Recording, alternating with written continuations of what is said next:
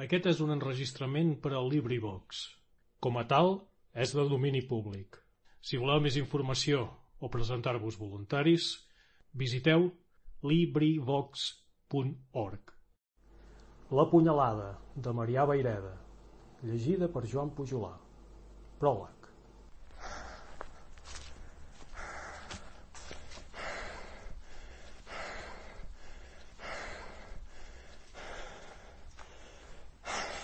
Dalt del puig del Bassegoda, com posat express per confort de l'excursionista fadigat, hi ha un canapè de blaníssima herba i sòlid respatller de pedra on algun temps jo m'hi asseia sovint, contemplant sempre amb el mateix interès el grandiós panorama que s'estenia a meus peus. A sol ixent, les terres baixes de l'Empordà s'obiraven boiroses, per damunt les serralades de la Mare de Déu del món, emboscades fins a sota les calisses de sa carena nua. Més ençà, el pic de Tossa, i més ençà encara, lliurona ròniga i perduda entre els alzinars, el rieral del Borró tallat a pic, la serra de Banyadors i les negres pinoses de Polí. Cap a la dreta, els formidables reductes del Freu, els crenys i gorges de Sadernes, on s'hi veu encara l'enciglada cova des de la qual diu que un temps el bisbe pasturava el seu ramat i beneïa per damunt de l'avenc a les verges del Senyor arraulides en son convent de Collroig, entre esquifits conreus i minúsculs vergers enrondats de murtres i llentiscle.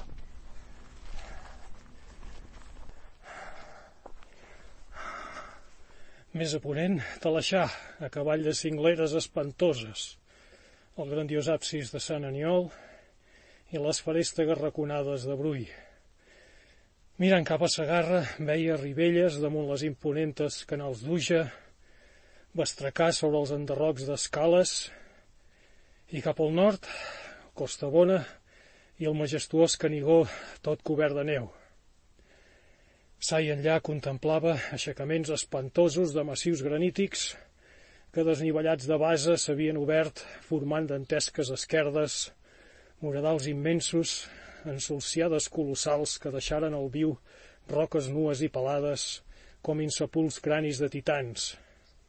I per entremig de tal desllorigament hi veia verdejant ofenós embull des del roure paratós i la rogenca alzina dels soleis fins al frescal faig de les obagues i l'airós pi dels altures, que formant onades de vegetació omplien les fondalades, remuntaven vessants i carenes i escalaven fins als espadats, per mica que en sorrelleixos i revirons pogués arrapar-s'hi la jonsa o clavar-hi l'urpa al zinall, en què fos llançant ses branques a l'abim.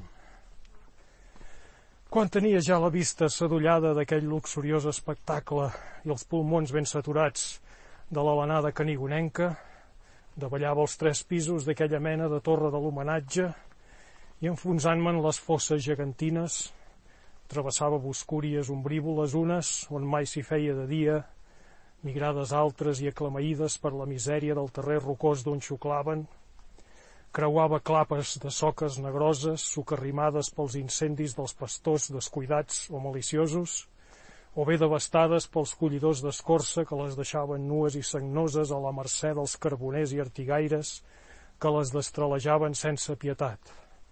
Trescava per damunt de clapisses de pedra cantelluda i sullevadissa i escalant espadats i xeragalls furgava i recociava coves i tutes perdudes entre la malesa, en busca de records i relíquies de llurs passats habitadors Visitava masies i barraques de carboners, recollint cançons i llegendes, romansos i rondalles, tot pescant al vol locucions i mots especialíssims d'aquell terrer que talment sembla abandonat de la mà de Déu. Però la meca de les meves aficions d'excursionista era el Mas Bardal, del terme del Banyà, on a l'entrada o a la sortida de la muntanyosa Garrotxa feia sempre cap, per saludar i conversar llargament amb l'ermità d'aquella casa, el vell Albert. Era aquest una mena de nacoreta esborrat dels fulls del llibre de la mort, que anava fent anys i més anys arrossegant una vida de xacres i malgams, ja que, com deia ell, Ara mateix no tenia en tot el seu cos res que valgués tres pitos. Així havia anat enterrant a la família, amics i coneguts, que bé diu aquell adagi, que allarga més el que piula que el que xiula, quedant-se sol al món, fins al punt que, segons pròpia expressió, ja no coneixia ningú, com ningú recordava ja qui havia sigut aquell home en els seus temps.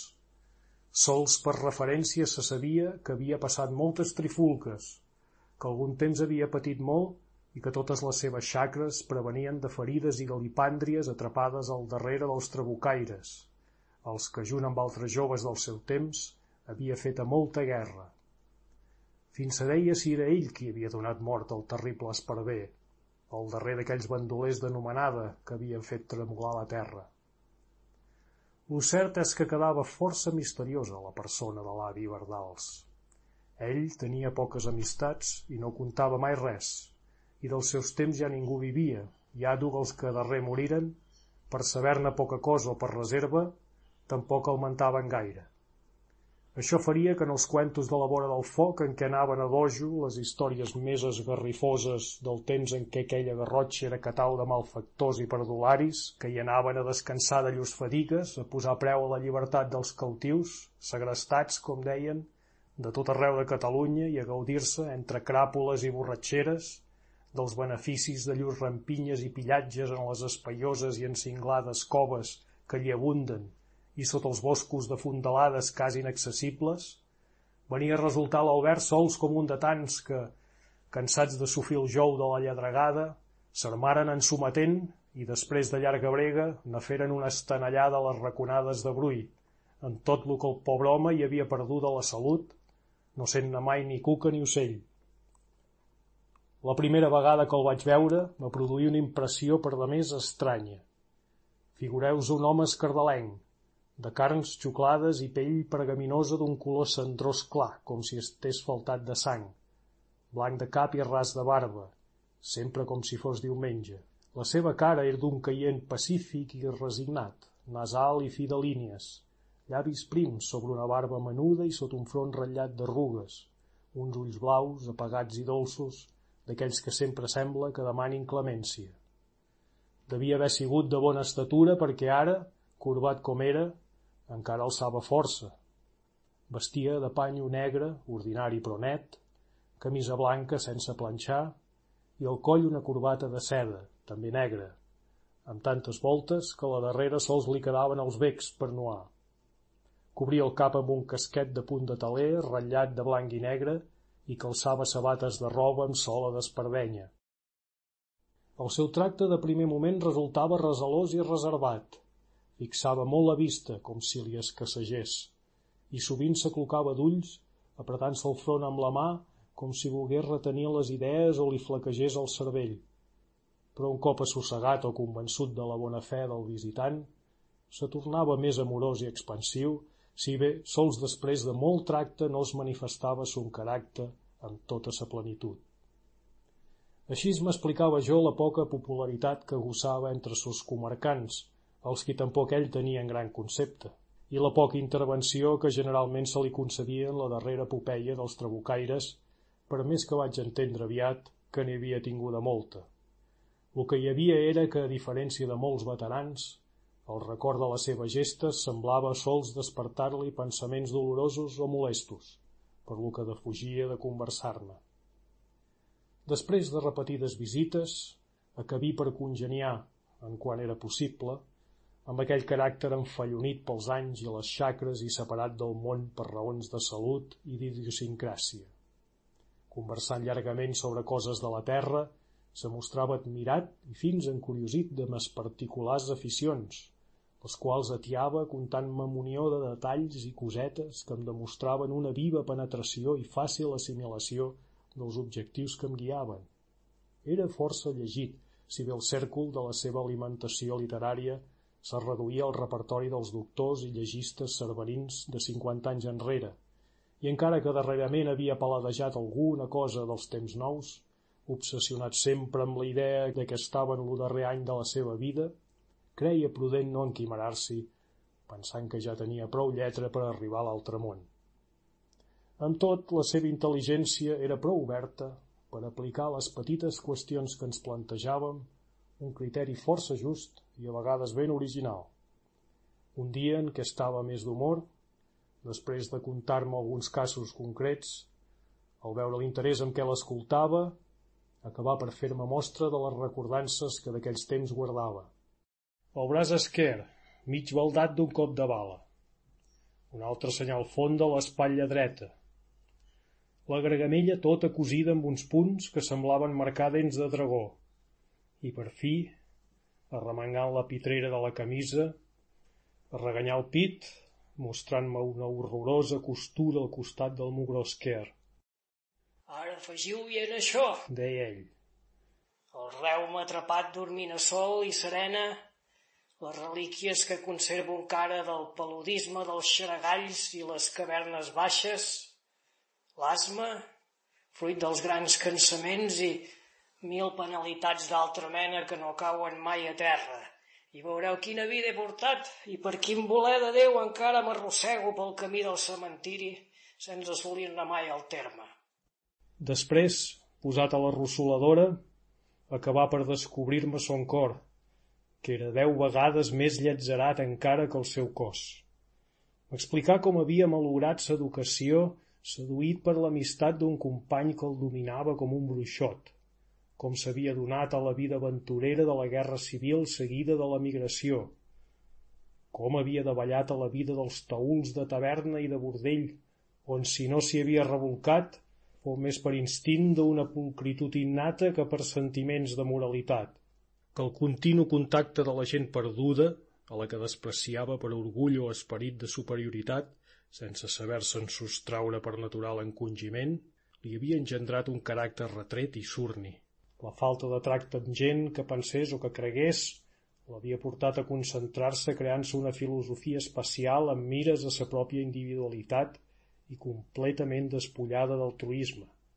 Comprenent que estava malgastant la vida dins un medi ambient que no era el seu, i que li repugnava, sospirava per una existència més noble i pel tracte de la gent honrada, més no per ànsies de perfecció moral que no comprenia, sinó per un millor estar material, com aquell que se n'entra a l'església sols perquè li plau més l'aroma de l'incens que les bafarades de la taverna.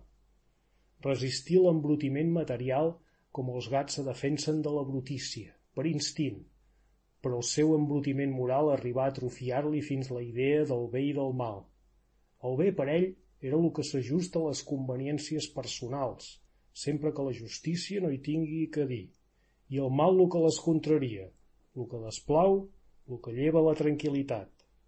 Així s'explica que son amic el sugestionés i dominés, ad duc ferint son orgull, perquè l'ambient de corrupció en què vivien en aquell li era favorable, era el seu propi i dins d'ell triomfava la superioritat de son ingeni, de sa despreocupació i de sa força corporal. Pogué per fi sostreure's-en amb un suprem esforç i tornar a casa. Ferm en son propòsit, se relacionar amb gent com cal i, creguent-se regenerat, buscar i obtingué l'amor d'una noia honrada. Però l'antic amic, convertit en enemic mortal i més tard en què fer de bandolers, li declarà la guerra mort combatent-se els dos a foc i a sang. Ses rivalitats, ànima de la darrera epopeia dels trabucaires, acarriaren sobre d'ell desgràcies, contratemps i terribles desenganys, i la seva filosofia, desproveïda de creències positives i farcida sols d'egoisme xorc, no li serví de res.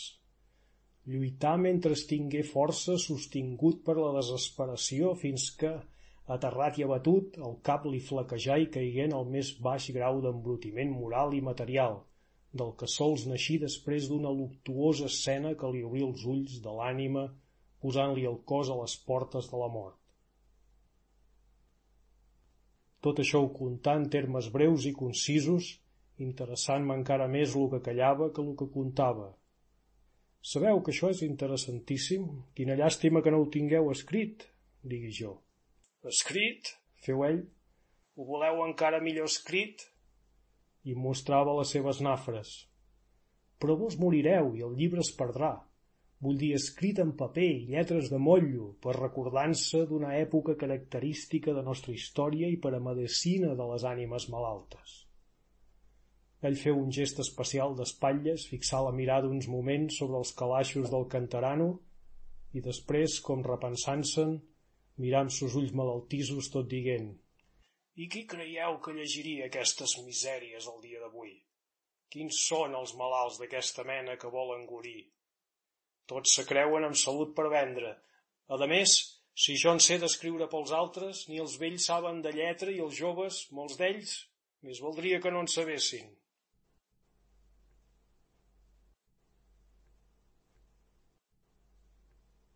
Passaren molts mesos, i quan ja me preparava per renosar amb les excursions anyals, rebia la visita d'un subjecte que es digué marmessó de l'Albert dels Bardals, a qui després de fer-me saber la mort d'aquest, manifestar que entre sus papers s'hi havia trobat un paquet clos adreçat a mon nom, per lo que creia interpretar la voluntat del difunt fent-me la mans.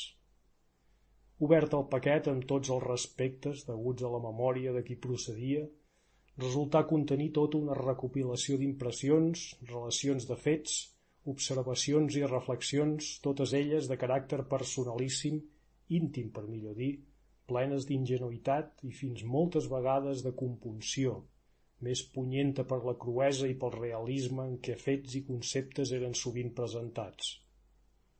No crec convenient fer més comentaris sobre el que baix meva responsabilitat m'atreveix que donar a l'estampa, Sols per a justificar-me, transcriuré alguns fragments de la carta acompanyatòria que es trobava al cap de la documentació. Deia així. Bon amic, quan rebreu aquesta, jo ja dormiré al solaió, sota els xipresos de la parroquial.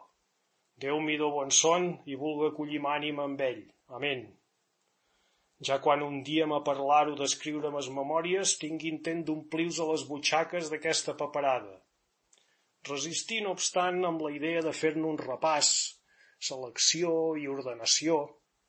Encara més, tocat un poc de la vostra dèria, volguia les acaballes de la meua vida reveure per darrera volta molts d'aquells llocs que em foren tan familiars, volguia refrescar meus records, grats i esblaimats uns, com somnis d'infant, i altres vius i punyents com dagues, a fi d'empaltar saba nova l'obra de què ja in mente vos ne feia hereu.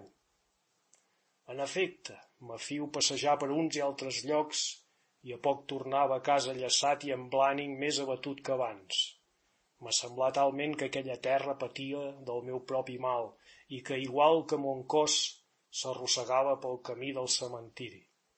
Ja no és aquella terra jovençana i rombosa com una núvia buscarola que jo havia coneguda.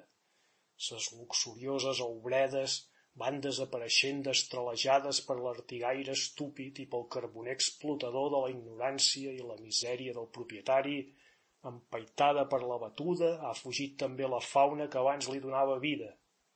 Al santuari de la Mare de Déu del món me mostraren dins d'un exvoto els ullals del darrer senglar d'aquelles boscúries, que morí lluitant amb en Montcanut, en quals carn s'hi ferratjà com per a venjar-se de la destrucció de la seva nissaga la darrera daina, després de vagar alguns anys, viuda i fonedissa, per clotades i torrenteres, un dia de neu s'arraulí, ronyosa i pelada pels anys i la misèria, sota les tàpies del mas del Pui, com demanant al masover la caritat de deslliurar-la d'una vida tan emmigranyada i xorca. Les àligues imperials, superba parella que no tenia rival ni parion en tots els mons d'Europa, cansades de pagar l'escot de llurs ous al savi col·leccionista que havia ensenyat als buscarols de jugar-se la vida per robar-los-hi, ja han pres comiat dels cingles de Talaixà. Els isars ja fa temps que es guaiten sus antics quartels d'hivern des de les congestes del Puigmal i el Canigó, i els lloparrassos que no es rendiren als mastins ni a llurs collars reblats de pues de ferro, no poguent resistir la llum del sol que desentenebrava ses lloperes, se feren enllà i els que no, acovardits i fugitius, moriren menjant la bola com miserables gossos captaires. Sols resten allí immutables com a llavors aquelles gegantines carcanades, patentisant un etern miracle d'equilibri, aquells espadats fora de plom, amb les basamentes rosegades per l'acció traïdora i sorda de l'aigua, aquells mateixos immensos còdols abalançats sobre d'avencs com badalls d'infern i aquells colossals morrots de penya viva apuntant-se els uns als altres com proes de fantàstics barcos en combat, uns cairuts i rogencs, altres verdosos i negres i alguns rematats en esperons de contorns epilèptics i recargolats com renecs de condemnat. Que en molts indrets com la carn que rebrolla per sobre de l'os corcat i valit se redreça encara potenta i ofenosa la vegetació protestant de l'espoliació és víctima de la part de l'estupidesa humana, fent més punyidora, amb la frescor de sos colors, la misèria i la soledat d'aquells llocs feréstecs. Heus aquí com són trobada la terra que guarda els records de ma jovenesa, records que en mes llarguíssimes hores de trista soledat anava clavant en aquests papers, amb l'esperança de que així deixarien en pau la meva ànima tribulada, i heus aquí per quina raó no som vist amb cor d'ordenar-los i repassar-los com volia.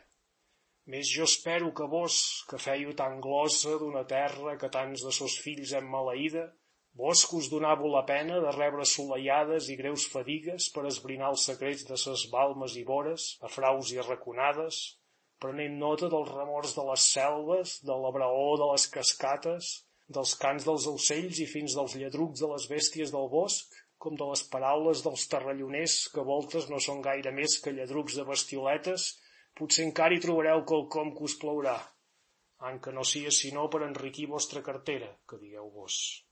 Per lo de més, vostre son. Talleu i cosiu el vostre albir més per si tinguéssiu la pensada de donar al públic aquestes pàgines, mediteu bé si fóra millor encara llançar-les al foc.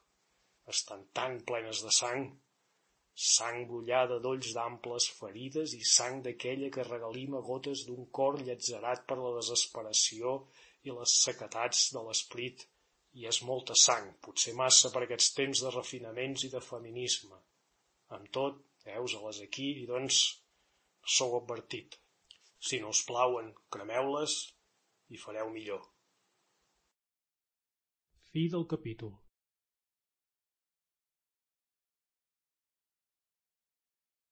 Aquest és un enregistrament de domini públic per al LibriVox.org. La punyalada, de Marià Baireda, llegida per Joan Pujolà. Capítol 1 Mai com aquell any m'havia semblat tan trista, la diada de la plec dels francesos a Sant Aniol. I això que la matinada es presentava hermosa com cap altra. El blau del cel s'estenia com un vel puríssim per damunt de les cingleres, i el sol, amb sus raigs daurats, acabalava els tons briosos d'una vegetació frondosa, frescament regalada per les pluges primaverals, que havien abundosament abeurat fins les arrels més fondes dels arbres centenaris. De més a més, jo portava el cor sadollat d'amor i d'esperança. Me creia en bona correspondència amb la Coralí, la rumbosa molinera de Balasc, i de molt temps que tenia escollit la plec de Sant Aniol per fer ma solemne declaració, presentant els memorials en tota forma, ja que tal diada era, en la comarca, assenyalada com la més escaienta per als prometatges que volien fer sort. I malgrat aquests paraments, Mai com aquell any m'havia paregut trista la diada de la plec dels francesos a Sant Aniol. Potser la tristesa arrencava de la mateixa conturbació del meu esprit, obligat a fer un acte que repugnava la ingènita covardia del meu cracte. Potser un presentiment de fracàs entelava les meves il·lusions, però també crec que, a més d'aquestes causes, hi havia la que en general afectava tota la comarca – flagellada llavors per un recrudiment del bandolerisme més campant que mai pel desemparo en què ens trobàvem per part de l'autoritat, que altres maldecaps tenia ciutat que ocupar-se de mantenir l'ordre a la muntanya. Lo cert és que aquell aire de tristor i aclaparament se reflexava en tothom, posat més de relleu pel contrast dels esplendors d'aquell dia de primavera. Els venedors, arrenglerats sota la pret de la rectoria, se miraven melancòlicament el miserable grapat de vianda que tenien a llurs peus, com si per endavant calculessin ja que les migrades ganàncies que farien no els pagarien pas les espardenyes rompudes trascant carregats com ases per camins infernals des de tres o quatre hores lluny. Les taules de les viroies i les cartes mostraven, verges encara, les enfilades de rosquilles i les estives de pa de figa. I per més que els bunyolers s'esgargamallaven cridant, fent rodar l'agulla i passant-se les cartes pels dits amb temptadora rapidesa, tot era inútil perquè ningú s'hi arriscava. La gent se mantenia apartada coblant-se en rotllos, xiu-xiuejant amb el cap baix. Sols més tard començaren a arribar collades de jovent de veget Oix i Tortellà, que més despreocupat o com si volgués posar bona cara al mal temps, baladrejava i reia. Més fins suscrits i riallades semblaven sortir-los per força de la gorja i apareixien sonant fals en els àmbits de la general fredor. S'estava esperant els francesos, que algú havia assenyalat enfonsant-se ja per les canals d'Uja. Aquests, com de consuetut, venien amb professor seguint la creu parroquial de Sant Llorenç i les banderes gremials de dit poble i de la Muga. Aviat aparegueren pel coll de Clarioles i, com una torrentada, davallaren pel camí que serpejava entre les alzines i començaren a filarar-se per embocar, un a un, la passarel·la del torrent. L'espectacle era bonic de debò, però trobí que s'accentuava encara la nota de tristesa que era la peculiar d'aquell any. La corrua era força més migrada que de costum i encara els pocs que venien semblaven anar mitges barats, apretant-se els uns amb els altres com si temessin quedar-se enrere.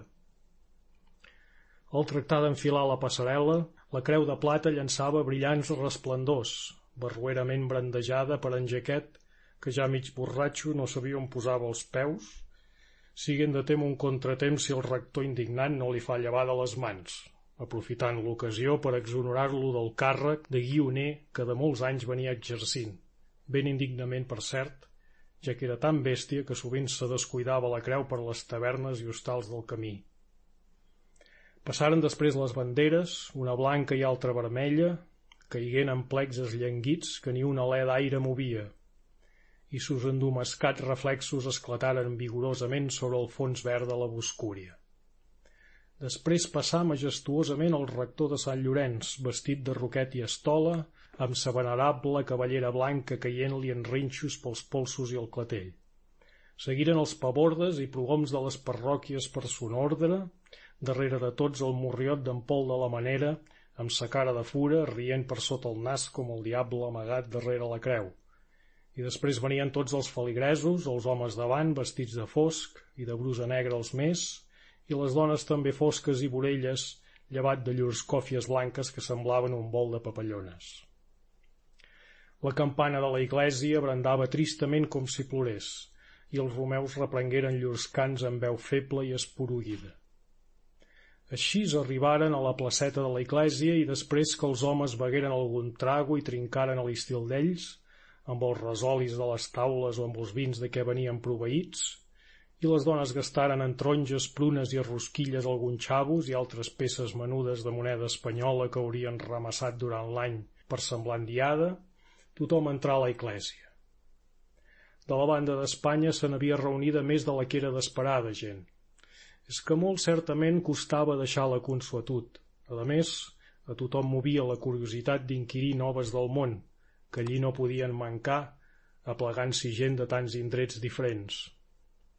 Parlant i escatint els darrers fets, alguns escabotàrem l'ofici i entràrem a la iglesia quan ja mossèn Jeroni, el rector de Sant Aniol, tot renquejant al peu de l'altar, anava parlant així. No són pas les meves penes, caríssims germans, que em fan plorar. No és pas la primera vegada, ja ho sabeu, que aquests fascinerosos han assaltat ma pobra vivenda i donat turment a mon cos buscant un tresor que trist de mi no he tingut ni somiat mai. Les meves penes, els meus turments, les meves pobreses saquejades, tot, tot ofereixo a Déu en descàrrec de meus pecats. El que ploro són els pecats d'aquests malvats que no temen a Déu ni als homes i cada dia embruten la seva consciència amb els crims més esgarrifosos portats per la seva set de sang i d'or. Pocs mesos fa de la troballa del cos butxinejat de l'infeliç Bernol de Riudellots, sense nas, sense orelles, sense ulls i sense dents que els malvats li anaren arrencant per fer-ne present a la seva família que no podia pagar son rescat. Dels horrors comesos amb les dones del mar Rabassa i altres, més no sabeu vosaltres que jo i ara mateix, fa quatre dies que aquests pobrets iaios de Ridols ja ho heu vist, formats al calamàstrecs de la llar, han tingut mort crudels socarrats per de sota i tot per què, fills meus? Per no tenir infeliços 50 miserables unces que els pobres ni deurien saber de quin color eren. I això passa a casa nostra, entre aquests rostalls i cingleres que sempre sembla que hagin de caure i no cauen mai per esclafar tanta maldat. En aquesta terra van refugi de sants, bisbes, de monjos, d'ermitans i penitents, i ara catau de tota la mala gent que els pobles més sortosos foragiten escopetades. I sabeu com és això? Sabeu per què hi venen aquí? No és pas sols perquè hi troben amagatalls, vores i boscúries que els posen a cobert de la justícia humana, no. És perquè aquí troben gent tan dolenta com ells, perquè vosaltres teniu el cor més dur que les roques d'aquestes cingleres perquè vosaltres que professeu aquell maleït refrany que diu la carn que no es cou per tu deixa-la cremar, heu comportat que la guineu fes el cau a casa vostra, amb tal de que el mal fes el veí. Vosaltres heu continuat ofenent a Déu amb vostres borratxeres, amb vostres pecaminoses farandoles, fent servir els sants per tapadora, ballant i baladrejant els recers de les santes ermites sota mateix de les llodrigueres on tal volta, mentre vosaltres ofeniu a Déu si estava escolant algun cristià germà vostre, martiritzat pels seions els quals qui sap quants de vosaltres haureu fet de lloques. Més avui ja ho veieu, germans caríssims, la guilla ja no us respecta els suputs del cau, Avui ja la tempta la vostra pròpia hisenda i cap de vosaltres, tant si la té com si no la té una unça, està assegurat de no trobar-se d'anques al foc a l'hora menys pensada. Les paraules del bon rector ressonaven com un gemegó sota les esvinçades i rònegues arcades de la vella eclèsia, on la pobresa hi traspoava per tot arreu exhalant un baf com de tomba que glaçava l'esperit. Al fons, adossat a la pedra nua de l'absis, s'hi veia l'altar major compost d'un retaule mig pullat, de columnes salomòniques carregades de fulles i raïms que sostenien un parament de cornises cargolades i guerxes, fent de cobricel a un sant aniol cama curt inflat de robes com si el vent se l'endugués. Davant d'ell hi cremaven sis o vuit ciris desagermanats dintre candelers de fusta pintada. Sota aquelles arcades, fartes d'aguantar un traspol mig podrit que reganyava sa i les teules de la coberta, i formiguejava una bigarrada multitud d'homes, dones, vells i criatures que seien pels bancs, per les llutoses marxes de pedra i per sobre les llambordes de terra, des del presbiteri fins a sota el cor, espècie d'encavallada de fusta com un barrastral de casa pobra, on s'hi pujava per una escala de barrons i era també farcit de gent. Eren pastors, artigaires, carboners, contrabanders, francesos de la Manera, Sant Llorenç i la Muga, culleraires de Tortellà, parcers d'Oix i Baget i terralloners de les masies i llogarets de cinc hores a la Rodona, gent bona part d'ella quasi tot l'any fora de la llei per un o altre concepte, si bé considero era aquest el seu pecat més petit, perquè no sé quins drets pot al·legar l'Estat sobre una gent abandonada a son propi valer, entre enderrocs de muntanyes que semblen lloselles, en contacte continu amb tota la púrria que troba sa salvaguàrdia vivint amb una cama a cada banda de la frontera i on quan pot sols hi envia per tot consol digna representació de gens avorrits de pare i mare que hi porten el baf de la corrupció de la terra baixa, única influència de la civilització moderna que sembla tenir prou força per filtrar-se per aquelles esquerdes. Tots semblaven aclaparats i compungits, sentint sobre el cap aquella filípica que queia compassada com les gotes d'una xeta mal tancada, sempre amb el mateix to de veu malaltís i descolorit, igual quan ens deia germans caríssims que quan ens tractava de borratxos i de lladres.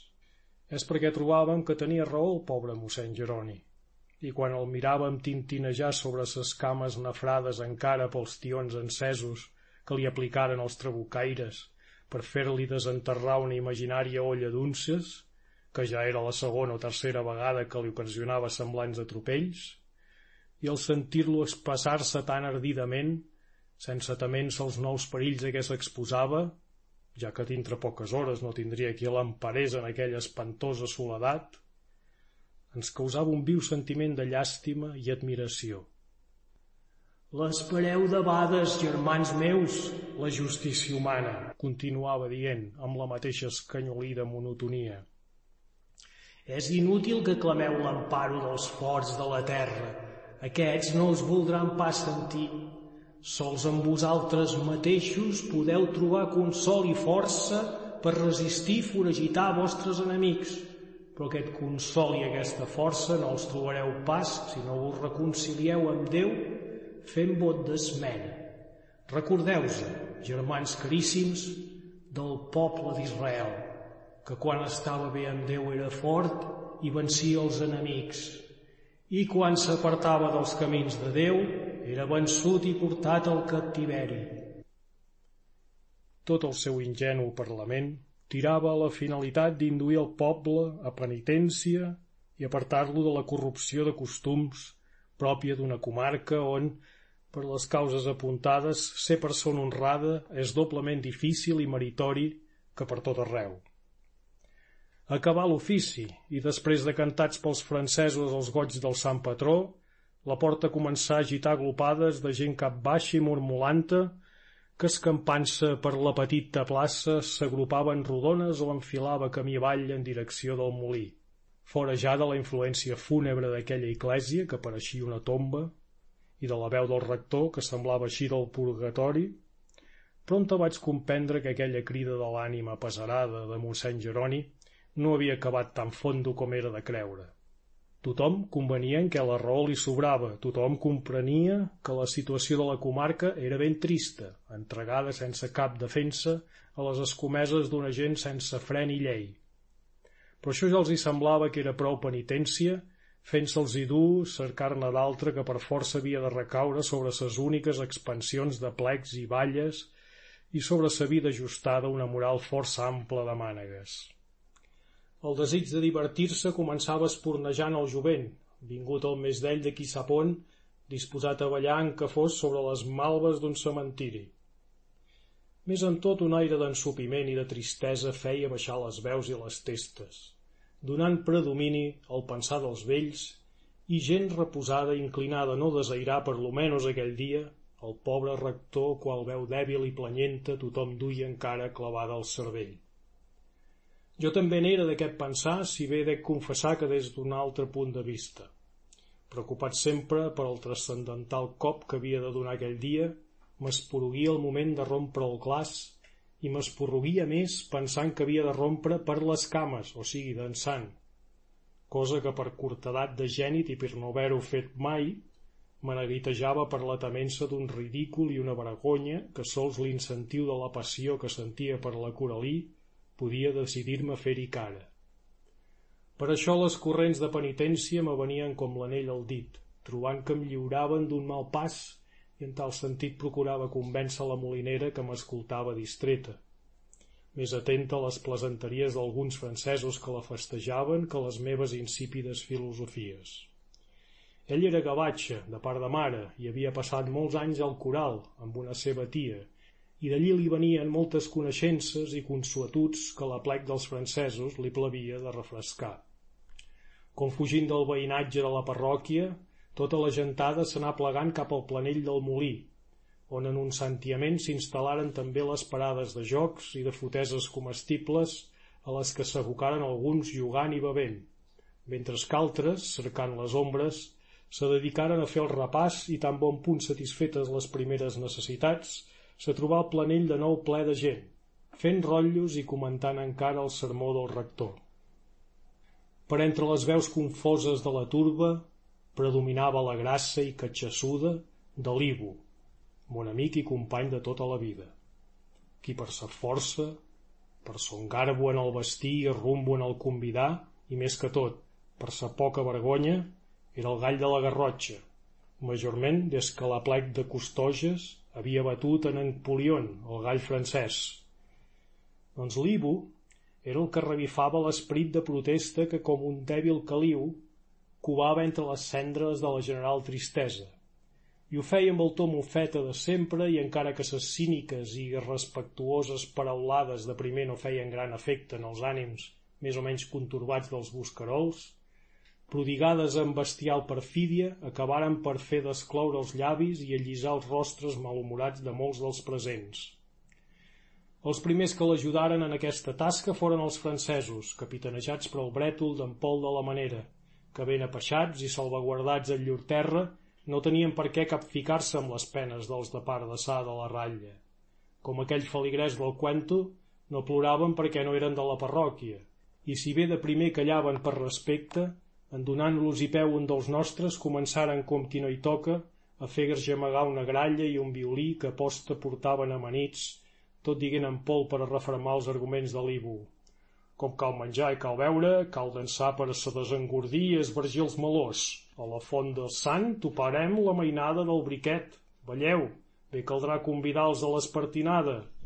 Doncs si nostres de misela són pas en tren, bon dieu i aquell vell boig s'atragava les mans tot fent grimasses.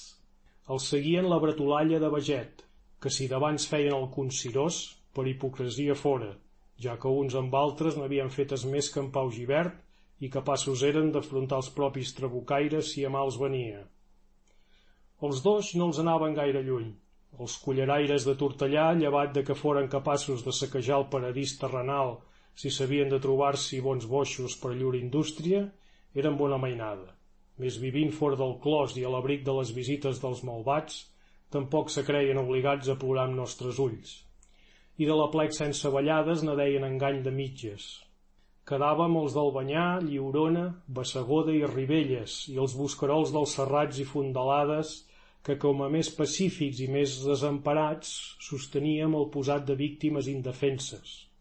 Però dels nostres eren l'Ibu i algun acòlit seu justament el que tocava l'òrgan aquella estúpida revifalla. En quant a les mosses, si bé totes se mostraven afligides i malmirroses, era de tema que no desitjaven sinó que els les obliguessin a trencar els escrúpols, per força. Diferent de mi, que em creixia el mal humor a mida que s'esveïa l'aire de tristesa que moments abans semblava abrigar-ho tot. Molt més encara quan notava que també la Coralí semblava que li ballaven les cames al sentir els escatainets de la gralla, que mig de frau preludiava balls encisadors. Jo no sé pas de què es queixa mossèn Jeroni, exclamà per fi l'Ibu, com sintetitzant ses reflexions i tirant el bulto amb tot descaro. Ha salvat la gerra, li han tret el poagre de les cames, que bé li serveixen per predicar. Si l'haguessin rostit com els guetos de Ridols, bé fora pitjor. Vaja, minyons, jo crec que com menys, per l'alegria de que ens l'hagin deixat cru, N'hauríem de ballar una, no trops, Coralí? Aquella grullera patutxada tingué el resultat perseguit.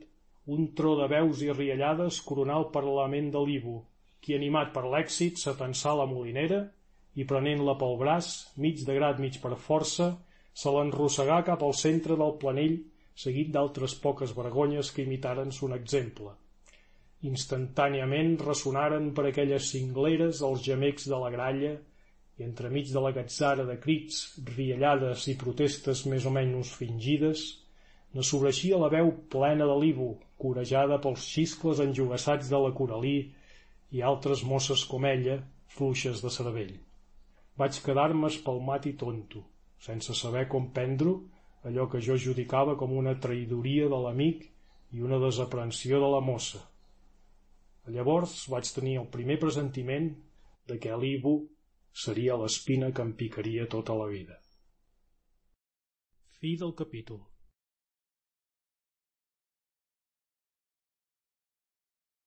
Aquest és un enregistrament de domini públic per a LibriVox.org. La punyalada, de Marià Baireda, llegida per Joan Pujolà. Capítol 2 Era jo molt nin, quan amb altres xicots del veïnat ens ajuntàvem a la palmada de Borés, per arribar encollada i sempre tardans, malgrat els renys del mestre, a l'estudi del banyar. Entre ells eren els meus principals amics en Rafel del Pedrals, en Pep del Serrat i sobretot l'Ivo de Camperols. A mi em deien el Picolí, per menut i desnerit, motiu que va quedar-me per molts anys, per més que vaig fer-me ossut i llarg com una perxa. L'Ivo era, si fa no fa, de la meva edat, i des del principi exercí sobre mi un predomini que aviat degenerà en una mena de tirania. Jo l'estimava de debò, enamorat de sa cara fresca i ofenosa, de sos aires expansius i desembrassats, i sobretot de sa verba joiosa, sovint desvergonyida. En nostres travessures de xicot, sempre era ell qui l'armava. Més jo no sé com s'ho feia, que a l'hora del rebre sempre ens tocava a nosaltres, fent-nos ell encara la figa. De cor no en tenia gens, no es compadia mai de ningú, i aquell remordiment que sentíem tots quan en alguna diablura, anant més enllà del que volíem, algun company ne sortia massa esgalabrat, ell no el sentia mai. Encara hi trobava peu per desfer-se embromades de desvergonyit. A la llei que jo li duia corresponia amb temperament llunàtic, menjant-se'm un dia festes i l'endemà tractant-me amb un desviament que em donava pena. En Pep del Serrat, ben diferentment, semblava tan sol·lícit de la meva amistat com jo de la de l'Ibo, i si bé jo no li corresponia malament, tampoc l'apreciava com es mereixia. En Rafel del Pedrals era altre caràcter. Independent i després, s'ajuntava amb nosaltres quan li convenia i quan li semblava bé ens plantava amb tota senzillesa. Amb l'Ivo no lligava gaire, perquè era l'únic que se li revelava, fent-li cara si mà venia. Un dia, l'Ivo ens induí, a mi i en Pep, a fer campana, per anar al bosc a cercar nius, donant mantenent de pujar un roure on se n'hi veia un al cap d'una branca prima. Jo però el dubtava, més ell excitava un amor propi tractant-me de covard. Deixa l'animal, que cauràs, me cridava des de baix en Pep, que veia el perill. Però pogueren més en mi les xanxes i amenaces de l'Ivo que les veus del bon sentit, tirant al dret fins que esqueixant-se la branca caigui, quedant estabornit al peu de la soca. Al revenir-me vaig trobar-me extès al peu del torrent, auxiliat per en Pep, que em refrescava el cap mig badat, en tant que l'Ivo s'ho mirava tot fent comentaris sobre ma poca traça de bastanius, i comparant la meva fatxa al caure amb la branca entre cames amb la d'un galàpat en estat. Entre els dos m'acompanyaren a casa. Més abans d'arribar-hi, ell s'esmunyí deixant per en pobre Pep les rebufades de la meva mare esfereïda de veure mental estat. Aquest fet me produí un cert desengany, resolent apartar-me de tan mal amic. Més a les poques setmanes de curat me trobava de nou junyit a la seva ombra. Així seguírem creixent. Als 15 o 16 anys semblava haver entrat en major reflexió, manifestant desitjos de seguir la carrera eclesiàstica, més que per vocació, per sostraure's de les exigències de son pare, qui, propietari de pocs i entrempats cabals, volia enjuncar-lo al treball de la terra, cosa que en ell li podia molt. El cas és que començar uns cursos preparatoris de gramàtica llatina amb el rector del poble, i jo, tant se val, induït per ell, vaig manifestar les mateixes intencions. Més tard, al seminari de Girona, on seguírem alguns cursos, un i altre amb no gaire lluïment, s'anà accentuant el caràcter de l'Ivo. Aprengué a dissimular per conveniència i a refinar sos instints amb un cert vernís de cultura. Més jo, que l'observava de prop, Veia bé que el fons del seu caràcter era un conjunt de sensualitat grullera i d'ambicions amb prou feines reprimides per les circumstàncies de lloc i temps, i sobretot per la carència de medis, ja que ell, encara més que jo, feia la carrera en tota la pobresa imaginable, i en el terreno de la confiança esclatava son mal humor, amb mil penjaments contra els qui eren o podien més que ell, desenrotllant tesis que m'esfereïen.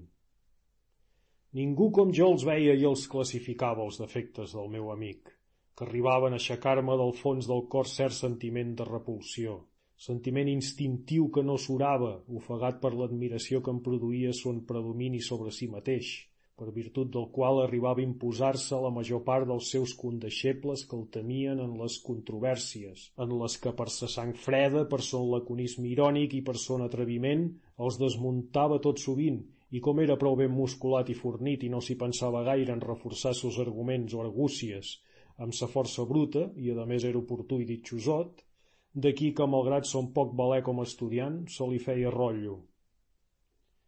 Cal reconèixer amb tot que en el fons ningú el podia veure i ell pagava amb la mateixa moneda. Jo mateix li tenia quimera, però una quimera estranya. M'indignaven sos defectes per quan deslluïen ses bones qualitats, sense fixar-me en què les poques que tenia li servien sols per tapar els defectes. M'indignava sobretot sa falta de cor i son esprit venjatiu, que no perdonava mai el qui creia que l'havia agraviat ni després d'haver-li fet sentir el pes de la seva venjança. M'indignava, però me retenia la creència de que era jo l'única persona que tenia algun ascendent sobre d'ell. En això esdevingué l'escalfament de la guerra carolina, que portà una gran efervescència entre els escolars, la gran majoria partidaris d'aquestes idees. Alguns, pocs, n'eren contraris, un d'aquests era l'Ivo, i no obstant, me sorprengué un dia amb la proposició d'anar a la muntanya. Fos pel predomini que sobre mi exercia, o per la vanaglòria de l'efecte que vaig figurar-me que havia de fer entre meus companys, que em retreien sovint que em tenia la butxaca, la creència que jo l'havia conquistat, el cas és que, contra el que mai havia somiat, vaig seguir-lo.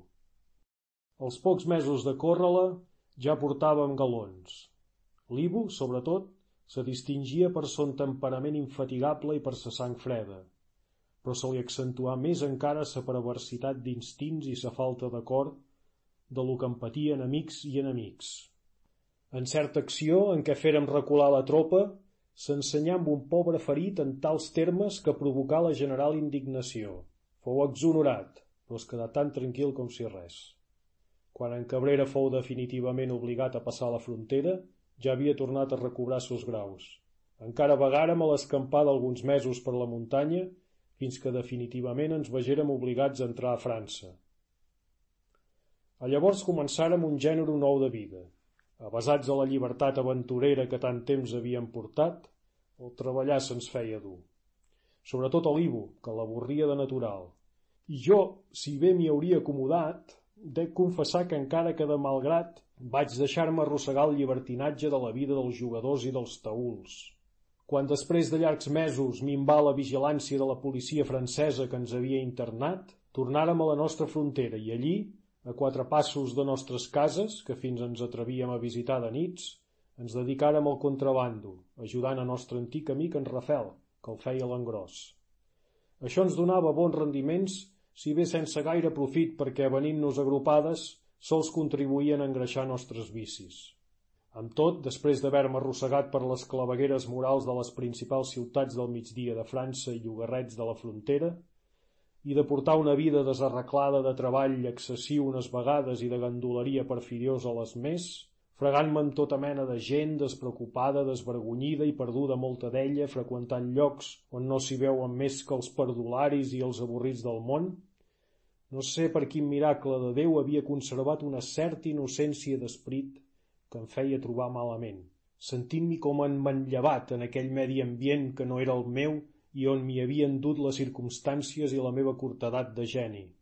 Me mancava el cinisme del meu corruptor per combatre els mals humors que em venien en les hores de cansament, en què no en deixaven de representar-se amb les recomanacions de ma santa mare i les pràctiques del seminari, quals arrels, per altra part, sentia de més en més sollevades del cor. L'avorriment del vici m'avingué abans de l'enfit, no per virtut d'una reacció moral, sinó com aquell que surt lleuger d'estómac i fastiguejat d'una borratxera senzillament perquè els plats servits no són del seu agrado. La vista dels meus antics amics en Rafel i en Pep, que vivien tranquils a casa seva, donats a llurs cafès i ben vistos de tothom, me seduïa, Majorment els plecs d'aquest darrer m'inclinaren a fer un esforç per deixar aquella vida i sostraure'm a les influències d'aquella mala amistat. El govern concedí un indult i vaig aprofitar-lo per tornar a casa. L'Ivo, per més que no sentia res de lo que m'infrisava, perquè tenia el cor mort, fer lo mateix, siguin això per mi una verdadera desgràcia. No obstant, posat a casa i enfeinat amb l'endreça de la meva poca hisenda, que d'anys anava de mal borràs, majorment des de la mort de la meva mare, la influència que l'Ivo exercia sobre mi esdevingué més lleugera, contrabalançada per la bona amistat d'en Rafel i d'en Pep. El primer d'aquests havia fet bons negocis amb el contrabando en gros, pel que tenia especials atributs, i ara els quatre formàrem una mena de societat de la que n'era gerent en Rafel, i arriscàrem en fortuna algunes entrades atrevides. Els primers temps l'Ivo collà bé, i fins i tot fou de profit, perquè tenia bones condicions quan volia, però més tard, ja una mica revingut dels apuros en què al principi es trobava, se cregué més savi que el mestre i aviat comprenguérem que la nostra societat no podia durar gaire. Encara així i tot tiraren bon temps degut als esforços que per lligar caps fèiem en Pep i jo, però la fi es dissolgué per un cop de geni d'en Rafel, que no era pas home per agemolir-se a les impertinències d'aquell i encara que m'oferí la seva companyia, vaig renunciar-la, enamorat cada dia més de la vida quieta i dels petits guanys de la terra, màxime quan amb les ganàncies arramassades havia pogut tapar els principals esvorancs de casa. A llavors, l'Ivo començà a treballar per son compte en el mateix negoci del frau, i en ganàncies més o menys fictícies a rumbejar, entregant-se descaradament a la vida llicenciosa. Se feu un mal nom més com esmerçava diners, era de bon regent, però llest de llengua i disposava de la força bruta, se feia respectar per tothom, i fins era ben escoltat per les mosses, que no es carmentaven mai en pell ajena, i això que el poble li tragué aviat per motiu l'esparver, perquè així que ullava una peça de caça ben apetitosa, no parava de fer-li l'aleta fins a tenir-la. Per aquell temps tingué lloc sa cèlebre topada amb Empolion de Costoges, el gall francès, en la festa d'aquest mateix poble. Ja feia temps que se la portava embotada i allí, per qüestions d'una mossa, anaren a capgirells. En Polion, amb tota sa fama de brau, perdé la partida i deixà les dents enmig de la plaça. L'escàndol fou tan gros que tots els balladors, fets un embull, s'apunyegaven mútuament sense saber el que es feien, no quedant-ne cap de dret. Aquell dia l'Ivo s'afartà de malmetre gent a cosses i cops de puny, fins als gendarmes que tractaren de detenir-lo reberen sa corresponent tanda de bufetades. Prou cridaven «Arrêtez le brigand!» però pitofos com tothom no pogueren fer-se'n senyors i anaren de pernes en l'aire. D'aquella feta, la fama de buscafreses terrible de l'Ivo cresqué extraordinàriament. Entretant, jo em creia un altre home, si bé infeliç de mi no sabia sostraure'm del tot a la influència d'aquella amistat maleïda. Veritat és que, acafarat amb el gust del treball, entre setmana me'n recordava poc, més a les festes, en els aplecs, i en quan m'atentava la dèria d'una cacera, sempre havia de ser a rere saga de l'Ivo. En Pep i fins en Rafel solien ser de la seguida, més ells n'estaven ben guardats de la seva ombra, i fins me'n predicaven sempre. Però a mi el cor m'enganyava, me feia la il·lusió de que era jo l'únic que podia portar-lo a bon camí, ja que era l'únic de qui suportava amonestacions i recriminacions que, per altra part, cap efecte li feien i que sovint m'arrebatia garbosament. Una nova virada de les meves afeccions tingué més força per a desviar-me'n un poc. Estava fart de la vida de saltamarges i d'anar de mal borràs, sense una persona que cuidés de les meves intimitats. Havia de cercar dona, però no una dona qualsevol, sinó presentable i complís els baucis de mon entorn. Les que la companyia de l'Ivo m'havia portat a tractar eren en general rebrecs de botiga, desperdicis d'altres taules o esguerros morals, nascuts i crescuts en el vici desviades de son destí, sers que de dona no en conservaven més que la forma i la malícia. Sols alguna que altra vegada havia trobat entre elles residus de bellesa i fins aromes esblaimats de virtuts ingènites, com entre la fruita podrida s'hi troba de tant en quant algun mos de carn blanca i sana que ens recorda la bona llavor d'on procedeix. Més era tot tan revolt entre màcules escaroses i sediments de bordell que sols servien per deixar cert regust d'enyorança en ma instintiva delicadesa de sentiments que em feia comprendre l'existència d'altra mena de dones, més en harmonia amb els records de ma pobra mare. Records desgraciadament massa esmortuïts després dels anys transcorreguts des de que les circumstàncies i el meu mal cap me'n separaren per no reveure-la mai més. En Rafel, poc aficionat a faldilles, repetia sovint que de les dones la millor era sol sola per llançar.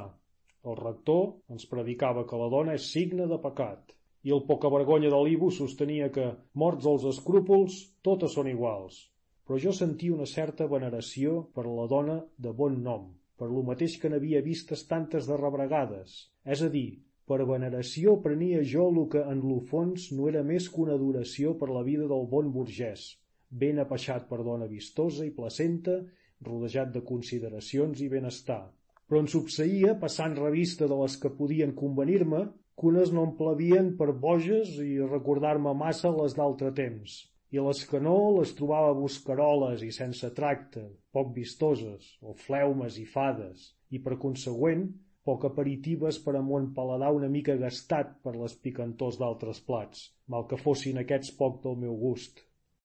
I esdevingué llavors que vaig conèixer la Coralí, la pobilla del molí de Balasc, un dels més enfeinats de la comarca. Son pare era un tros de pa i sa mare, ja difunta, fou una francesa de la manera, de família modesta però molt considerada.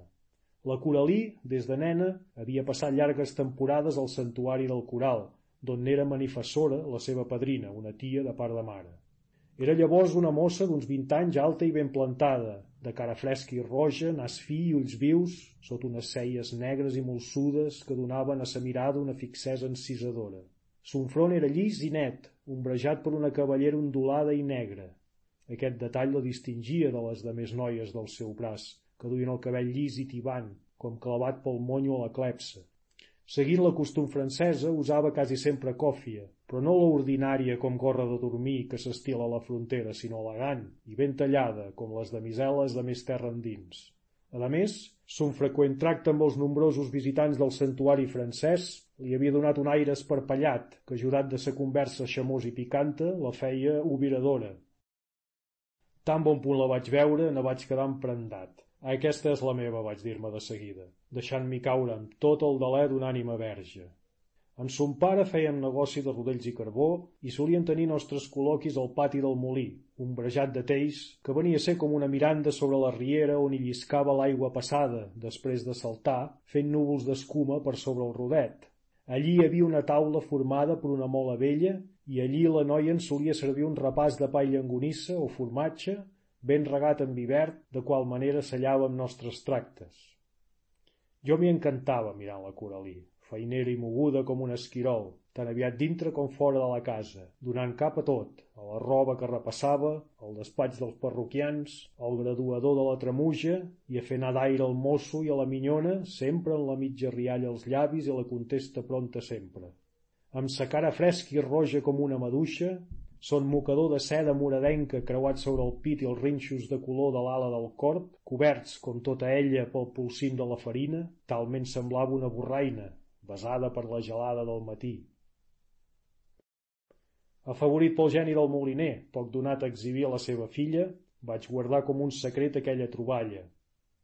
Per altra part, en ella, les coneixences de part de sa de la ratlla no la tiraven, i com la missa la tenien més avinent a la parròquia francesa de la Muga, resultava que era poc vista i coneguda, molt menys al banyar, on pot dir-se que mai posava els peus. Però més tard vaig tenir la debilesa de confessar-me'n amb meus companys i l'Ivo ja no parà fins a fer sa coneixença. Un dia, a la festa major de la Muga, vaig presentar-li i començar a galantejar-la com fèiem totes, amb aquell to de fina mofa pròpia del qui és llarg de l'ofici. I a ella li correspongué un garbo que si per una part me satisfeia, ja que feia honor a la meva elecció, per altra no deixava d'inquietar-me, perquè en veritat el natural encongiment i cortedat de geni que m'havia, en cert modo, salvaguardat de la brutícia trepitjada en els temps de la disbauxa, tampoc m'afavoria gaire per sostenir el paper de galant, majorment en competència en gats vells com l'Ivo. La sola consideració que aquella noia no era de la mena de les que tenia per conegudes m'infundia respecte, acabant-me d'entortolligar la llengua sempre que tractava d'eixir-me de la conversa ordinària. Veritat és que, en tals casos, ella solia mirar-me d'una manera estranya, com si em llegís l'ànima. I reia com si li plegués el que llegia, més això era ben poca cosa per afinar els drets que interiorment m'adjudicava sobre ella. En fi, que comprenia que si a la Coralí li donava per desitjar un galantejador de volada, jo em quedava curt. Després vaig tranquil·litzar-me perquè en quan quedàrem sols amb l'Ivo no es cansava de posar-li tilles, i ella, per sa part, així que poguérem parlar-ne, me digué Quin gardunya n'hi ha d'aquell teu companyó? Se coneix que està fet a tractar sols en ximples, que es creu que totes ho som. A més, l'Ivo era amic meu, potser era jo l'únic amic que ell tenia, i si bé li sabia tota una història de traïdories, infidelitats i desvergonyiments, a mi no m'havia faltat mai en cosa grave. Amb tot, vaig creure prudent fer un esforç per eixerivir-me una mica, preparar bé el terreno i esperar la plec dels francesos a Sant Aniol com a diada la més apropiada per donar el salt mortal. Després d'això, per lo que pogués ser, tallaria en rodó l'amistat amb l'Ivo. Fi del capítol.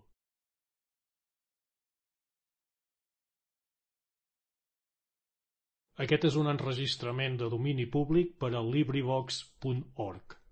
La punyalada, de Marià Baireda. Llegida per Joan Pujolà.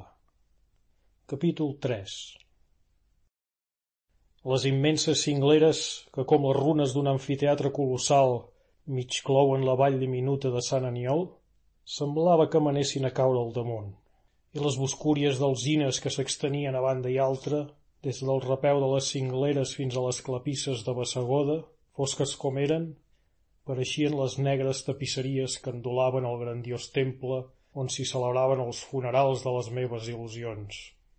Prou remorejaven les cristal·lines aigües de la riera, que tapallant de l'espantosa esbaconada de brull formen amansides gorgues d'un verd esmaragdí, enfilades les unes amb les altres per filigranes d'argentina escuma, Prou s'hi emmirallaven els verns i castanyers revestits de novella fulla d'un verd tendral, i el sol prou hermosejava matisant-ho tot amb els canviants de sa lluminosa paleta, i fins als aucells xerrotejaven agradosament per les verdisses. Més jo no sentia altra cosa que el corcó de la gelosia rosegant-me les entranyes, ni veia res més que les negrós que el meu pessimisme començava en l'auba de la meva ditxa desequilibrant mon esprit, ja de si prou donat a la concentració i a la tristesa. No sabia acabar-me la jugada de l'Ivo, i fins coneixent-lo en ma innocència de criatura gran no el conceptuava capaç de fallar l'amistat de l'únic ver amic que tenia, com si la lleialtat fos cap principi ferm quan no descansa sobre la noblesa del cor. Però em podia acabar menys la lleugeresa de la Coralí, tan complacenta sempre amb mi tan carinyosa i expansiva en ses converses, una mica drolla i enjugassada, això sí, més prou entenimentada per recatar-se d'un jove de tan mal anomenada, després que indirectament bé li havia prou fet entendre plans que jo aquell dia portava. Tractant d'esvergir el mal humor pels encontorns de la riera, vaig fugir del planell.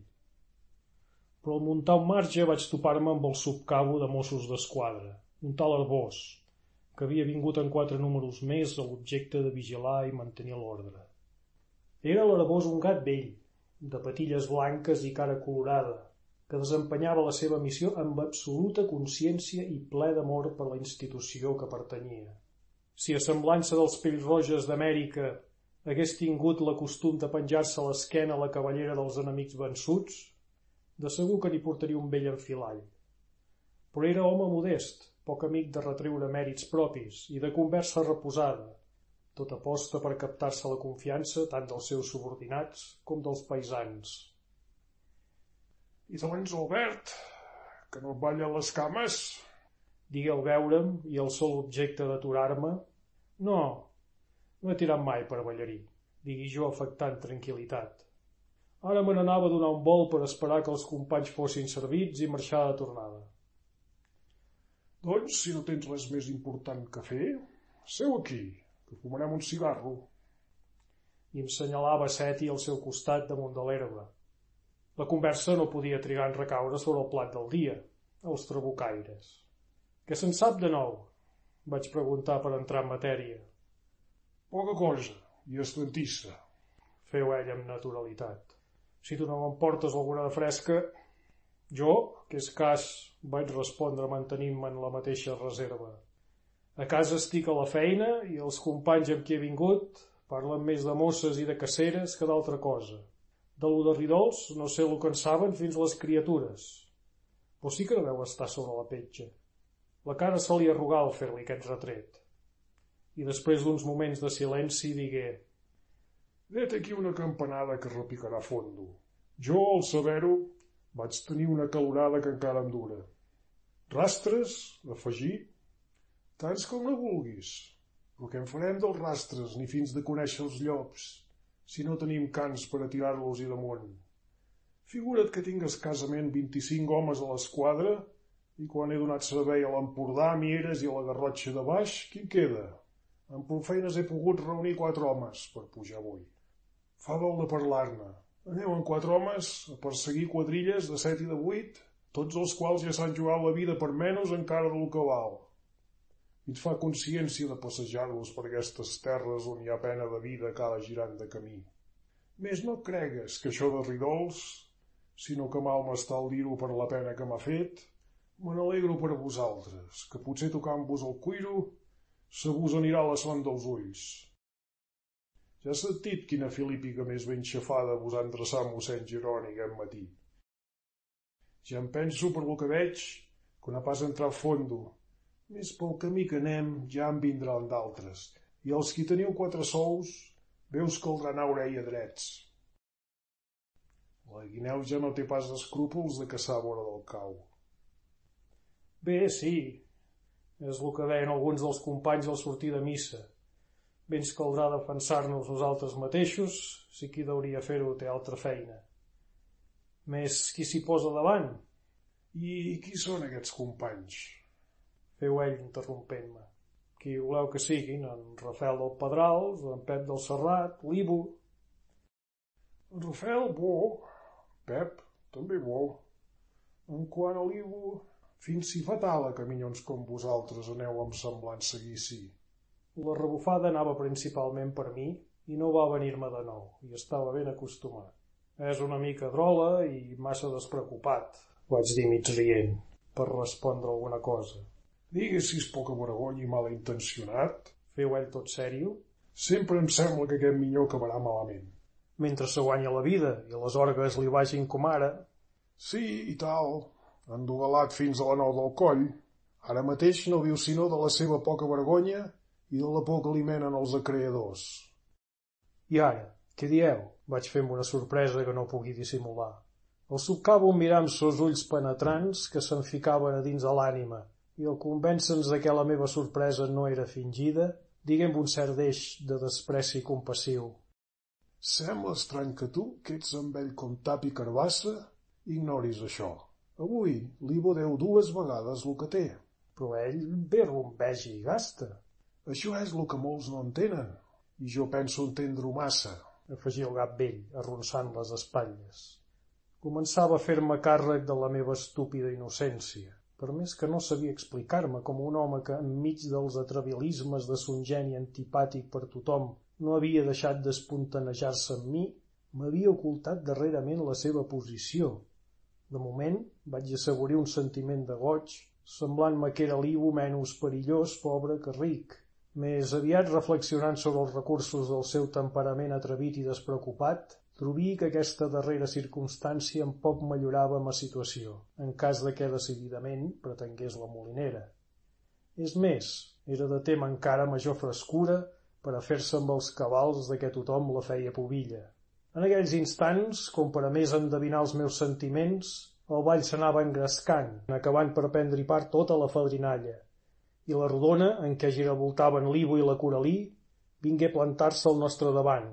Dansaven el ball francès, espècie de galop infernal en què, al final de cada passada, són les mosses arborades en l'aire, preses per sota les aixelles pels balladors de cada mà, i vaig haver d'amargar el mal trago de veure com embogida de riure entre l'Ivo i un xicotàs francès tiraven amunt amunt a la meva estimada fent-la surar dos pams sobre el nivell de les demés, amb una persistència bestial, com si me'n fessin present allà o volguessin posar a prova la meva mansuetud.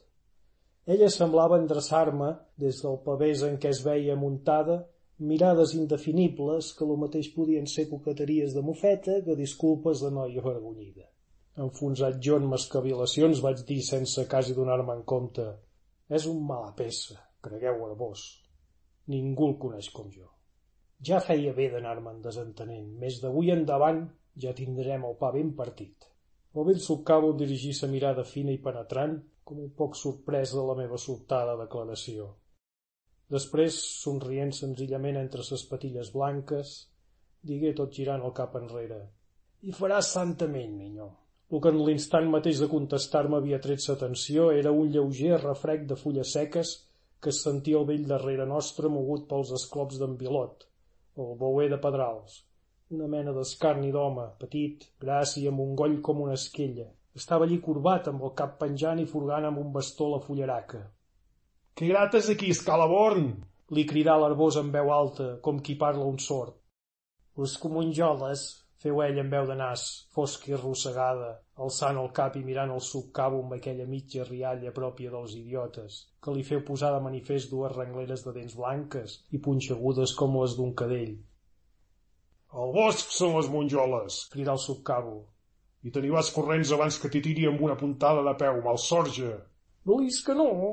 Feu el beneït amb sentir l'amenaça i, accentuant encara sa mitja rialla, començar a retirar-se balancejant el cos com un titella, tot bregant per posar-se el barretinot suat que duia a la mà, ple, efectivament, de bolets acabats de collir.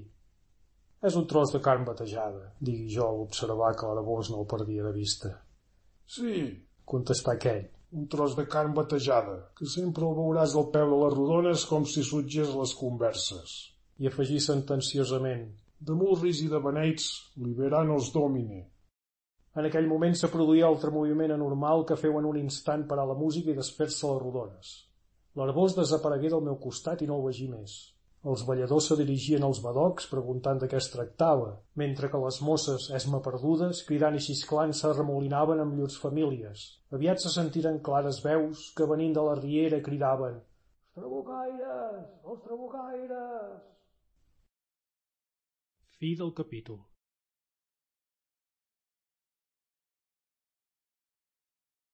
Aquest és un enregistrament de domini públic per a LibriVox.org. La punyalada, de Marià Vaireda. Llegida per Joan Pujolà. Capítol 4. No n'hi havia, per tant. Els trabucaires, sí, però lluny. Alçant el cap i mirant a la cornisa de la immensa cinglera que envolta la vall, se veia una filera d'homes armats seguint el camí de Ribelles que voreja l'espadat, en alguns indrets mig suspès sobre l'abim. El pànic s'apaivagà de moment, més la calma ja no podia tornar. Els capverds i la jovenalla dels francesos s'ajuntaren els vells i pacífics que, acabat el rosari, ja es formaven en professor a la porta de la iglesia per reprendre el camí de les canals. L'Arbós, amb els seus Mossos, ja eren davant, i els comentaris versaven sobre si arribaria o no a temps per cegar-los i l'avantatge. Tothom anava armat, d'un modo més o menys vergonyant, però tothom, més que de les pròpies forces, s'arrafiava dels redors d'una bona companyia. Els de Ribelles s'acollaren amb els francesos, amb ànim d'emparar-s'hi per lo menys fins a la font del Sant, on començaria la dispersió.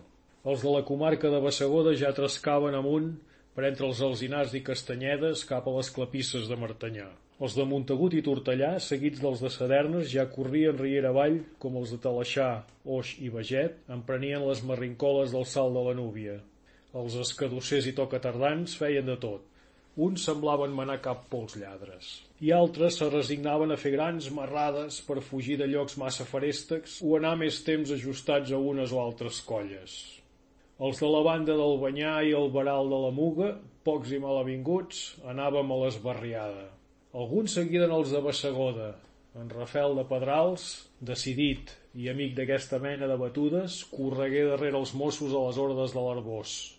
L'Ibo desaparegué, després d'haver-se'l vist darrere del molí aquent-se-les amb el gollut d'en Pilot, el qui feia grinyolar com un godall estirant-li les orelles. Jo no podia pas escollir, doncs abans de que prengués determinació ja l'havien pres a la Coralí la seva colla, aplegant-se amb els francesos, amb el propòsit de seguir-los fins al Palancot sobre el torrent de la Comella. Fins allí, lo nombrós de la comitiva allunyava tot perill. Més enllà, el terreno era descobert i conegut i amb quatre gambades serien a casa. Per a mi la travessera resultava més llarga i representava anar dues hores de nit. més això no em preocupava gaire, majorment no portant entrebancs que em fessin anar reparat. Vaig reunir-m'hi, doncs, sens dubtar, seguit d'en Pep del Serrat. Jo volia parlar amb la Coralí i em calia aprofitar l'ausència de l'Ivo. Era de tema que els francesos m'enredarien la troca amb més o menys intenció. Però passant revista la jovenalla allí reunida, no vegi cap que em fes el respecte de l'Ivo era amb aquest amb qui me les tindria a veure. Si com semblava, la noia el prenia en sèrio i si com temia, el vell moliner se deixava enlluernar per les aparentes grandeses de l'esparver. De més a més, els francesos se separarien després de mig camí i encara me quedaria un bon tirat per aprofitar-me, si no havia pogut abans. Trista situació, certament, per qui ha preparat mesos i mesos una jugada que considera segura, veure reduït aprofitar els rosegons de temps que els altres volen deixar-li. Qui sap si per adquirir la certitud de que el castell de Ditxa amb tanta fruïció vestit és tot per terra. Volia parlar-li, sí, però les grupades de fel que em pujaven del cor al cervell, pertorbant-me les idees i augmentant mon natural encongiment, me feien sempre mancar l'hora bona. Des de la rereguarda de la comitiva on ania a raure, després d'algunes covardes intentones d'abordatge, no perdia l'ull a l'airosa pobilla que, saltironant pels pedruscalls i còdols de l'estreta via, no parava de garlar amb veu alta amb uns i altres dels qui, amb llurs retrets i blagues, provocaven ses fresques riallades.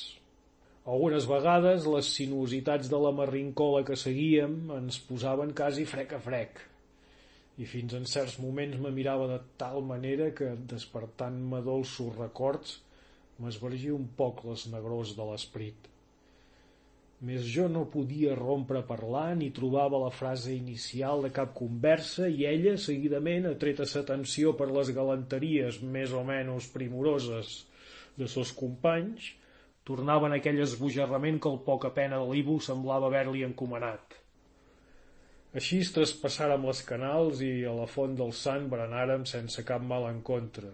Poc després ens separàvem dels francesos, que encara bon tros lluny ens saludaven amb grans crits. Llavors ja em fou més fàcil arrimar-me a la Coralí, armant-li conversa de qualsevol manera, i un cop més revingut vaig embestir el meu plet. T'ets ben divertida avui, oi? No pas per lo que tu m'hi hagis ajudat, Alça, noia, com t'hi gaudies amb l'Ivo. Sí, noi, i sort n'he tingut, feu ella, insistint en la mateixa intenció. El ballador que m'havia prefert s'és fet fonadís. Veritat que no m'ha pas fet falla. És tan xalat, el teu amic. Vaig quedar mossegant-me els llavis. El fusell m'atreia per la culata. Més encara volgui insistir en plantejar-me un capítol de càrrecs i prenent un aire sèrio vaig dir-li ja t'asseguro que me l'has feta grossa, no m'ho esperava pas de tu. Ella tot es redreçà exclamant. I ara, què t'has pensat? Creus que era jo que t'havia de treure a ballar? M'estimi pas tan poc, i amb les ànsies que per mi et donaves. A llavors, obrint els ulls, comprengui que la noia no li mancava raó. Què havia fet jo per ella, des que l'Ivo l'havia treta del meu costat mig a la força? Encongir-me com un mussol, devorant en un racó la meva múrria. I ella què havia de fer? Quina major representació jo tenia sobre els que la galantejaven, ni quines preferències podia reclamar d'una noia amb la qual cap compromís mitjançava encara. Lo cert és que m'havia perdut per curt de gènit, deixant-me avantatjar per un rival que em donava set voltes en la matèria i que per lo que deduïa, amb el seu garbo en el dir i en el fer, que tan sovint arribava als límits del desvergonyiment, havia ja guanyat el cor de la molinera. Vaig enfonsar-me de nou en una mena de desesperació sorda que m'entorpia les potències fent-me més inepte encara per ma rehabilitació.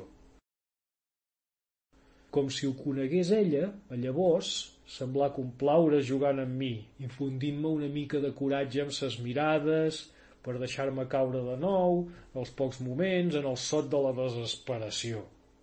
Aconsellat per l'enveja i els gelos, vaig voler desfogar-me contra el meu company, bescantant-lo com un viciós i un perdulari. Més aquest tema que, presentat amb mònita, podia donar-me algun avantatge, mal emprès, no serví sinó per posar el descobert a poca traça. Mira que té les ungles molt llargues i les noies que s'hi tracten acaben per dur-ne els senyals. D'això no te'n posis pas cap pedra al fetge, no són pas comptes teus, respongué ella frescament. Ja sap a qui les fa, i en quant a mi, ni ell ni ningú que ho provi d'ensenyar-me les ungles, perquè els hi arrencaré. Són com les noies de l'Empordà, molt mirar i poc tocar. Com més petit i deficient me coneixia, més me sentia robat per aquell temperament viu el que no podia acabar de classificar i que em seduïa amb l'atracció misteriosa de lo inconegut. Anàvem els dos al cap de filera, ella davant meu, amb el cap alt, lluint la immaculada còfia que, tapant-li el monyo, deixava escapar entorn de son front, com raig de flames, les crespades badies de sa cavallera negra. Un mocador de coloraines, cobrint-li coll i pit, li queia sobre el gipó de vellut negre, de sota quals faldonets narrejava la sobrefalda blava, trossada fins arran dels genolls i apuntada al darrere, deixant al descobert la faldilla d'avions vermells, de just la que, calçats d'airosos sabots a la francesa, s'hi bellugaven uns peus lleugers, sortejant en pas ferm els entrebancs del camí. La llum crepuscular, caient aplomada de dalt de les cingleres, feia ressortir els contorns de sa figura sobre el verd envellutat de la boscúria, amb una certa austeritat de línies que ajustava més majestat a sa persona, ja de si prou acabalada. Aquella visió obsessionant-me amb el convenciment de que era un bé de Déu que m'escapava per la meva poquedat i per la mala obra d'un company de tota la vida, m'oprimia el cor, produint-me un sentiment de desconsol, com el del nen que veu escapar-se-li l'ocella que tenia a la mà. Amb un cert esborronament vaig adonar-me que arribàvem al terme del camí on hauríem separar-nos. Apressant el pas, vaig atensar-me la noia i allargant el coll com un captaire, Coralí, si, si t'he graviat, perdona'm, li digui, però hauries fer-me mercès d'escoltar quatre paraules. Ella, reblincant-se una mica i amb un to de veu bastant indiferent, feu de resposta. Mira, ja saps on estic. De dies la porta de casa és sempre oberta. És que no voldria parlar-te davant del teu pare, ni tan sols que ell me vegés. Se mig girar escurçant el pas i amb un somrís indefinible respongué. Mireu el gat a malva, ell que em deia que em malfiés de l'esparver.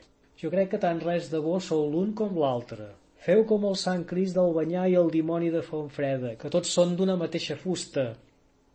Si m'hagués donat una bufetada, no m'hauria pas fet tant de mal. Completament desconcertat, vaig estar a punt de sanglotar. Per sort, la mateixa escuissó de la ferida m'aportà a la boca algunes paraules inconscientment eixides del cor. És que jo no sóc cap esparver, Coralí. A més, t'estimo de debò, cregues-ho, i quan s'estima no es vol mal.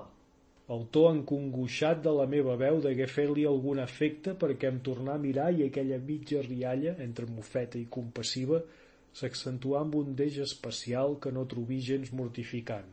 Si tan bones intencions portes, digué al cap d'uns moments, no sóc pas borda, entent amb el pare. No me'n desafujo pas, vaig contestar un poc reviscolat, però abans tinc de parlar-te sense que ell ho sàpiga. Ella medità alguns moments abans de donar-me la resposta. Després, a mitja veu i sense mirar-me, digué Dimecres, després de migdia, tinc d'anar a collir glans a l'Alzinar vell, a sota els cingles. Doncs ens veurem a l'Alzinar, li deia poc després parlant-li de frau, en el moment de separar-nos. No t'ho asseguro, fill, respongué amb veu més alta i amb una indiferència que em deixà glaçat. Ja era bon tros lluny que encara en veu de coll canviava dits i retrets amb en Pep i els altres de la colla sense que n'hi hagués un sol per mi.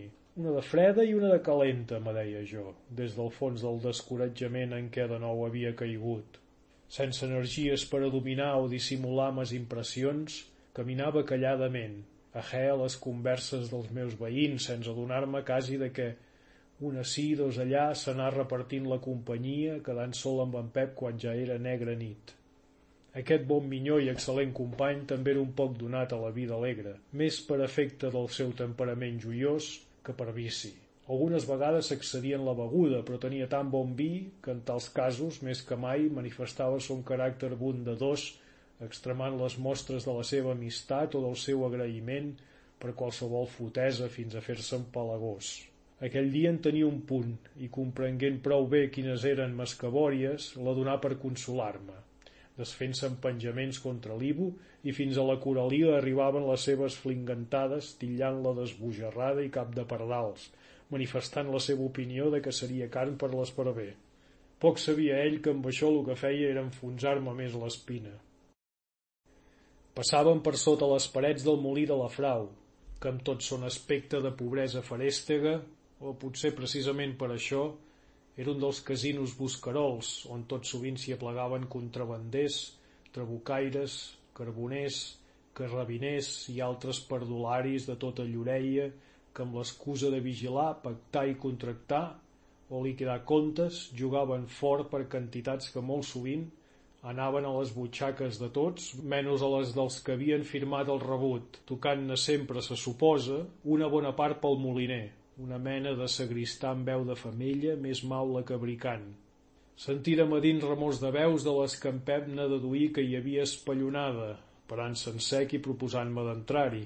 Vaig manifestar-me en contrariat, doncs aquella repugnància instintiva que per tals llocs havia sentit sempre, fins quan n'era parroquià, s'havia accentuat molt els darrers temps i majorment aquell dia en què no em sentia d'humor per alternar amb ningú. Entri tu, jo me'n vaig a casa, vaig dir-li tirant avant. Què és cas d'això? feu ell prenent-me el braç. Mira, si tires avant, jo no et deixaré pas, perquè som amics, saps? I jo, pels amics, saps? Me perdo. Però creu-me que no convé agafar el son amb el cap ple de pensaments tan negres. Cal esvergir-los.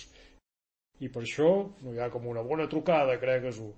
Jo em protestava ferm i ell tornava. Doncs no jugarem.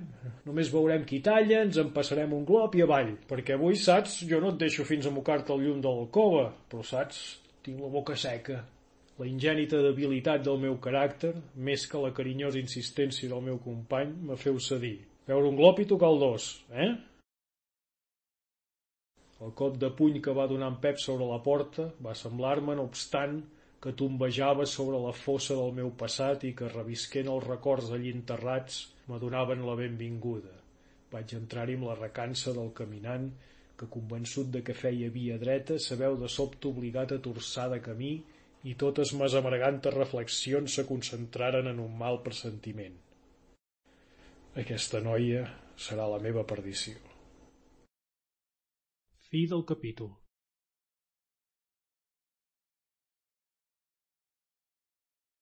Aquest és un enregistrament de domini públic per a LibriVox.org.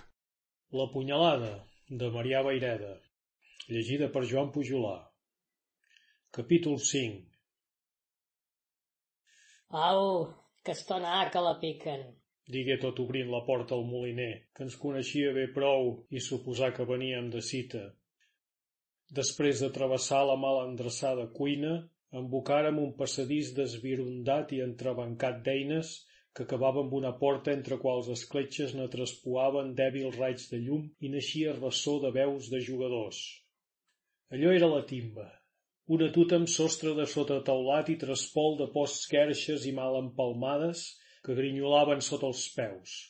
Lleixes plenes de gerres greixoses rastells de pans, penques de cansalada i tota mena d'objectes més o menys comestibles, indefinits, bruts, negrosos i plens de floridura, mig tapaven les mal rebossades parets.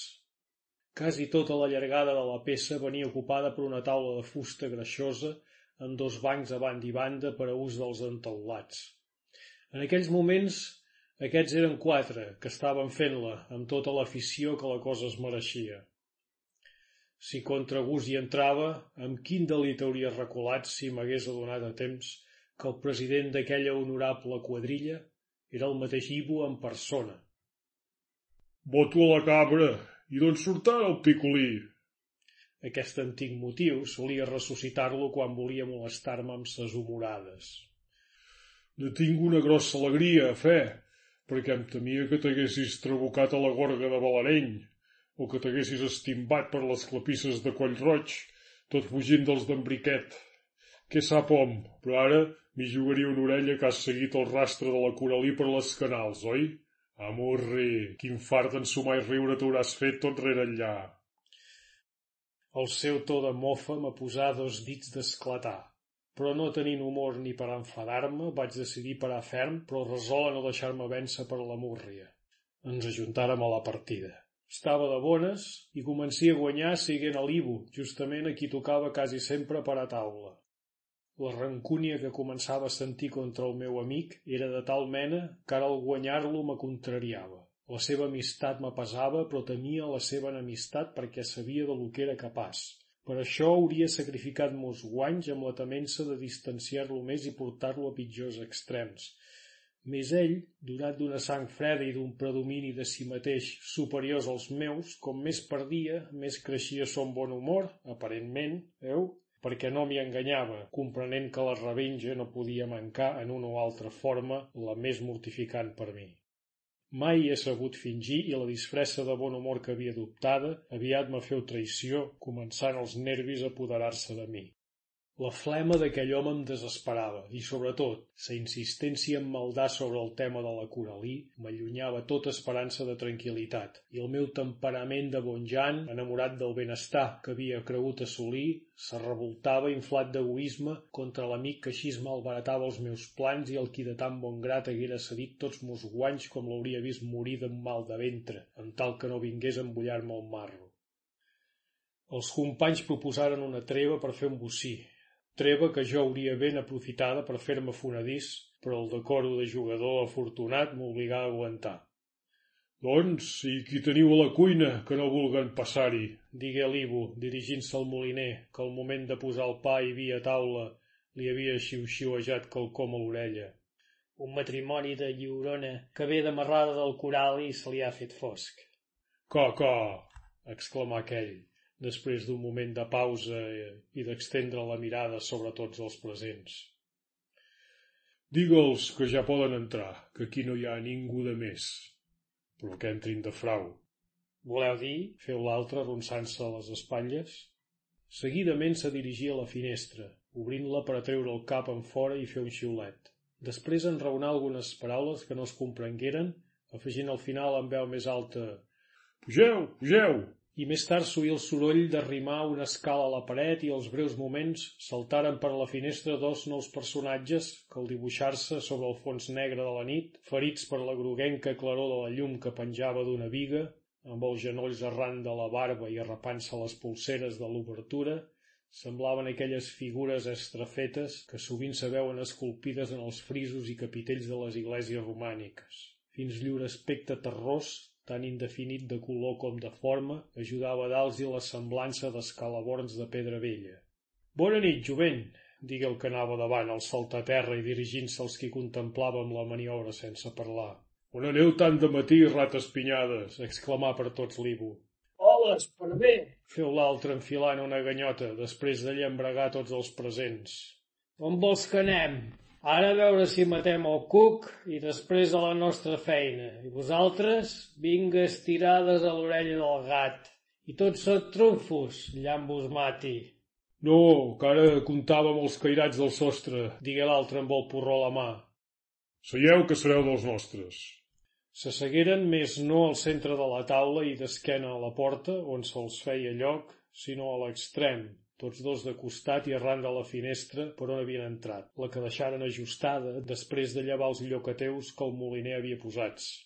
Se desfardaren a mitges de llurs mantes i uns bestials trabucs que duien els retingueren entre les cames.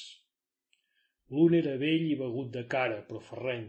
Duia un barret llustrós de tan suat, sense forma ni color, de sota el que naixien badies de cabell groguenc que es fonien en alguns indrets amb una barba de pam blanca i groga, que després de menjar-se-li mitja cara, li queia del tot viciada cap a l'esquerra pel fregadís d'una bufanda roja i bruta que tenia enroscada al coll.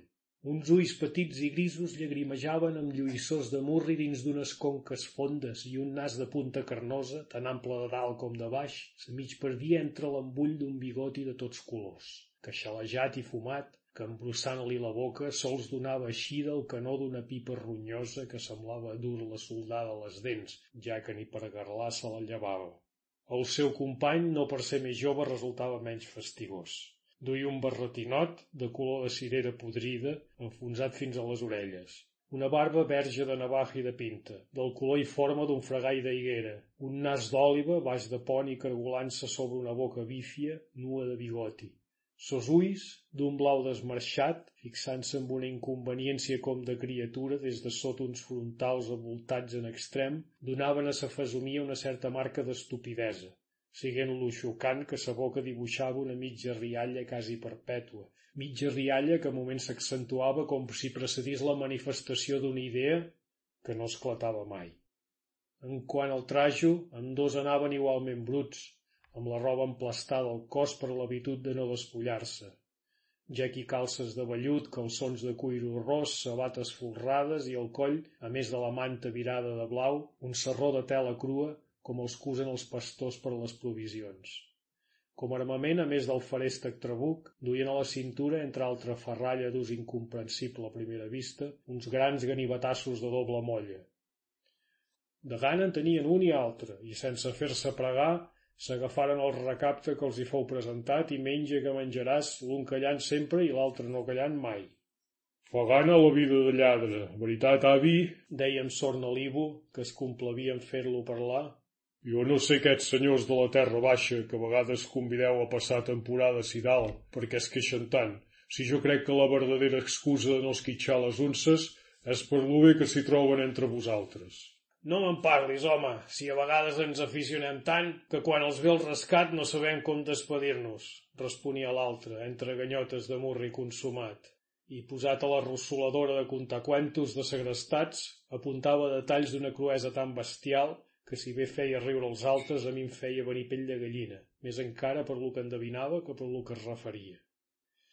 Els sofriments morals i materials d'un captiveri passat entre les besardes de la més espantosa soledat, dins de cavernes de tothom ignorades al fons de gorges esgarrifoses o d'impenetrables boscúries, l'espectacle continu d'una naturalesa salvatge i despietada, amb la sola companyia d'uns guardes més salvatges i bèsties que els llops que allí mateix udolaven, havia de produir per força efectes desastrosos en la moral dels infeliços segrestats. Gent de posició més o menys acomodada que es consumia entre terrors i tristeses, mesos i mesos, esperant i tement uns socors que el mateix els podia portar la llibertat que la mort o el recrudiment de les seves tortures. Les famílies que no podien reunir les fabuloses quantitats que els trabucaires exigien a vegades intentaven el rescat per la violència amb el que comprometien greument la sort del pobre pres.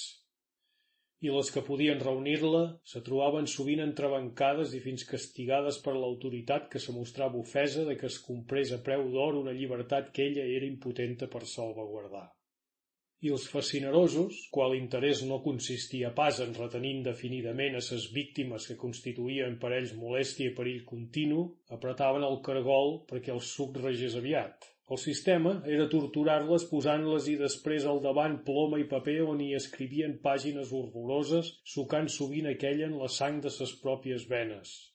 Si això no reixia, les víctimes eren assassinades o abandonades al fons de les cavernes on morien de fam i de set, o bé en alguns casos els parents i les autoritats començaven a rebre, per conductes desconeguts, sos membres sagnosos tallats del cos viu. Pocs temperaments tindrien la robustesa física que calia per resistir a tals martiris, i menys esprits encara la fortalesa i cristiana resignació necessàries per mantenir-se sencers sota el pes de tals commocions. Molts, perduda la raó, tornaven com idiotes.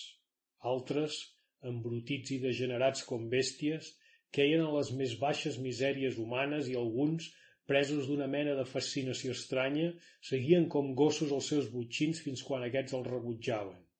Així se comprèn el que explicava aquell bestiassa de l'avi, de la complacència del canonge Cels, qui per divertir a la quadrilla dansava tot nul ball de l'osso, marcant-li ell el compàs, tocant amb el mànec del punyal al cul d'una paella o que un ric propietari de vora bàscara, en una de les borratxeres que a vegades celebraven els bandolers al fons d'un bosc, on hi traginaven llurs bagasses de Perpinyà i de Figueres, s'allurés actes de tal degeneració que ells mateixos ne quedaren encantats i sorpresos, i que l'infeliç massot de Darnius, el mateix quals nas i orelles figuraren com a peces de convicció en el cèlebre procés de Perpinyà, un dia en què la partida que el manava fou sorpresa pels Mossos de l'esquadra, no tenint que fer per salvar-se més que deixar-se caure en braços de sos llibertadors, se n'esmunyí fugint corrents darrere els seus butxins, igual que les ovelles quan fascinades pel llop se desfan de la pila corrent darrere d'ell boscandins.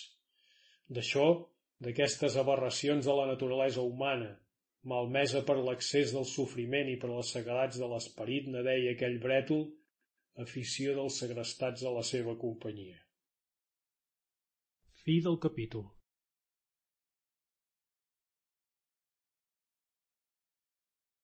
Aquest és un enregistrament de domini públic per a LibriVox.org. La punyalada, de Marià Beireda, llegida per Joan Pujolà. Capítol 6 Contrariat i esborronat per la diabòlica verba de l'avi i per la complacència amb què era escoltat, però atrevint-me menys que abans a retirar-me, ja que en aquella circumstància s'hauria pogut donar a fugida la interpretació d'una traïdoria, Seguia capficat i sense prendre part en la conversa que anà arrossegant-se fins a parlar dels temps presents, que eren de mal any, segons aquell, que fins aleshores havia parlat dels temps clàssics del bandolerisme. Ara sí que, per lo que dona, mala guanyada pell que s'hi es posa. Abans era un gust. Jo havia vist cobrar deu centes unces, totes d'un pic. I on les teniu ara, aquestes unces? Interrompé l'Ivo amb son posat de fumeta. L'avi, tot calant foc a la pipa, li clavà una ullada i fent una ganyota respongué. Tens raó, noi. El que és jo, tant ne tinc com ne tenia. Més no s'han perdut pas per tothom. N'hi ha prou que em van bé i no pas els que encara tenim la pell en remull, sinó altres que per ciutat rombegen. No ho cregueu pas, això, deia l'altre. El nostre rector sempre ens predica que el diner robat no fa profit. No fa profit, però ajuda a passar. Pel de més, ara és una misèria. Per una unça mal comptada ens hem de trencar el coll. S'arribà la feta del dia de l'assassinat de l'infeliç matrimoni de Ridols. Ja veieu la feina dels trabucaires d'avui al dia. Molta fressa i poca endreça, digué el vell amb una ganyota de menys preu. Aquí l'Ivo trobà peu per fer gala de son cinisme en competència amb l'avi.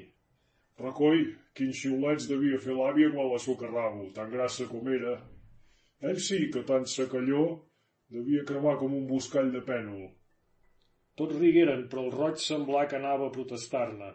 Inflar la boca i després de traure molt de vent, com una aixeta que s'estrena, arribar a dir «I eren pas nantros!» No eren pas els nostres, corroborà l'avi, amb posat de menys preu, com qui comenta un negoci esgarrat. Aquell bèstia de l'escolper, que d'un pet ne fa cent esquerdes. El que vaig dir-li jo, què n'has acabat d'aquesta matxada?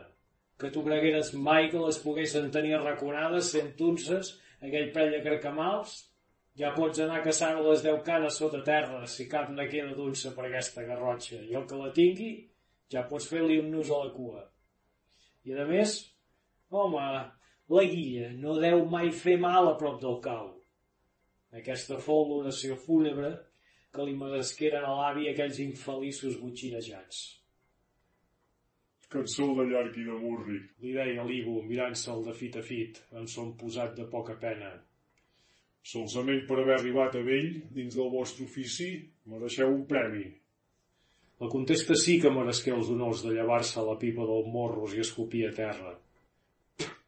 Mira, en 50 anys que fa que corro que n'he vist de totes, i sóc viu gràcies al gloriós Sant Pau de Milany, que algunes dotzenes de ciris m'acosta. Però et dic que mai m'havia vist tan avorrit com ara. N'he vist a petar molta de gent, i de la bona, en plana de moll, que era un brau.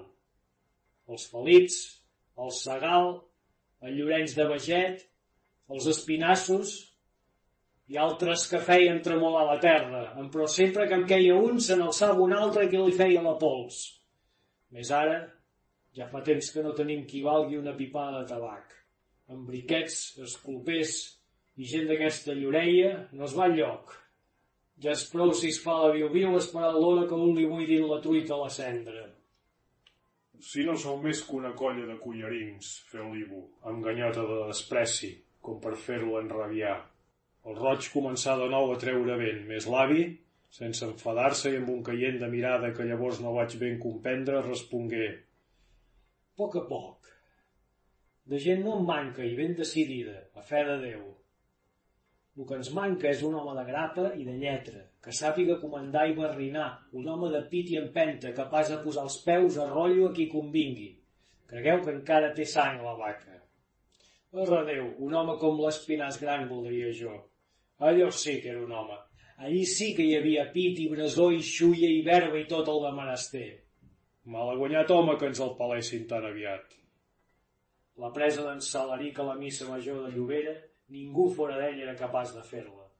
Mireu que entra un poble, de més de cent cases, ficar-se a la iglesia plena de gent, aquest vull, aquest no ho vull, fer-ne una encordillada i amunt. Qui més ho fa? I la catxassa d'aquell home. Figureu-se que mentre uns guardaven el forat i els altres feien la tria al presbiteri, posant-los boca terrossa, se me'n salta la trona i m'hi escabatxo un predicot que mai no voldria la millor. Un home així és moscal. I aquest home, jo el conec. A l'Ivo semblà contrariar-lo aquest tirat de conversa, i mirant-se l'avi així com dient-li «Compte, que hi ha roba estesa», s'apressà a desviar-la. Jo també ho conec. L'Arbós vos els hi posarà els peus a rotllo, deixeu-lo fer. O si no, pregunteu en aquest minyó, senyalant-me a mi, que li és gran amic. L'Ivo volia fugir al cos si no trobava tema amb allò que carregar-me de nou al mort. A bona hora tornava. Els molts motius de múrria que jo portava a sobre per causa d'ell s'hi ajuntava la ràbia i la vergonya de lo desairat de la situació en què em trobava per ma debilitat perquè llavors comencia a comprendre que aquella visita dels trabucaires no era casual, sinó preparada, explicant-me també el perquè de la desaparició sobtada de l'Ivo Sant Aniol. Me trobava nerviós i a punt de rebentar. Els trabucaires me miraven amb posat indiferent, com significant que tant se'ls endonava de l'arbós com de mi, i jo em mirava l'Ivo llançant flames pels ulls. M'he sens trobar la frase en què sintetitzar mon rancor. Ell, per això, fos que volgués desmuntar-me o allunyar-me perquè li feia nosa, continuar els seus tretze sense perdre la calma. No us cregueu, no és pas de tema, dirigint-se als trabucaires, perquè és un bon minyó, encara que avui no ho sembli. És que està una mica enxerinat perquè ha renyit amb la promesa, compreneu? Que tens de refot de, de, de la promesa m'ha parit el bordell! Vaig poder esclatar entre enrabassaments de llengua i enfarfecs de xaliva. Ell me mirà fred i amb una mitja rialla compassiva que em feu pessigolles fins a les extremitats dels nervis, digué Ja m'ho deia suara la Coralí, que no li fas. Per mussol i perquè no et saps treure les paraules de la boca. Déu meu, jo no vegi ves contescó de pa d'unes tres lliures que me venia davant del nas. Agafar-lo i rebotre-li per la cara va ser tot un. Sort per ell que fou amatent a regirar-se i no li arribà sinó d'escallimpantes botent-li pel muscle a la paret, i la seva mà de ferro, aprofitant l'acció de fer-me endavant, caigué com una massa damunt mon cap, amorrant-me la taula i fent-me rajar la sang de nas i boca. Sobre la taula hi quedà la ganiveta llescadora, que vaig empunyar pel mànec, encens que ell, que l'havia grapada per l'altre cap, la soltava expulsant-se al lliscar-li el fil pels dits. Vaig arborar l'eina amb tota la mala intenció de maçanca exaltada quan els presents revinguts de la sorpresa estaven ja al cas. De peu tots, en Pep, com a bon company, se'n plantà al costat, butxaquejant quelcom al veure que un altre feia el mateix al costat de l'Ivo. Però els demés, inclosos els trabucaires, intervingueren enèrgicament en so de pau. Instantàniament un i altre ens vegérem impossibilitats de bresonar-nos saltant per damunt de la taula com intentàvem. Per primera vegada vegia l'Ivo alterat i fins un bon xic sorprès de la meva fúria i de les meves intencions. Vull quietud i que duri, criava l'avi, oficiant de gent d'ordre públic, interposant-se decididament, i com si vegés que jo no m'assossegava gens ni era senyor de la ràbia que m'arborava, se m'encarà afegint. Tu, minyó, passa fora, i vés a refrescar-te la gospa a la bassa, que aquí ja hi ets de massa. No era pas la millor manera de paivagar l'exaltació que em dominava, però les insinuacions d'en Pep i els demés empenyent-me cap a la porta i el convenciment de que la meva situació era dolenta, doncs ja feien prou aquella gent de mantenir-se neutrals, va donar-me ús de raó suficient per obeir, no sent regirar-me abans i cridar amb veu rogallosa. Ja ens veurem les cares, maleït sac de Vilorda! Ell ja havia recobrat sa sang freda, si bé conservava encara el color tot trasmudat. Estava dret darrere la taula, torcant-se tranquil·lament la sang que li rejava dels dits. Calla, foscut espinyoc de tribana, i vés a contar-ho a l'Arbós, sents? Vés a contar a l'Arbós, com qui diu, vés a contar-ho al mestre, que era la frase que gastava de noi, quan després d'haver comès alguna brutalitat de les seves amb un company, tractava de tapar-li la boca ferint-lo en l'amor propi. M'adonà un nou rebull de sang i vaig sentir desitjos nous d'escanyar-lo més el roig, que no parava de treure vent, m'encarà el trabuc al pit i aquell arma al punt de dalt en mans d'un brètol, que a més semblava no ser-hi tot, m'impressionà, fent-me recular sobtadament cap a la porta. No, per aquí no. Exclamà amb aire contrariat el moliner, barrant-me el pas. Salteu per allà. I em senyalava la finestra per on havien entrat els trabucaires. Allò ja era massa. Fes-te allà, gallina grepa, per qui em prens. I vaig fer-li mostra del puny clos a punt de xafar-li la cara. L'home s'escongí esporuguit i obrint la porta d'una revolada me llencí corredor enllà, seguit d'en Pep i també del moliner que vingué servicialment a obrir-me la porta forana. En un racó de la llar, carreolits i mig morts de por, hi havia dos vellets, el matrimoni de Lliurona, que ens miraven amb ulls esparverats com dos ratolins que esperen la mort. Per ells i per mi devia ser que el moliner anava exclamant amb sa veu de gemec. Valga'm Déu i de quins compromisos s'ha de veure un home pobre i desvalgut. Estem a la mercè de tothom i sense dret a tancar la porta a ningú, no sabem mai qui tenim a casa. Quin dia serà aquell en què podré fugir ben lluny d'aquesta terra desventurada? Altres mal de caps tenia jo que fer cabal de les hipocresies d'aquell Paula. Fi del capítol.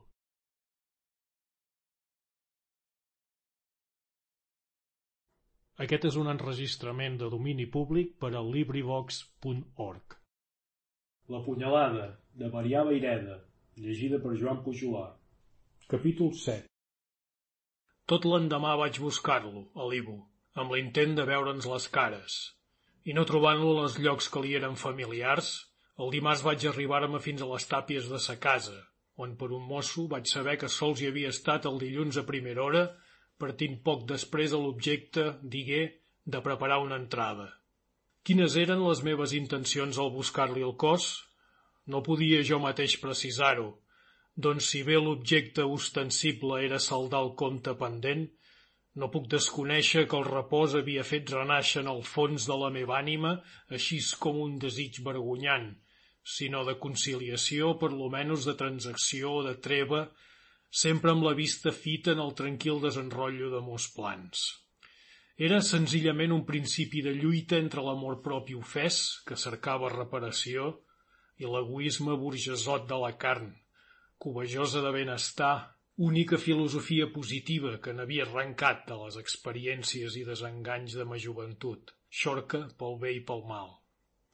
És per això que encara m'afalagava la llunyana possibilitat de que, al reveure'ns, saltés amb algun estirabot dels que en trobava precedents en la història de mon geni llunàtic, per exemple dient-me Sempre tens d'ésser animal i criatura, que no vas comprendre que estàvem de negoci i que la teva presència i la del teu company ens destorbava, ves al dimoni, ximple acabat. Fins un tal Déu guard conceptuava jo que podia donar-me decentment peu per entrar en explicacions i establir una mena d'estatu quo amb el que pesés amb un amor propi arrebregat. Això sí, assolit mon ideal, i ben segur que ja no podria perjudicar-me més, Llavors caldria rompre definitivament amb tant mal home, allunyant-lo i inutilitzant-lo en que fos delatant-lo a la justícia. Rumiant amb tan miserables predisposicions me van passar les hores que mancaven per la cita de l'Alzinar altra part del problema que em tenia enquimerat i de la que res de bo no n'esperava. En tot, abans del migdia del dimecres ja estava eclatat dins d'un bosc de tall a un tirat de fona del molí, des d'on dominava la caseta de poca tossa, però vistosa i alegroia, penjada en el pendís. Quasi a nivell d'ull veia la bassa, tota ombrejada de salses i pomeres, d'on l'aigua, saltant per sobre el rodet, feia moure la primitiva i senzilla maquinària i s'escolava tota escumosa per un cloell que la tornava al torrent, després de joguinejar entre motes de sàlics i crostons de pedra blava. Al costat dret veia la placeta ombrejada de teis i a sota una feixa llarga i estreta plantada de fruiters i de verdures arrenglarades. Per damunt de la casa, quasi arran de taulada, hi havia l'era, batuda pel sol, i després alguns quintars i més amunt bosc i més bosc fins a sota l'espadat. Bosc jove que es veia créixer a mida que tirava fondalada amunt fins a tornar-se bosc faresta que allà a vell. Des de Monaguait subjava atentament totes les remors del molí, les que arribaven distintament a mes orelles. A la Coralí vaig veure l'aviat feinejar airosa, de primer cosint a l'ombra dels teis i després aconduint el bestiar. A l'hora de dinar desaparegué per llarguíssima estona i al reaparèixer, a l'hora de dues, va semblar-me que s'havia polit una miqueta, si bé no feia pas posat d'anar a collir glans Semblava estar neguitosa, anant i venint sense objecte aparent. Més tard aparegué a l'era amb un cistell al braç. Ara hi va, vaig dir-me, al veure que mirava dret al punt de cita.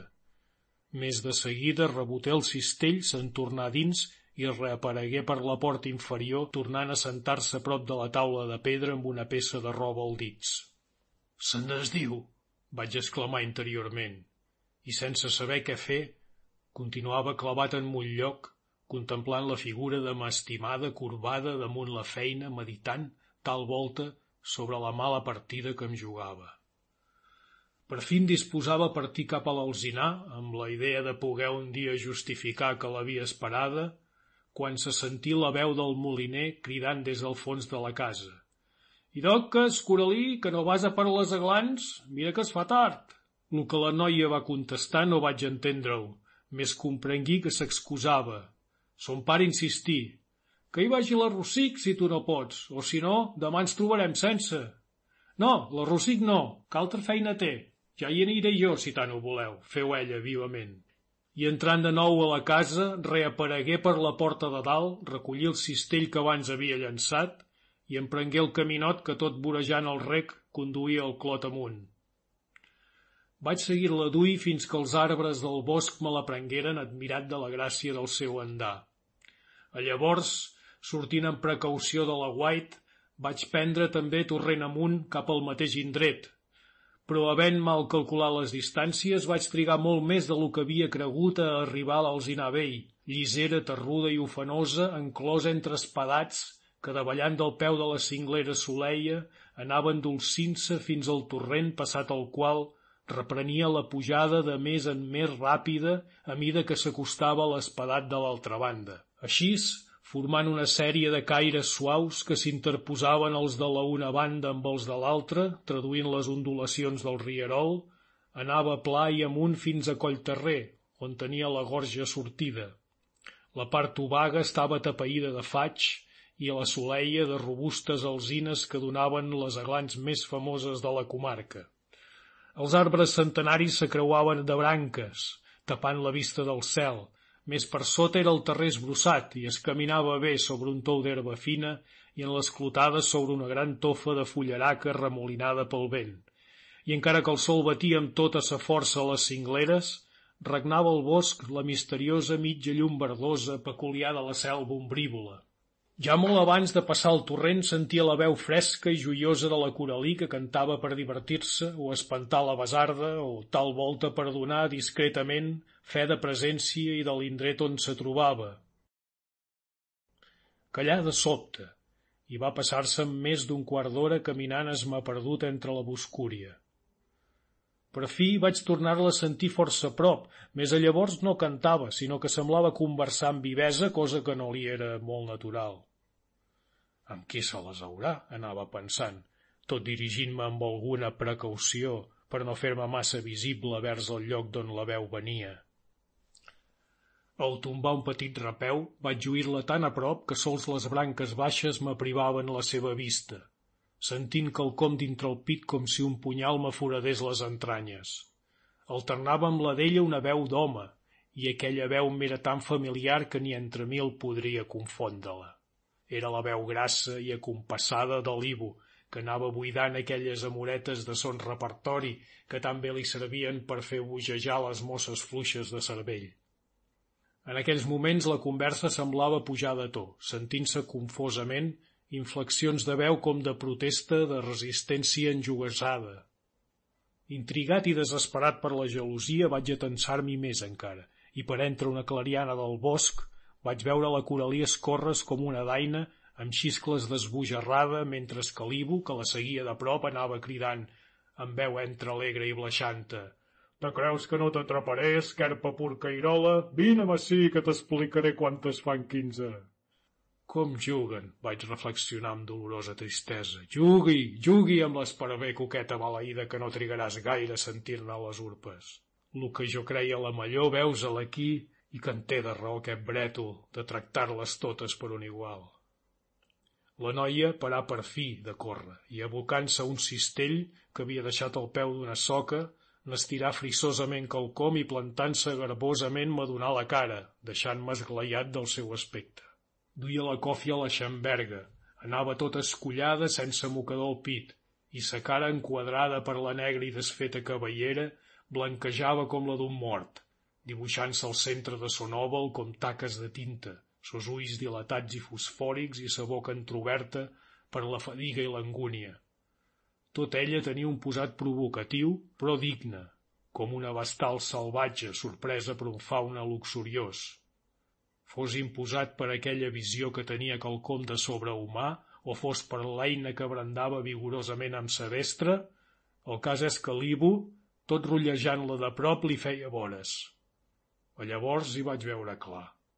L'esparver anava a fer presa, més l'ocella resistia com una lleona. Fi del capítol.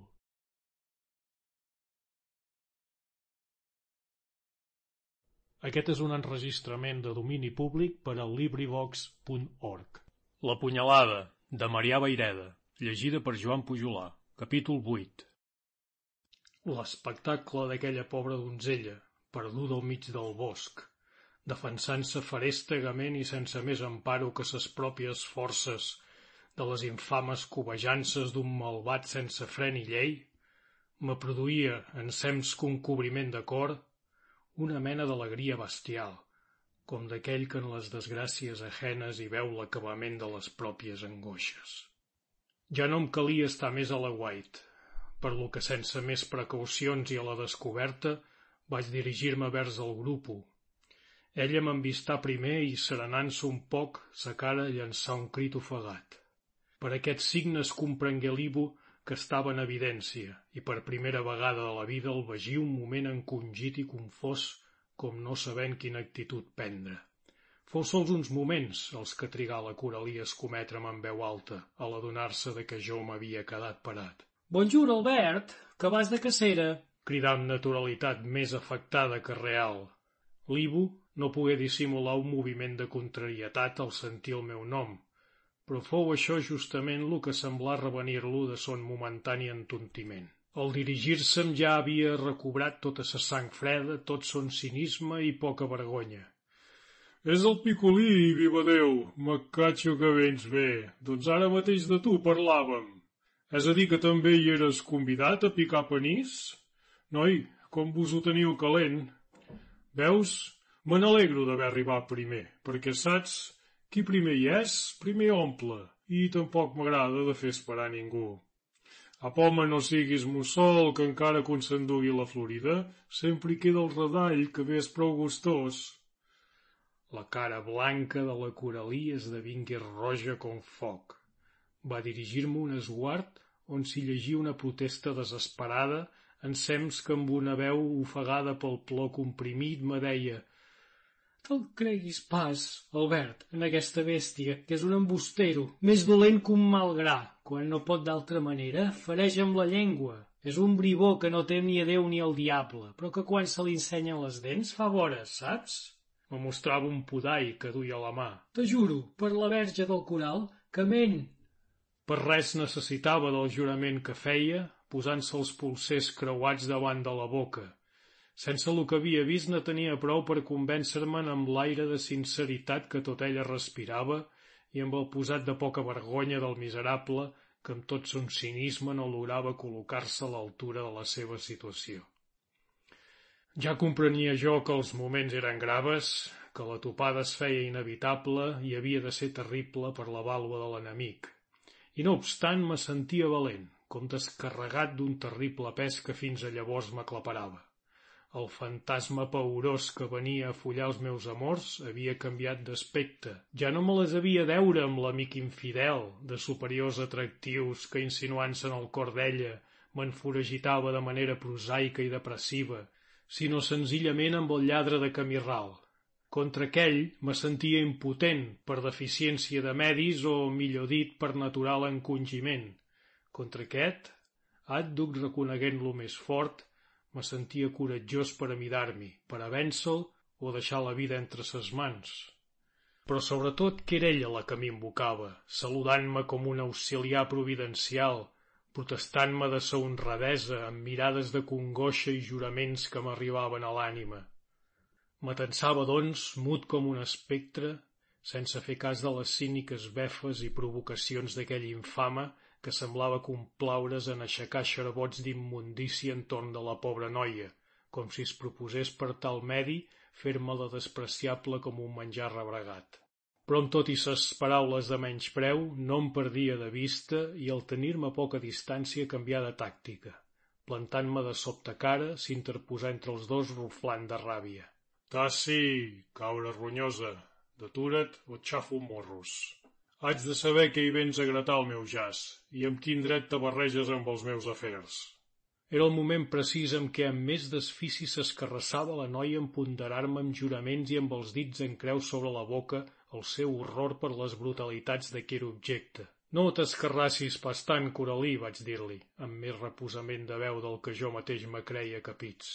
Abans que tu i més que tu el conec en aquest brètol i fins m'avergonyeixo d'haver sigut un temps amic seu. Si un càrrec t'hagués de fer, seria sols de que no me'n creguessis quan t'ho advertia. Eren les darreres paraules que podíem dir-nos abans de bresonar-nos. En bona veritat, el seu cinisme despreciatiu i la seva calma muda eren sinó que les cobertores de dues nuvolades prenyades de llamps i trons que s'esperaven l'oportunitat d'esclatar.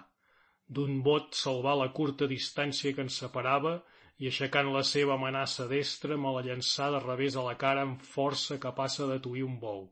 Però jo que ja el veia venir, vaig parar-li la meva i les dues toparen amb un xec feréstec que retrunyí per la boscúria com el d'un brancall patat pel vent. Quedaren la una amb l'altra unides com en forta soldadura. A llavors començà una dansa estranya. Ell pugnava, tirant per descentrar-me, i jo, no poguent resistir la força passiva de sa mola pesanta, feia vibrar mon cos lleuger i nervut, mobilitzant la resistència a son entorn i comprometent a cada moment estabilitat. Fins aleshores no vaig recordar-me de que no portava eina de cap mena i vaig sentir-ne gran recança, comprenent que em faria bona falla. Ell sí que en duia, vaig comprendre de seguida per son apressament de butxaquejar amb l'esquerra, i amatent a inutilitzar-li tal acció, vaig agarrar-li aquesta, brandant mon cos amb tota la força que em donaven mos nervis excitats, fins a rompre sa fermesa fent-lo caure de genolls, si bé arrastrant-me ell amb el mateix moviment. La lluita prengué un caràcter més faresta que encara. Desfets de mans, però lligats de braços, mútuament reguitnàvem de genolls arrossegons entre les verdisses que deixaven aplanades amb el refrec de nostres cossos, blaixant i ruflant de fadiga i ràbia per sobre munts de fullaraca, que alçant-se com polseguera a moments ens cobria, com si fins la naturalesa repugnés de veure dos sers racionals lluitant igual que bèsties angelosides. Entre els brumosos records d'aquella brega ferotge tinc el d'una ombra que de tant en tant passava per mos ulls, com dibuixant cercles concèntrics de nostre entorn.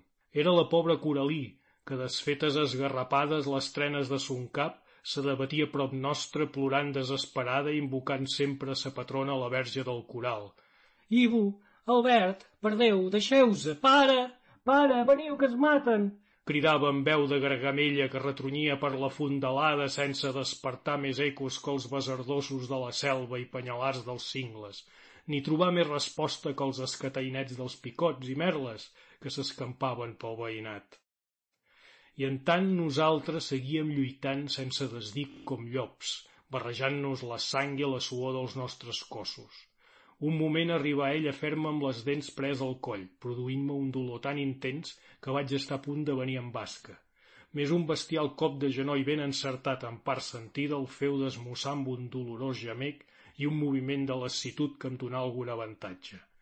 Llavors la lluita, més que entre sers dotats de raó, semblava entre dos elements inconscients que s'ataquen en virtut d'una llei física.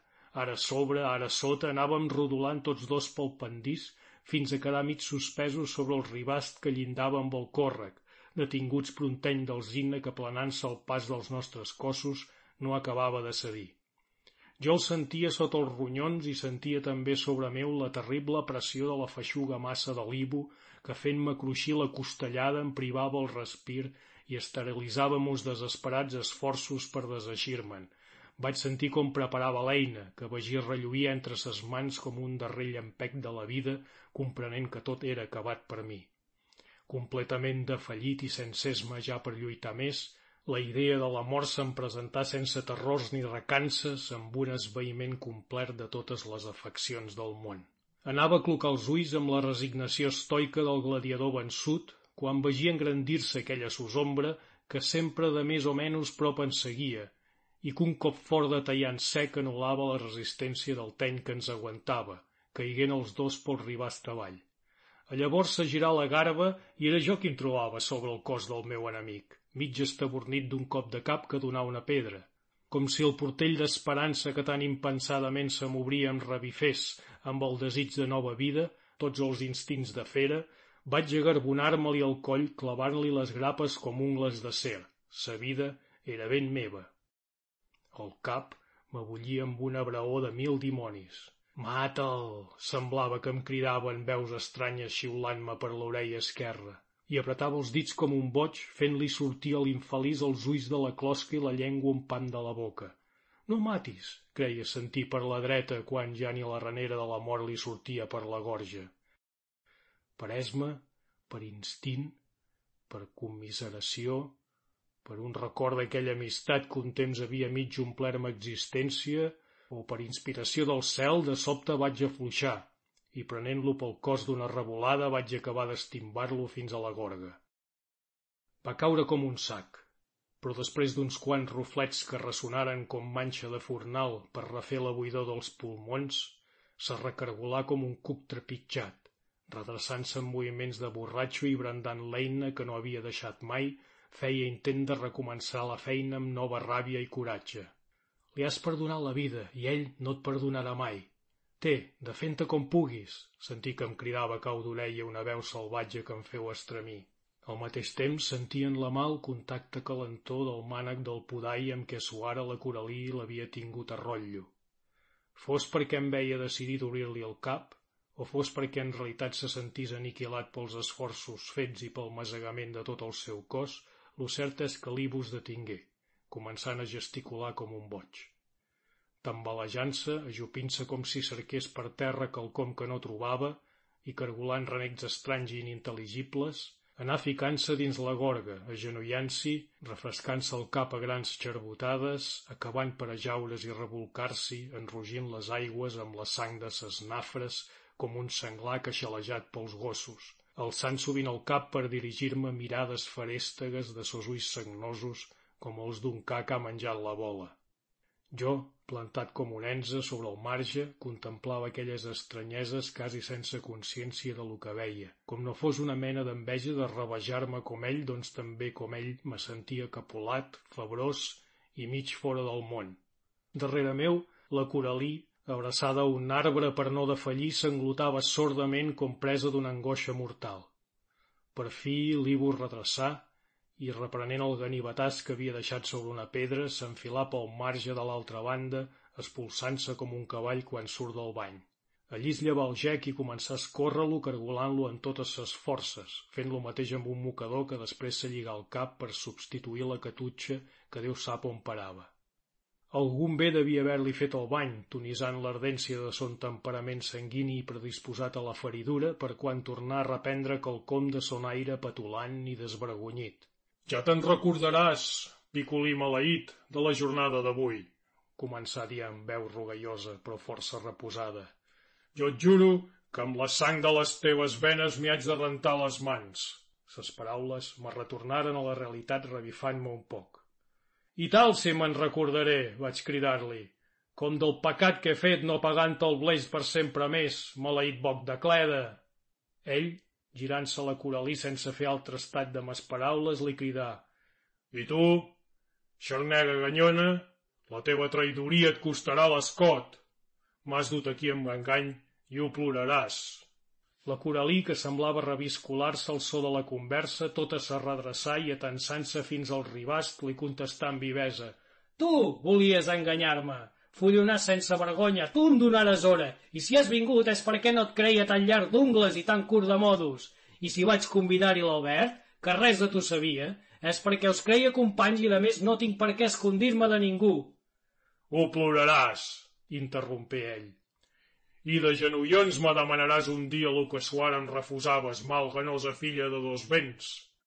Mireu, de veure aquella mossa desfeta de trenes, espitregada i desvirundada de roba, corbassa graciosa i valenta silueta sobre la margera amb un posat de tràgica protesta, vos hauríeu esfereït. Semblava una pantera recollint-se per llançar-se sobre la presa, botant per damunt del torrent. Se ficà la mà esquerra a la boca mossegant-se els dits amb les blanques dents amb tanta força com si se'ls anés a petar i alçant la destra, amb actitud feridora, exclamà amb inflexions de veu salvatge que encara no li coneixia. Mira, veus? Punyals que em manquessin! Bones me foren les dents per arrenar-te les ungles, maleït esparabaràs de golles totxes! Ves, bèstia, la coneixes pas encara, la molinera. Ha, ha, ha, ha, ha! Ara, que ja els abaixaràs un dia aquests escandalls de gata rabiosa, va contestar-li el brètol amb una riallada bestial, refermant les seves insolències. La sobreexcitació de la Coralí, pujant de grau, va comunicar-se'm a mi mateix, reeixint-me tot el coratge de moments abans i avivant-se amb el penediment d'haver-lo perdonat. Vaig saltar al marge llançant-me furiós i fent tintines. Espera'm, malbrat escurçó de margera, que te'l faré vomitar d'un glop al verí de gos foll. Més ell, que havia recobrat son cinisme i sang freda, no se'n commogué gran cosa. Mentre embutxacava amb una mala eina, estengué l'altre amb gesto reposat dient amb sa veu plena i resposa Pas avui, aquesta partida ja és fallida. Ne jugarem una altra, en la que caldrà que hi posis tot el teu quart i ajuda. Ets més home del que em creia, i me n'alegro, que així amb més gust t'aixafaré cap a la vençuda. Ara només te dic que facis memòria de tal dia com avui. Son caient de veu tenia tot el to autoritari de son geni despreocupat i resolut. La profecia va saltar-me dels llavis. Acabaràs bandoler i de mala sang! Te veig l'estampa! vaig cridar-li. Que el qui comença per lladre d'honres, poc li costa de ser lladre de cabals. Ja ni em sentia, sense tombar el cap, s'enfilà llisera amunt gesticulant com un orat. Encara una vegada més, aquell nat del dimoni tingué prou ascendent sobre mi per detenir-me l'acció, deixant-me clavat, com ull pres, per un no sé què de diabòlic que semblava així de sa persona. Fi del capítol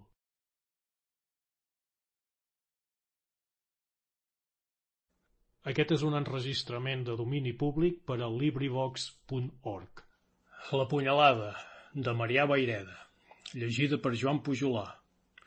Capítol 9 Quan un poc revingut del meu entontiment remuntava al marge, vaig adonar-me de la Coralí, que mig caiguda plorava amargament abraçada una soca, com una magdalena al peu de la creu el llastimós espectacle de la pobra noia plorant el rebregament de la seva honra per la bava d'un galifardeu que ni consciència tenia de la dignitat humana va tocar-me fondament. Per més que va semblar-me que el penediment de la seva lleugeresa, acceptant i preparant aquell encontre que tan car podia haver-nos costat a mi en ella, entrava per molt en son desconsol. Amb tot, no tinc pas d'amagar que en el fons de la meva ànima hi sentia una satisfacció estranya per tot lo succeït. De moment ja tenia esvergit aquell maleït dubte que havia començat a arrossegar-me les entranyes.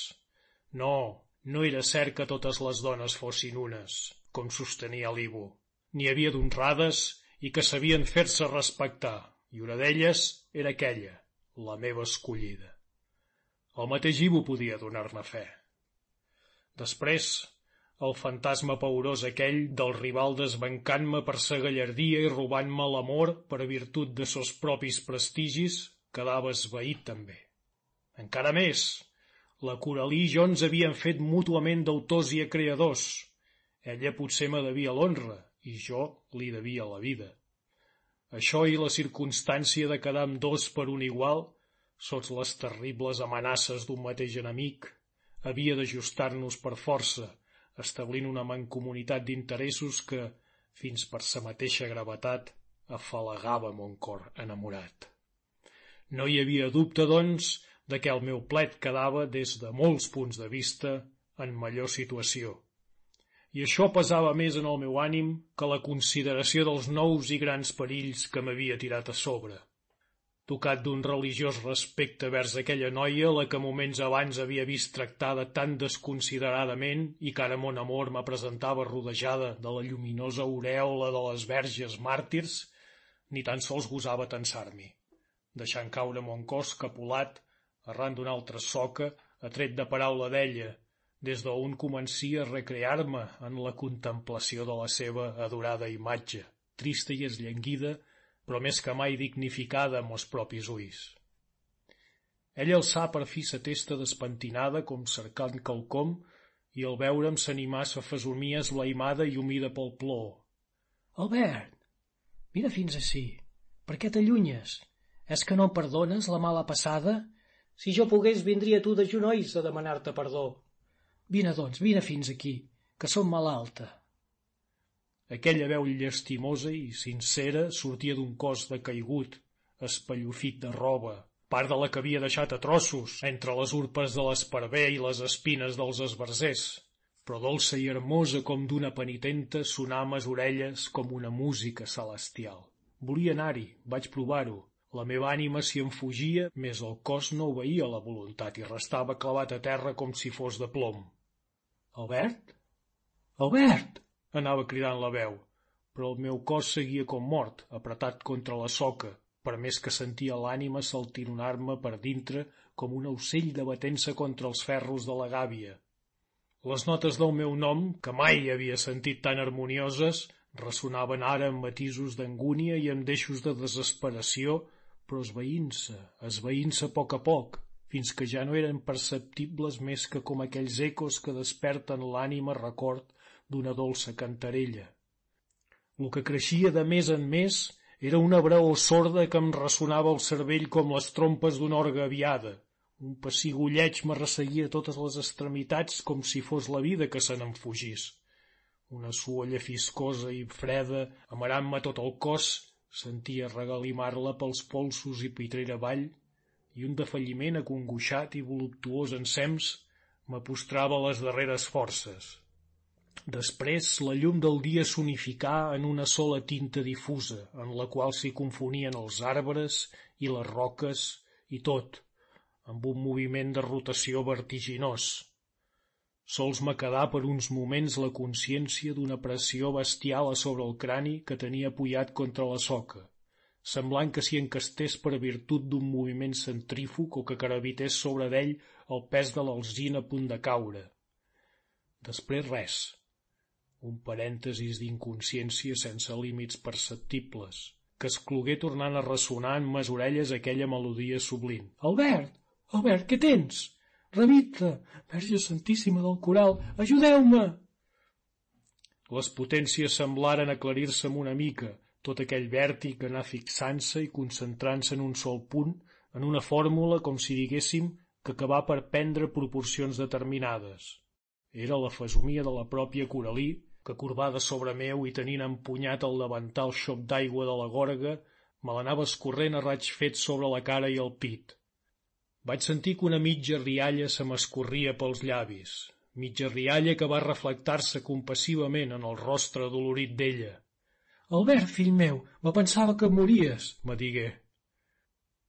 Déu meu, i quin record més fondo i més llunyà van despertar en mon cor aquelles paraules i aquella mitja rialla.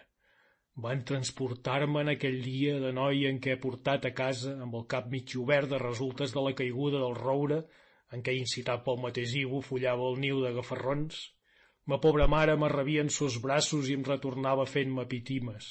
Un cert perfum de la llar semblà retornar-me els esperits.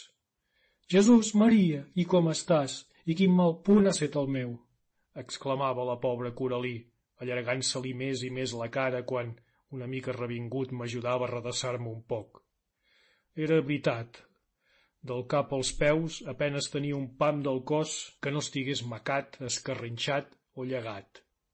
En molts indrets hi tenia encara clavades les espines i les brostes dels esbarzers en què ens havíem revolcat, però el més esgarrifós era la ferida del coll, feta per les dents d'aquell gos de presa, de la que m'havia rejat sang abundantíssima, cobrint-me el pit fins al ventre.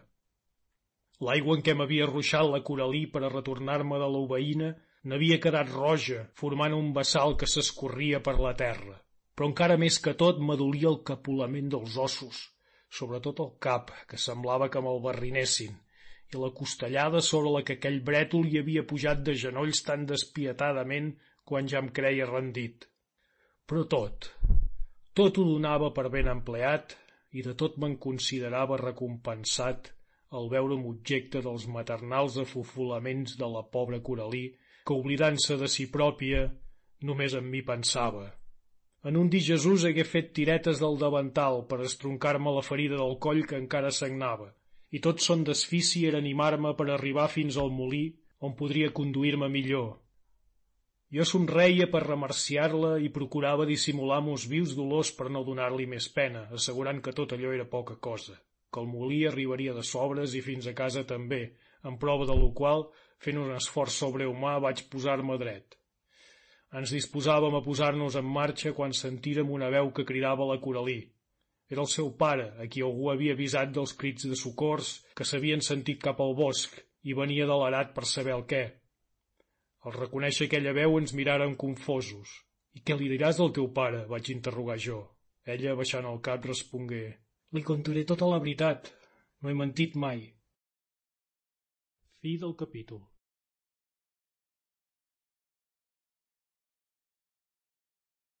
Aquest és un enregistrament de domini públic per a LibriVox.org. La punyalada, de Marià Baireda, llegida per Joan Pujolà.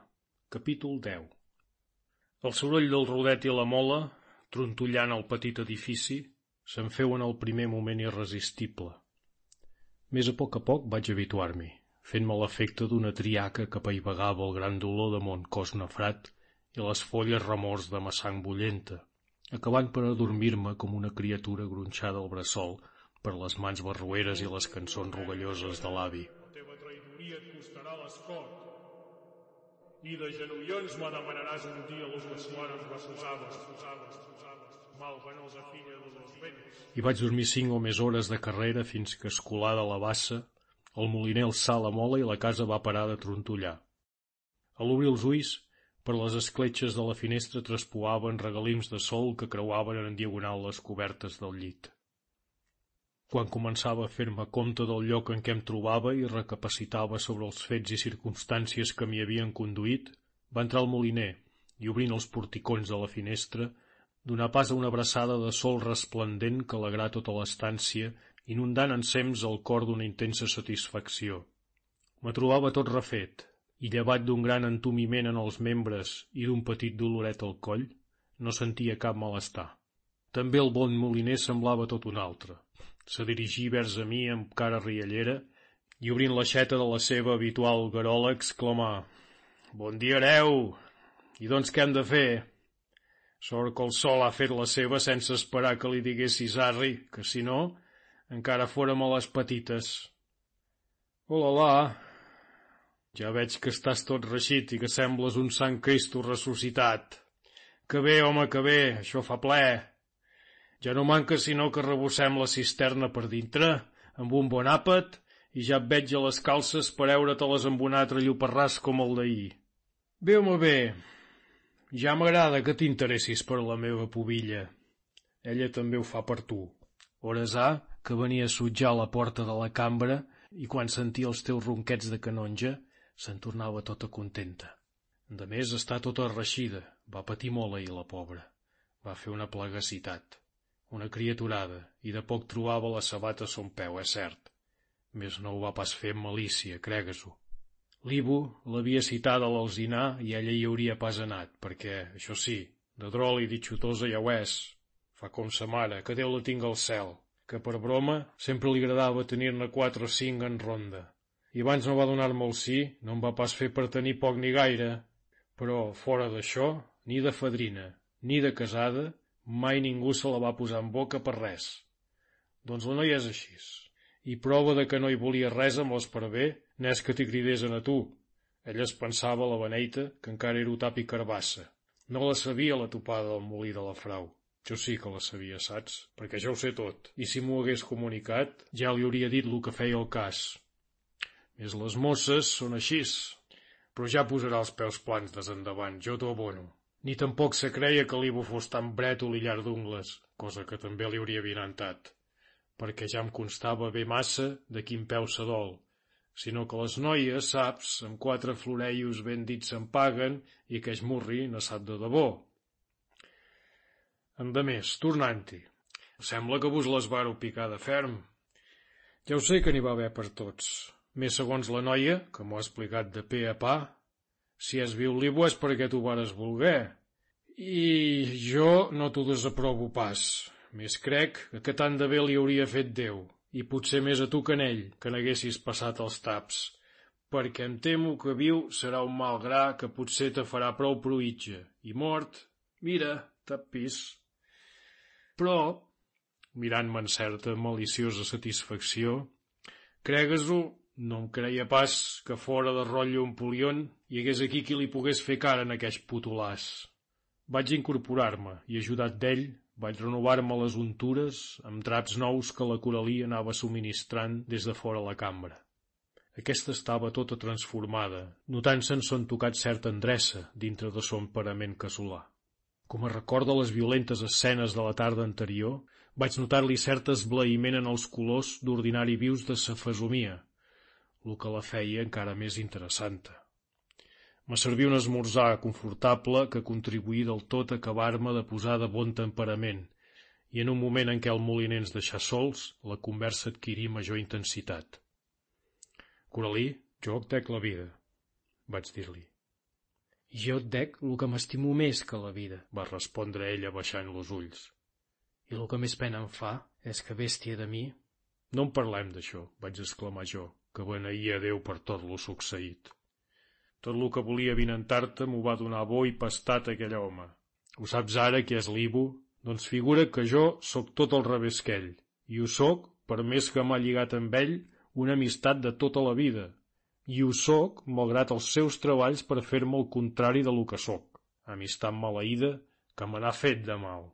Fins me sembla impossible que ningú em pugui veure, després de tants anys d'anar junyit en semblant bèstia.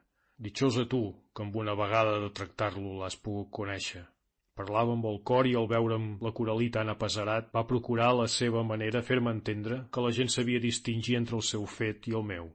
Verdaderament hi ha en el poble una certa intuïció per saber jutjar el que és corruptor i el que és senzillament corromput. Me quedava en tot un punt que no pareixia ben clar. Si la Coralí ho comprenia tal com deia, a què obeïa la seva conducta el dia de la plec de Sant Aniol acceptant el galanteig d'aquell home i fins provocant-los amb ses moneries. El cas és que ella pareixia bravament canviada. No era la mossa ballaruga i aixalabrada que amb sus retrets i mots escaients feia cara al galantejador més esquilat. No era tampoc la donzella farèstega de la tarda abans, disposta a defensar-se amb dents i ungles fins d'un lladre de camirral, ni era tampoc ben bé la mestressa enfeinada i complacenta que tan bona arribada me feia al molí, tractant-me en franquesa muntanyenca, no exempta de certa cerimònia casolana. Era més reposada, més reflexiva, i en les mateixes mostres d'atenció que em prodigava hi notava una major intensitat, major respecte a la persona, i sobretot un aire de confiança i germanor propi de persones entre les que hi ha comunitat d'interessos i afeccions. Semblava com si la terrible prova per la que havia passat hagués determinat en ella una crisi benfactora, depurant-la de defectes i aquilatant ses virtuts.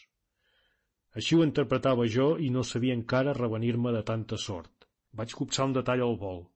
Recapitulant sobre les peripècies de la lluita, va dir-me somrient i clavant-me una mirada en què hi vaig llegir una espurna d'orgull no exempt d'admiració. Mai t'hauria cregut prou home per reptar l'Ivo, i menys encara per abatre'l com ho feres ahir. Però tenta compte, afegí sèria. Ara que coneix, no és pas fàcil que caci les pessigolles cara a cara. Ara et ferirà de traïdor. Cal que vigilis, pobre Albert. Me va semblar haver descobert bona part de la incògnita. Hi ha en les mosses, fins en les més buscaroles, un fons d'admiració per la força, superior a vegades al de la bellesa i la gràcia. És un residu de l'esperit cavalleresc d'altres temps que traspua encara sota la crosta del positivisme del dia.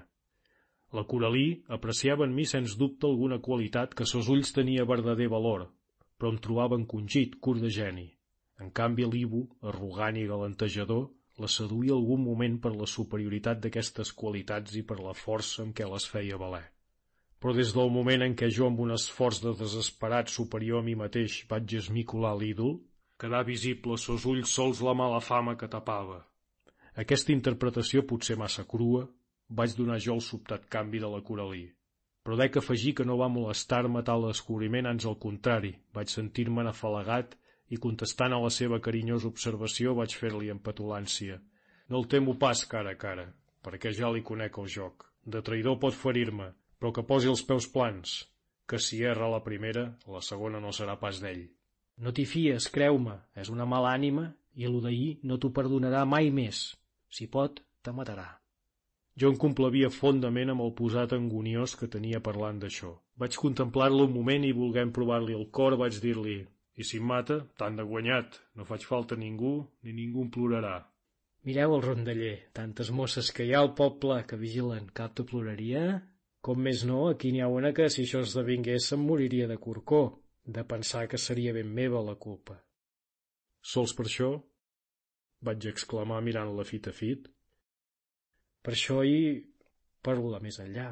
Feu ella somrient amb una escaienta mueca, tot fent posat d'alçar-se. M'ha semblat que la cosa filava bé i no vaig voler desperdiciar l'ocasió d'esbotzar.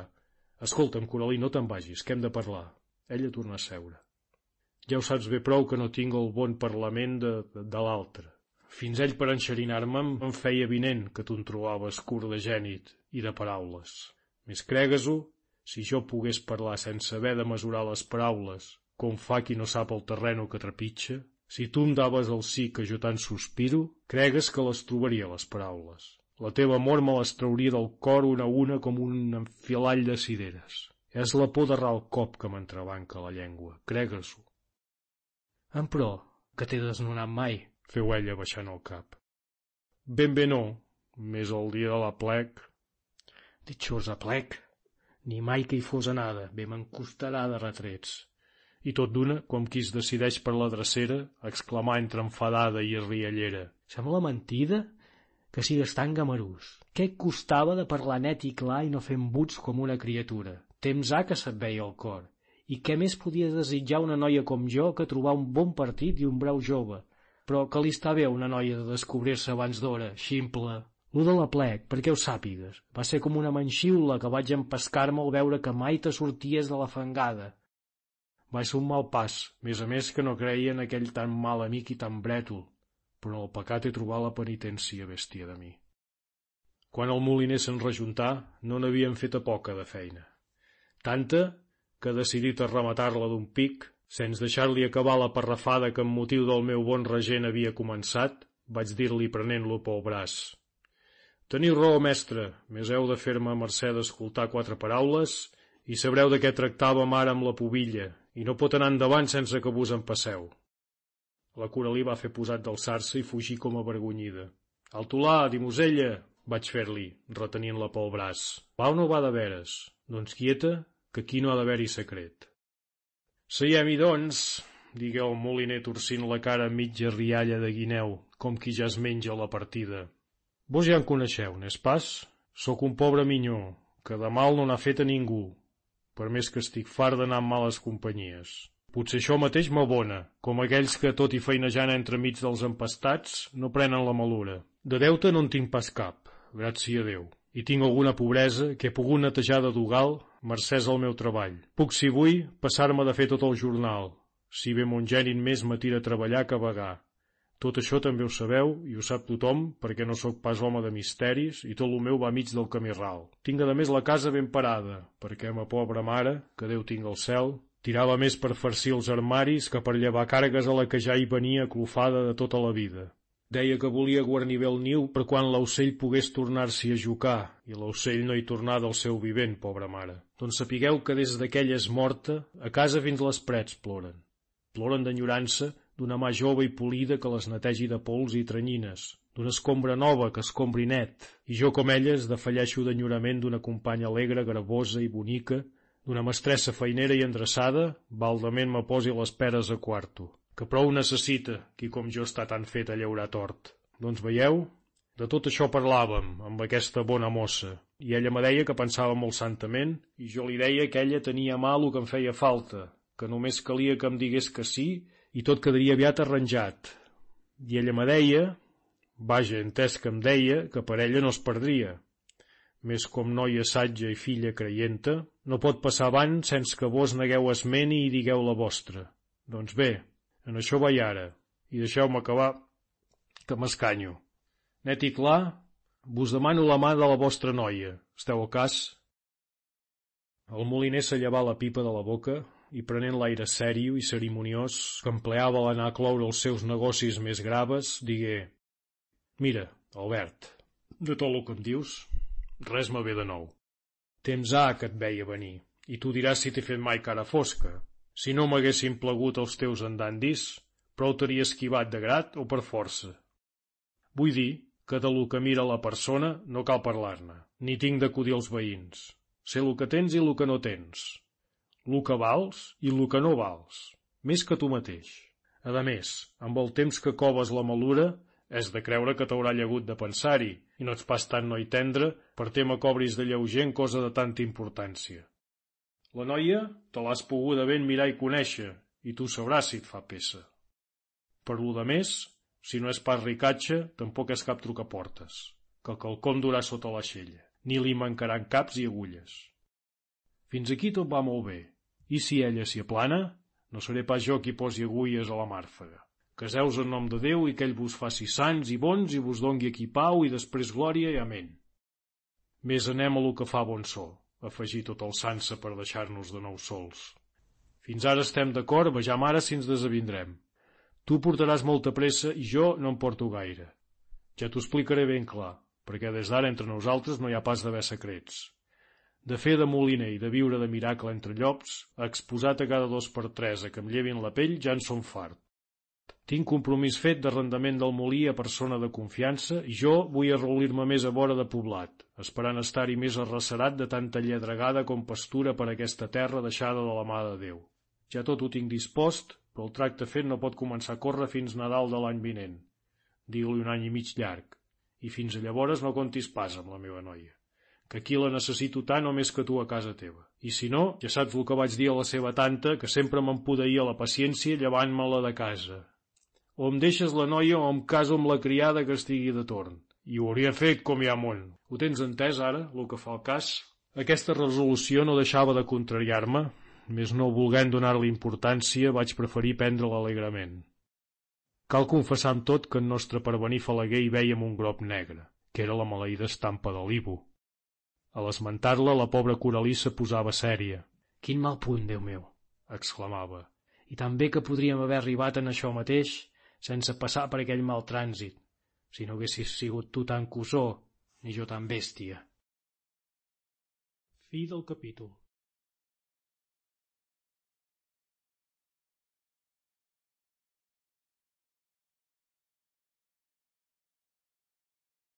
Aquest és un enregistrament de domini públic per al LibriVox.org.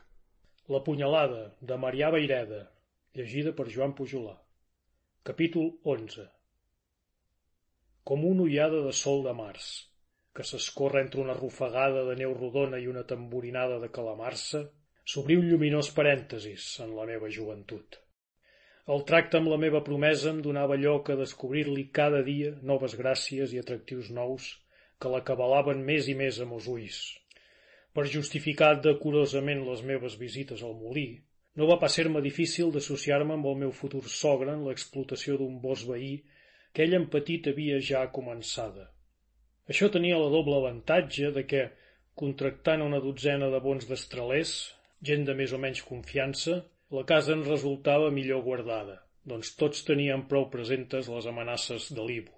De més a més, sempre teníem de dies dissimuladament i vigilats els encontorns per un guaita, i a la nit era el mateix moliner qui vetllava amb els ulls a la mola i les orelles al bosc.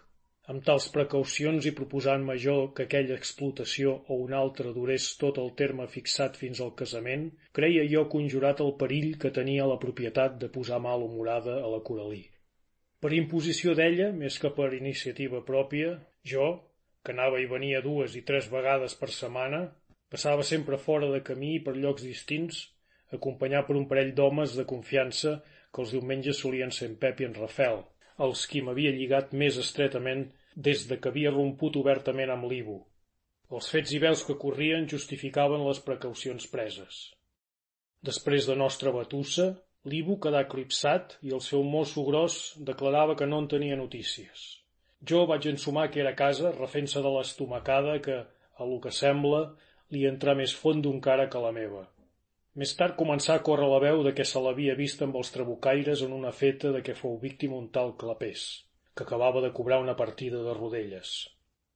Sembla que efectivament hi era, si bé no hi prengué part més que com a espectador. Més bastà això perquè des d'aquell dia l'opinió pública li atribuís la paternitat de totes les malifetes que succeïen. Sobretot, en el segrest fracassat d'en Desoms de Vilademires se li acumulà una intervenció que no era certa, segons m'innovà l'Arbós, amb qui jo em veia sovint. Aquest estava al corrent de tot, si bé no sempre considerava convenient desfer els errors de la veu popular. Segons l'Arbós, efectivament l'Ibu estava en relacions directes amb els trabucaires, més com no era pas de pasta de soldat de fila, no volia figurar-hi sinó com a capitost, a qual efecte, ajudat de l'avi i del roig, s'anava formant el seu partit, si bé topant amb sèries dificultats. Dels dos quefes que figuraven, el Briquet i l'Escloper, el primer, capità més de nom que de fets, ja que el qui feia i desfeia era el segon, vell i desautoritzat, ja s'avenia a reconèixer l'Ivo com a superior. Més el segon, jove i ambiciós, de cap manera. Mentre no es resolga aquest plet, deia l'Arbós, no hi ha perill de que l'Ibu s'hi tiri de cap, a menys que això duri i es decideix que fer esclatar la guerra civil entre els trabucaires de la Garrotxa. Però abans que això s'hi pensarà molt. Però més tard s'escampà la veu de que l'escloper havia mort en un encontre amb els Mossos.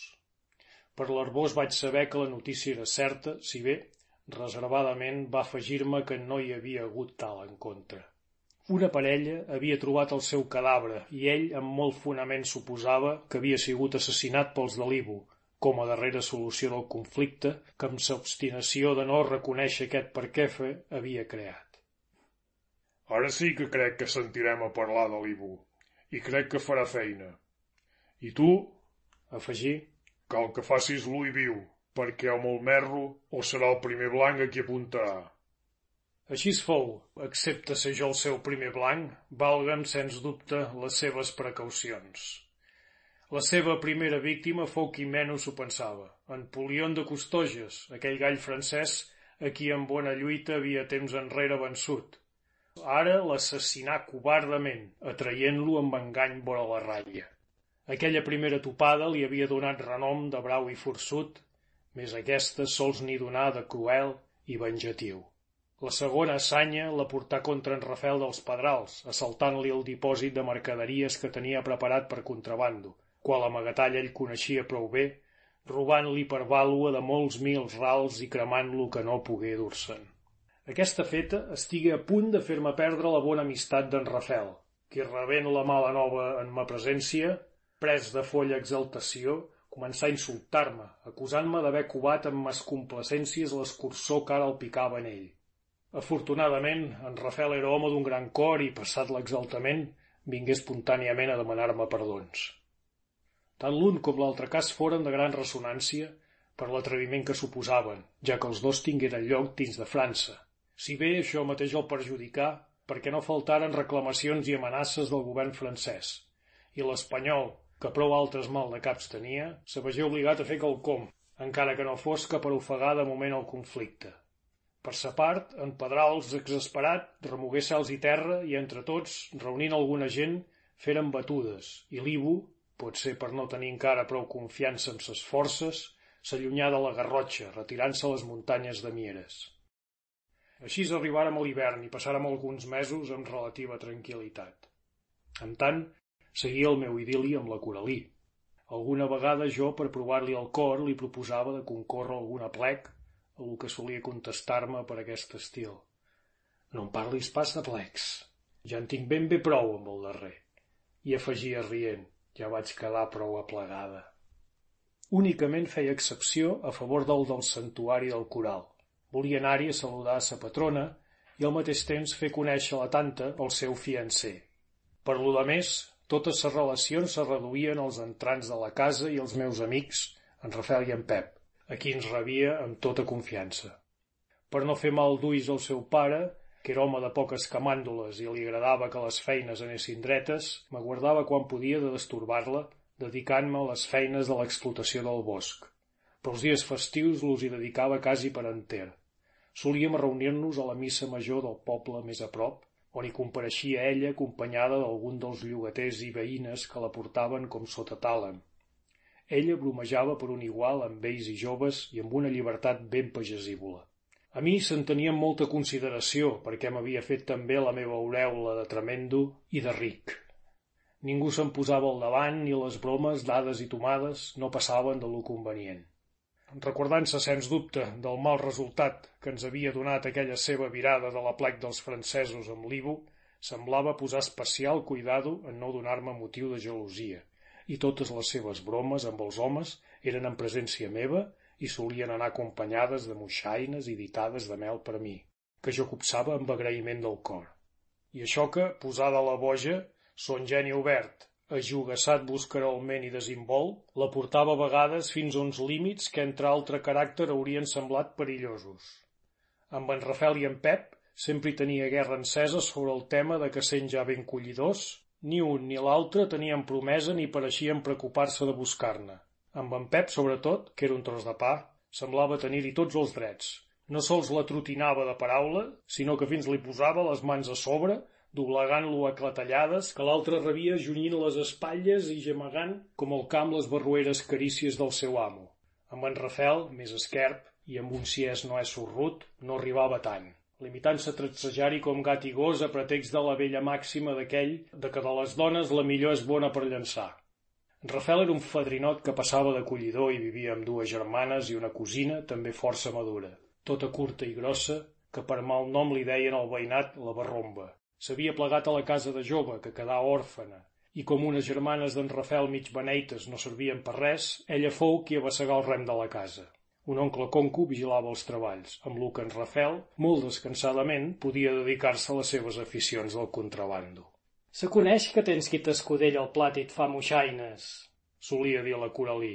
Almenys t'hi casessis amb la Mònica, ja que tant la fas per tenir en traus el suc de l'escarràs, que n'acabes de ramassar xinxons per fer vida de frare, fum un mussol. Deixa, que ja els espargiran els hereus, que celebraran la teva mort com la del porc i t'enviaran els sufragis amb un mandró. Sortosament, pensa pas tothom com tu, oi, Albert? El moliner fomentava les trucades dels diumenges amb bona cara i abundants tragos, per mort de que no quedés la casa desemparada. Les cartes anaven en doina, més la Coralí i jo teníem altres joguines. Fèiem lligapart sota els tells del pati o a la vora del foc, segons el temps, i alguna vegada més tard, quan el record de l'Ibu s'havia anat esveint, aprofitant la distracció dels jugadors, sortíem a escampar la boira anant de passejada bosc enllà. Llavors, les seves intimitats i expansions solien prendre un caràcter d'apassionament que algunes vegades m'esborronaven perquè me sentia flaquejar davant de ses ingènues provocacions. El seu aixalabrament característic adquiria major encís i sos ulls semblaven traduir una intenció més abrusadora entre maligna i infantil. No obstant, a través d'aquelles fogarades que m'encenien els sentits, i recordava sempre el feréstec posat de verge folla que tenia aquella tarda davant de les brutals agressions de l'esparver. Prou ho havia notat que si alguna vegada, com aquell qui no hi toca, la mà se me n'anava fora de la llei, com qui no hi toca també, n'era avisat amb una carinyosa vergassada que em marcava de blau les pantorrilles si era una verga, el que tenia a la mà, o bé un pessic recargolat que em feia veure les estrelles. Això no m'ofenia, ans al contrari, m'ajudava a considerar-la com un ser superior, com una exquisitat digna de la taula d'un sibarita. A vegades m'interrompia lo millor amb sortides que em trencaven les oracions. Quan fugint de moretes tontes i no prou entès per entrar en disquisicions de gènere més elevat, me feia un embull que ni m'hi entenia. Vaig, no siguis simple, me deia ella. No has pas de fer tants embolics per a dir-me que m'estimes, veus? Fes com jo. El papà i el vi I repenjant-se amb el braç, començava a parlar de les afeccions i projectes amb la ingenuïtat d'una criatura. A lo millor se'n fugia per una margera amunt a pretext de collir una flor i revenia sobre meu tant a la boja que de no empernar-me jo per acopsar-la perillàvem d'estimbar-nos tots dos. Vaig acabar per habituar-m'hi a totes aquelles ingenuïtats d'ànima buscarola, acallant com una vergonya les esgarrifances de pell que a vegades me produïen. Era com el perdiguer que, ajaçat als peus de l'amo, se'l menja amb els ulls i que amb la mateixa resignació n'accepta una engruna de pa que una puntada de peu. El que no hauria acceptat de cap manera fos un desdeny ni la ombra d'un rival, i aquests, en bona veritat, no eren en lloc. Per aquells temps vingué la plec del coral tan desitjat. Me presentà la seva tanta, que la rebé plorant, i menjant-se la petons, dels que me'n tocaren també una bona tanda, segons la costum francesa que si tot el matí se'l passà la noia resant a sa patrona. Al dinar, ella i jo fórem obsequiats com uns nubis per tota la seva coneixença, que era gran. Algun resel que jo duia tement impressions desagradables per part de la molta fadrinalla, que pretext de l'issua i le bonheur l'enrondava com les mosques a la mel i que ja em començava a embafar, fou desvanescut pel bon comportament d'ella que mai m'ha deixat desairat. A les valles se negà a dansar amb cap solter i sols per atenció a antigues amistats de família ho feu amb algun casat. Déu sap lo que li vaig agrair tanta delicadesa que em posava boig de satisfacció. Per a fugir del bullici ens escamparen passejant en direcció a la raia espanyola, que és a ben poca distància, i al peu d'un marge topàrem amb un marxant d'eines de tall de fàbrica de Ripoll, que feia el seu comerç mig amagat per por dels gendarmes. La Coralí el devia conèixer perquè tot seguit s'hi acostà a mercadejar-li algunes foteses, preguntant-li aviat si tenia ganivets de molla, que en aquell país són prohibits. L'home, després de dirigir mirades esparverades a dreta i esquerra, s'atregué un paquet de la pitrera, posant de manifest el que ella demanava. La Coralí començà a repassar amb desinvoltura aquelles eines farèstegues, fixant-se en un punyalet d'un pam i mig de fulla que duia vaina de cuiro vermell i el desenveinà tranquil·lament. La fulla, lluenta com de plata, duia per marca un cor atravessat amb un punyal i la llegenda «Justícia, mai venjança». «Espia, quina eina més joliua!» me digué mostrant-me el rient. «Me l'has de comprar. Encara no t'he demanat cap estrena». «I ara? No siguis drola», vaig fer jo. «Què n'has de fer tu d'aquestes coses?» Estàs ben segur de que no el necessitaré mai? respongué ella a mitja veu, sense deixar de mirar la fulla. Compra-me'l. Hi havia un no sé què d'estrany en el seu dir que em va sorprendre. Instintivament vaig recordar-me de l'Ivo i de quan ella el posava raia amb el podai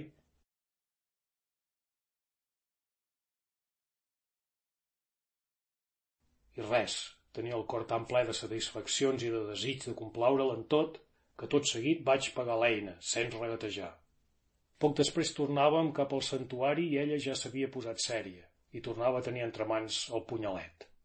Vols que te'l guardi? li digui fent posat de prendre-li.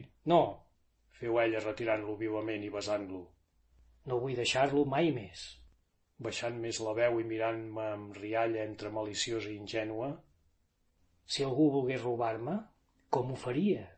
Vaig recordar-me de nou de la tarda del bosc i penetrant la seva intenció vaig dir-li resoltament, acompanyant les paraules amb el gesto. Mira, si venia el cas, dret al cor i a fons. I si aquest fossis tu? Afegia ella, fent més coquetona la rialla. Si fos jo que anés contra llei, més a fons encara, vaig respostar-li, sostenint-li la mirada. Així, eh? I al dir això, brandà l'eina amb moviment tan sobtat i dretorer que maquinalment m'obligà a fer un salt enrere.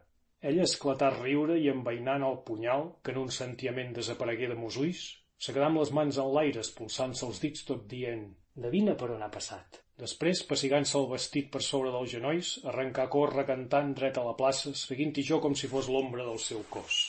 La despedida del coral fou encara més mullada que l'arribada. Ella volgué saludar una vegada més a la seva patrona i practicar la costum de passar per les mans de la verge una munió de records que uns i altres li havíem comprat. I mig embolicat entre rosaris, escapularis i mocadors, va semblar-me veure-hi relluir la creu del punyalet. Fi del capítol.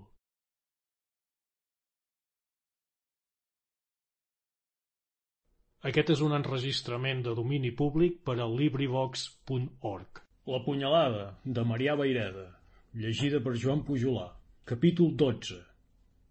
El rosari que tants mesos havia que es granava estava arribant a la darrera glòria. Els preparatius per al casori estaven molt avançats, havent lograt del futur sogre la condonació d'algunes setmanes del temps fixat. A llavors tornà a ressonar per les afraus de la Garrotxa el nom odiós de l'esparver, com un eco llunyà de la fama que corria per la baixa muntanya.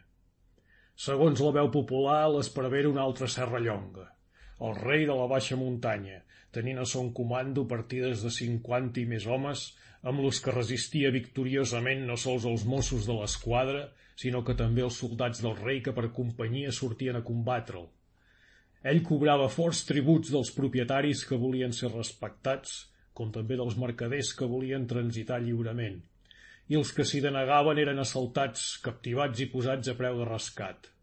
En Bac de Collsacabra degué pagar per lliurar-se 10.000 unces. Del cavaller de Vidrana tragué un matxo carregat d'or, sense comptar moltes altres picossades per l'estil. Son valor personal ratllava en lo heroic, semblava embruixat, doncs no se l'havia pogut ferir mai, per més que en diverses ocasions se li havien engegat a boca de carro a cents els trets. Els minyons del seu comando eren verdaders dimonis sense por, no desdeien mai. Més ell els tenia tant al puny que davant seu tots tremolaven i el més petit mancament ne feia una penjarella a les branques de l'arbre més proper. A més de que feia guerra als poderosos i tirans, feia caritat als pobres i protegia els desvalguts. De tant en tant desapareixia com si se'l tragués la terra, i llavors reposava disfrutant de ses immenses riqueses en palaus que posseïa llocs ignorats, cavats sota les muntanyes, on feia vida de rei, tenint esplèndida taula en tot el serviment i fins dones per a ell i els seus. El fonament de la llegenda massa que hi era, i prou ho sabia jo pel bon conducte de l'Arbós, al sortir de la Garrotxa empaitat per l'atraut de gent que hi atragué amb les seves primeres malifetes, entrar per la comarca de Mieres recollint alguns dispersos que feien la pràctica a la menuda.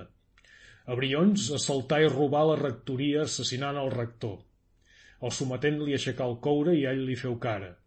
Desarmar alguns guardaboscos i assassinar per sorpresa la parella de fusellers de Santa Pau.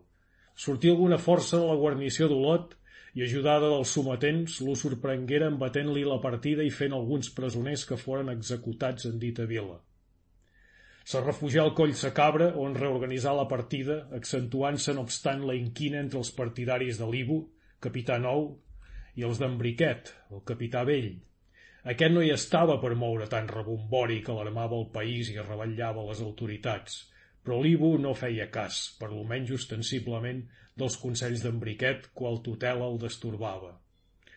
Poc després assaltava i assassinava uns firetaires al grau, i en un encontre amb els Mossos hi moria Embriquet, murmurant-se entre els de la partida que era aquell qui l'havia fet perdre. Però ell, que tenia la mà pesanta, ne feu penjar un parell dels més díscols, assegurant-se així la cafatura. Ell pla aconseguia augmentar la seva força i prestigi, portant a cap alguns cops afortunats, entre ells el segrest d'en Bac de Collsacabra i l'assalt del cavaller de Vidrà, que li valgueren un dineral. L'Arbós, amb qui vaig parlar aquells dies, me digué que del que la gent comptava se n'havia de treure la meitat de la meitat i l'u de més eren falòrnies. Però així i tot, afegí, tinc raons prou sèries per judicar que passarem un mal hivern.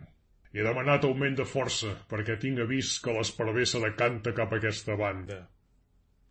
Vaig quedar-me tot neguitós Cabalment s'havia acabat la carbonada del bosc i tenint en compte el poc temps que faltava per canviar la situació, havíem cregut que no calia començar-ne un altre, ni sostenir inútilment tants jornalers, majorment que el període de relativa tranquil·litat que havien disfrutat ens havia esvergit la idea del perill. En resum, que la defensa del molí estava del tot descuidada. Tot cavilant quina determinació prendria i què aconsellaria el moliner, van passar-se encara dos o tres dies. Per fi, un vespre en què ja estava determinat anar l'endemà al molí i arrencar-los o bé deixar-hi gent per sa defensa, vaig rebre avís de l'arbós, de que no m'entretingués, perquè ja teníem l'enemic a sobre, doncs, segons confidència rebuda, se l'havia vist en direcció al pont del Llierca, que ell no podia fer res fins a rebre algun reforç de gent que havia demanat i estava esperant d'un moment a l'altre. Aquesta nova va causar-me un estupor indefinible. Mon primer intent fou dirigir-me corrents cap al molí. Però era ja fosc, i en Pep, a qui vaig anar a veure, va dissuadir-me'n, ja que la cosa no podia pas venir d'algunes hores. Decidiren sortir els dos de bon matí. No vaig dormir gens ni mica, obsessionat per idees terribles, com si presentís una desgràcia. No era hora ni altra que no puguem tenir més al llit, Saltava a terra i, arranjat de campanya, ania trucant en Pep que encara dormia. Poc després, trascàvem a les palpentes dret al coll de Ferrarons. Jo, pres de Verdaguer neguit, no sabia parlar d'altra cosa que dels meus pressentiments, arribant a comunicar la meva preocupació al bon amic, que acabà per dir-me «Home, si ni t'hagués entès que te les havies agafades tan fortes, t'hauria dit marxem ara mateix. Potser ens en penedirem prou de no haver-ho fet. Des d'aquell punt ja no parlàrem a penes, sinó que corríem més que caminàvem, com si més que prevenir anéssim a auxiliar. Un i altre ens frisàvem per arribar-hi. Quan el sol anava a apuntar, ja vèiem la serralada darrere la qual està el molí. Mira, me digué en Pep, senyalant-me una llunyada fumareda que sortia de darrere la carena. Ja vilen la carbonera, bon senyal. Carbonera, dius, vaig fer jo espantat de la direcció que marcava el fum, si no n'hi ha d'encesa, Déu meu, Déu meu, en Pep no tornar raó i seguirem la marxa més engonyadament que abans. En aquell moment vegeren tombar la carena en direcció contrària a la nostra a un bailet que corria esbarat. Alto, noi, atura! vaig posar-me a cridar. El minyó esperar i entrant en resel saltar del camí. Llavors, sense saber el que em feia, vaig tirar-me cap en ell apuntant-li l'arma, amb lo que agafant més por s'escorregué per dins del bosc. Comprenguent que era un missatger de males noves, vaig tractar-me a mi mateix de bèstia per haver-lo esquivat tan tontament. Ja no corríem, volàvem amb el desig de tombar el caire i veure el que era allò, començàrem a sentir furtó de cremadís. Al tombar la carena el cor me feu un bot, el molí cremava. Però el que més m'aterroritzà fou la soledat i silenci enmig del que les flames arboraven ensenyorides de la meitat del casal. Ni un ànima vivent al lloc, ni un crit demanant auxili, ni ningú que el prestés. Això m'esveia la darrera esperança de que l'incendi pogués ser casual i de que es limités la desgràcia a les pèrdues materials. No sé com, ni per on, vàrem recórrer el trajecte que encara ens separava de la casa, sol recordo que vàrem intentar l'entrada per la porta de baix, però les flames que venien de la quadra de la mola ho impediren.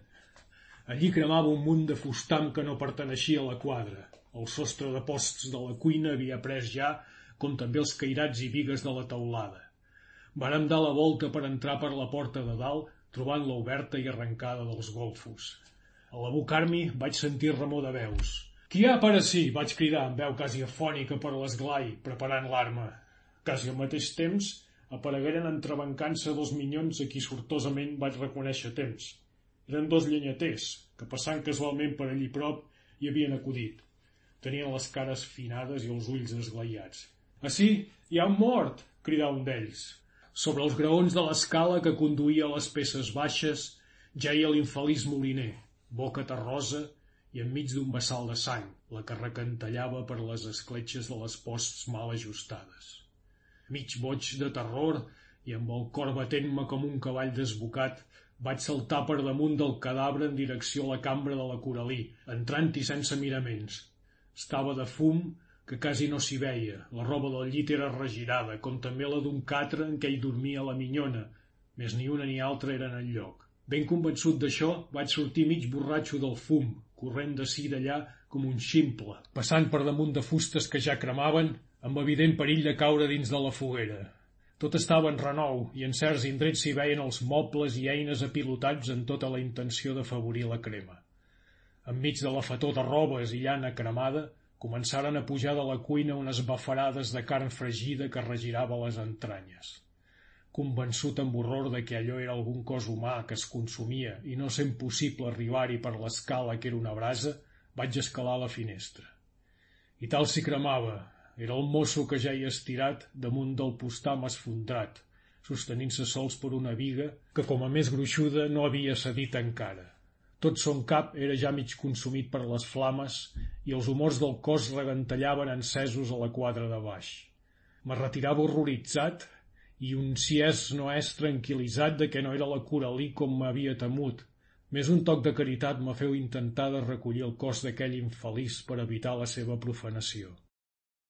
Era impossible. La finestra era una boca de forn i sobre l'empostissat no hi havia on posar-hi el peu. A més, la bafarada de carn cremada que la finestra agitava tapava els esplits. Aquell espectacle encara avui regira les tripes. Vaig tornar a l'era, sempre frisós i desesperat per lo que seria de la Coralí, i vaig topar-me amb en Pep i l'altre llenyater que estaven auxiliant a la minyona que acabaven de retirar de l'estable, agarrotada i sense sentits, atuïda pel fum. En aquell moment en Pep s'alçava i dirigint-se'm amb la cara verda com un mort i amb una veu que denunciava un immens desconsol, m'ha cridar «Albert, se'ns l'han enduita». No se'm va pas ocórrer preguntar qui ni a qui. Doncs ben clau llegien les alterades fesomies del meu bon amic. I ben clau tenia al fons de la consciència que em feia pressentir lo més terrible.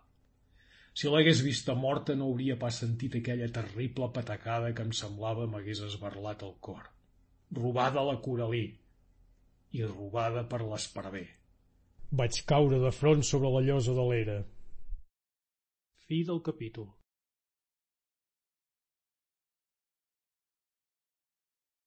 Aquest és un enregistrament de domini públic per a LibriVox.org. La punyalada, de Marià Baireda, Llegida per Joan Pujolà. Capítol 13 Els infeliços subjectats al turment, l'accés del dolor els fa revenir de les basques que el mateix dolor els hi produeix. Lo mateix m'ha passat a mi. Tot fou donar de cap a terra i tornar-me a aixecar revingut per la força del mateix dolor que m'aclaparava.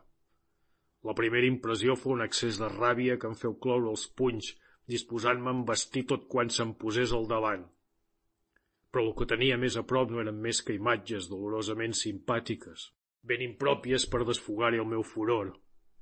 Els dos llenyaters, esgrogueïts i consirosos, no sabent a qui atendre, si nosaltres o la criada, que reolida un racó de l'era, estossegava el fum que havia dragat i gemegava dolorosament.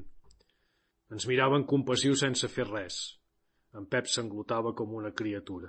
Entontits i esmaperduts seguíem corrent d'ací d'allà, empaitats per les turbonades de fum espès i pudent que, cargolades per les bufades de llevant, a moments ens embolcallaven. Recordo, sense tenir idea clara d'on eixien, que ara un, ara un altre, anaven apareguent nous espectadors que, fets uns enses com nosaltres mateixos, contemplaven els progressos del foc sense ni pensar en fer res per deturar-los. Per fi el cadàver del moliner fou retirat d'entre les flames i algú tragué abraçats llençols i altres robes amb què tapar el cos horriblement desfigurat del mort i les cans nues de la infeliç minyona que vergonyides negava moure's del seu racó. En quant a l'atac, poca cosa en deia la criada. Quan ell es despertà per les detonacions que ressonaven dins del molí, deia que la Coralí era fora de la cambra, ella es llançà fora cridant esverada, sentint-se el moment tapada de boca i agarrotada. Sol recordava haver vist la Coralí darrere de la taula de la cuina, amb una destral a la mà, envoltada de tres o quatre homes que li parlaven. El mosso ja era mort, a prop d'ella. Després perdé els sentits i al tornar en si es trobà al corral de les cabres tirada per terra i sense poder-se remenar. De la Coralí deia que se l'havien endut a dalt de la mula, més no sabia pas explicar com n'havia hagut esment. Faltava un individu del personal de la casa, el bailet que guardava el bestiar, Era inútil i impossible buscar-lo, seria mort i carbonitzat entre les runes, com el bestiar que no havia pogut fugir. Una mena de fatalisme paurós s'havia apoderat de tothom. Per grupos ací i allà es reunien els homes amb els ulls fits en la immensa fogarada, secs uns, plorosos altres i alguns llampegant de ràbia. Però tothom parlava baix, com si tinguessin por de ser espiats algunes dones que anaven arribant ploraven desesperadament retorçant-se les mans i estirant-se els cabells. Més tard arribà en Rafel, esbufegant, animant-se llavors un poc l'escena. Aquest parlava crits i estava nerviós i verd de coratge. Albert, això és una embestida de llop carnisser, digué tan bon punt Mavager, obrint els braços dintre els que em vaig llançar com una criatura. Que no hi hagi terra que es dragui semblant bèstia. Emprò, fes el cor fort, fill, i buscarem la torna, que no maduren totes per Sant Joan. Aquell lladre maleït vol sang, i jo et juro que n'hi haurà per menjar i per beure. Va deixar-me per llançar-se vers les flames, intentant després rompre la paret de la bassa per inundar la casa, però convençut aviat de que això no era practicable i que per altra part no hi havia res a salvar, va deixar-ho. Amb tot això, jo que seguia pres d'una mena d'ensupiment que em llevava la voluntat i quasi la consciència de temps i lloc. Vaig deixondir-me un moment al sentir a prou meu algú que deia que a la porta de la cabanya hi havia un paper escrit. Vaig llançar-me vers el rotllo que l'envoltava, tractant alguns de llegir-lo sense atrevir-se a tocar-lo, i vaig arrencar-lo d'una revolada. Era un paperà rebregat, on amb un carbó hi havia escrit tot un enfilall d'amenaces i d'imprecacions en un llenguatge brut i bàrbare, capaç de posar pell de gallina. Començava Albert dels Cortals, maleït sigues, ets un quart, un fill de... I jo t'escorxaré viu com a Sant Bartomeu, més abans has de veure la teva... a les meves mans com una mula de lloguer. I has de veure el del teu cremat i assolat i els que t'ajuden, en Pep, en Rafel i l'Arbós i tots, escortarats i cremat i assolat-lo del llur, perquè sapigueu tots que l'esparver ningú li fa tort que no ho plora. Vull rentar-me les mans amb la vostra sang. En Rafel me l'arrencà dels dits i després de llegir-lo en feu una pilota rosegant-la i escopint-la amb ràbia cridant. Ja ho veieu, nois, quina mena de llop corre per nostres terres. Vol la nostra sang? Més jo li juro que la meva l'ha d'enfitar abans de veure-la. Què hi dius, Albert? I tu, Pep? Vos acobardiu davant de les paraules d'aquell lladregàs malparit del bordell? Jo no podia dir res perquè la ràbia em nuava la gola i no feia més que mastegar renecs que no podent així me recremaven les entranyes. Per primera vegada vaig arrepentir-me de veres de no haver-lo escanyat a llavors que el tenia sota els genolls. Jurem-ho, jurem tots, anava cridant en Rafel. Tu, Albert, que ets el més castigat, i que jo crec que Déu et castiga per la llei que li tenies quan feio àlies i perquè no em vares passar els taps quan ho tenies a mà. I tu, Pep? I tu, Joan? I totes les persones honrades que totes perillen per un igual? Com aquest pare de família que aquí jau i aquests pobres nois que ja són cendres de la foguera, com una guilla a la molt. Jurem no deixar-lo de petja i enestar-lo com una guilla a la molta de la paiera perquè els corps se n'afartin. Jo li jurava de tot cor, amb extremituds que me feien suar d'angoixa. En Pep, tot plorós, aixecava la mà amb energia i alguns dels presents joves i vells també hi feien cor. Altres s'apartaven horroritzats i cavilosos i les dones ploraven algunes a crits i picant-se el cap. En això arribà l'Arbós, acompanyat d'alguns Mossos, S'aparicions feu l'efecte d'una taula salvadora i tots deixaren la feina per enrondar-lo com el doctor una família tribulada que té un individu in extremis. I ell, com el doctor, avançava grave i mut, movent el cap per tota resposta, tot sortejant o apartant suaument a les persones que se li posaven al pas. Semblava impassible, més un lleuger to verdós de cara, una mena de tremolor a la barbeta i els llavis closos entre els que hi estranyia un brutint de romaní denunciaven una ira concentrada i retinguda sols per una gran força de voluntat. Arribà a l'era de dalt, on se li plantà al davant en Rafel, amb qui es dignà creuar algunes paraules reconeguent-li autoritat com a batlle de Bassagoda. Se dirigiren primer una persistenta i muda mirada d'intel·ligència. Després l'Arbós començà a moure el cap pausadament de dalt a baix, diguent per fi en veu baixa i seca. Ah, amigo, Aquesta és grossa. Si és grossa, feu en Rafel, amb veu reconcentrada. El molí, ja ho veieu. Així n'hi ha un que ja no ho comptarà. Entre la foguera n'hi ha un altre, fet cendra. A la minyona l'han salvada per miracle, agarrotada i mig morta. I encara manca un altre, el musicot, que encara que no és comprovat, és de creure que és per allà dintre, fet una torraina. No, aquest s'ha escapat i és el que m'ha dut al parte, respongué el subcabo amb certa indiferència, mentre dirigia una mirada al cadàver del pobre moliner, el qui un dels Mossos havia destapat la cara. Després, continuant Rafel, han robat la Coralí, i s'apartà per deixar-me el descobert a mi, que restava claparat i mut darrere d'ell amb les mans caigudes i el cap jup, com l'estàtua del dolor. L'Arbós me dirigia una intensa mirada, en la que primer hi vaig llegir tota la severitat d'una recriminació. Parasa, semblava que anés a esclatar. Més ben prompte, com sentint-se tocat del meu desconort, sos ulls se tornaren pietosament dolços. Pobre Albert, digué, Sempre t'ho vaig dir, que de la tornada de l'esparver tu et series la primera víctima. La font de pietat que entranyaven aquelles paraules, en boca de l'home endurit en els espectacles d'una lluita salvatge i brutal de tota la vida, repercutien en lo més fons de mes entranyes. Me vaig fer llàstima a mi mateix, trobant que s'engrandia encara la immensitat de la meva desgràcia. Grupades de llàgrimes sentia pujar-me els ulls, i no trobant-hi sortida tornaven a baixar en remolins produint-me sacudides nervoses i tremolament de cames. En Pep i algun altre m'agafaren a llavors, amorosament, oblidant-me seure sobre el catxapit de la bassa. Seguit d'en Rafel, l'arbós s'allunyà dirigint-se vers el molí que en rondaren tornant a l'era. Llavors començaren les diligències oficials. Un mosso tragué un tinter de banya i una cartera en paper d'ofici, començant a redactar el parte, prenent declaracions a alguns dels presents, entre ells en en Pep i a mi. Si bé l'Arbós portà la seva delicadesa a l'extrem de moïnar-me el menys possible. Una de les declaracions més importants va ser la del bailet, que resultava ser el mateix a qui nosaltres havíem topat i esporuguit a l'arribada.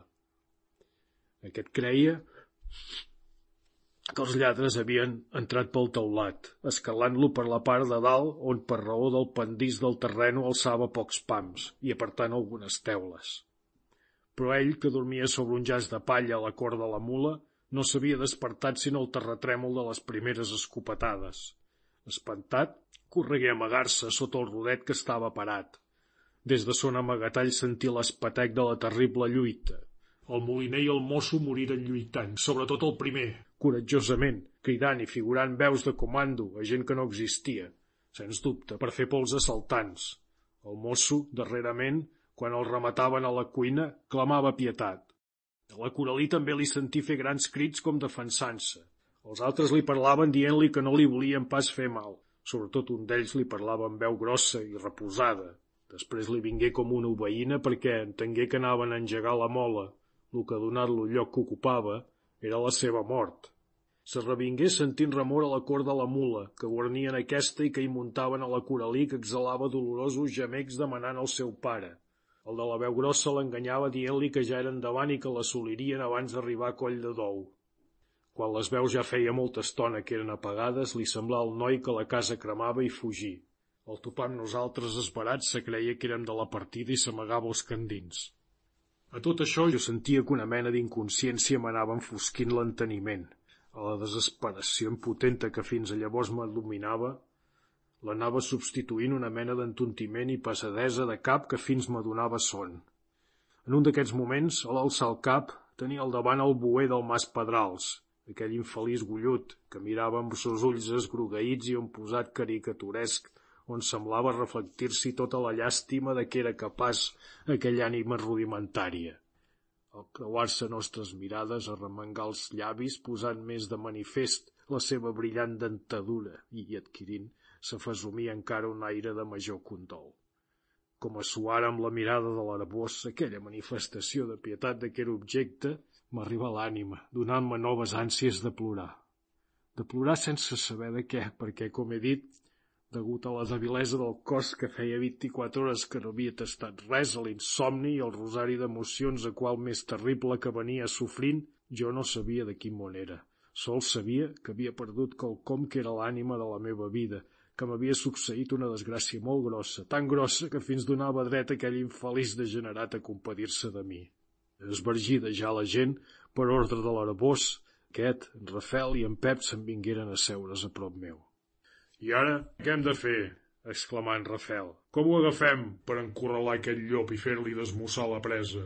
Jo estic en que n'hem de fer una dessonada, o si no, no anem al lloc. Va semblar que aquelles paraules me despertaven d'un somni, aclarint-se amb les potències lo suficient per a fer-me renaixer tota la ràbia i esclatar en crits de venjança. En Pep era del mateix pensar.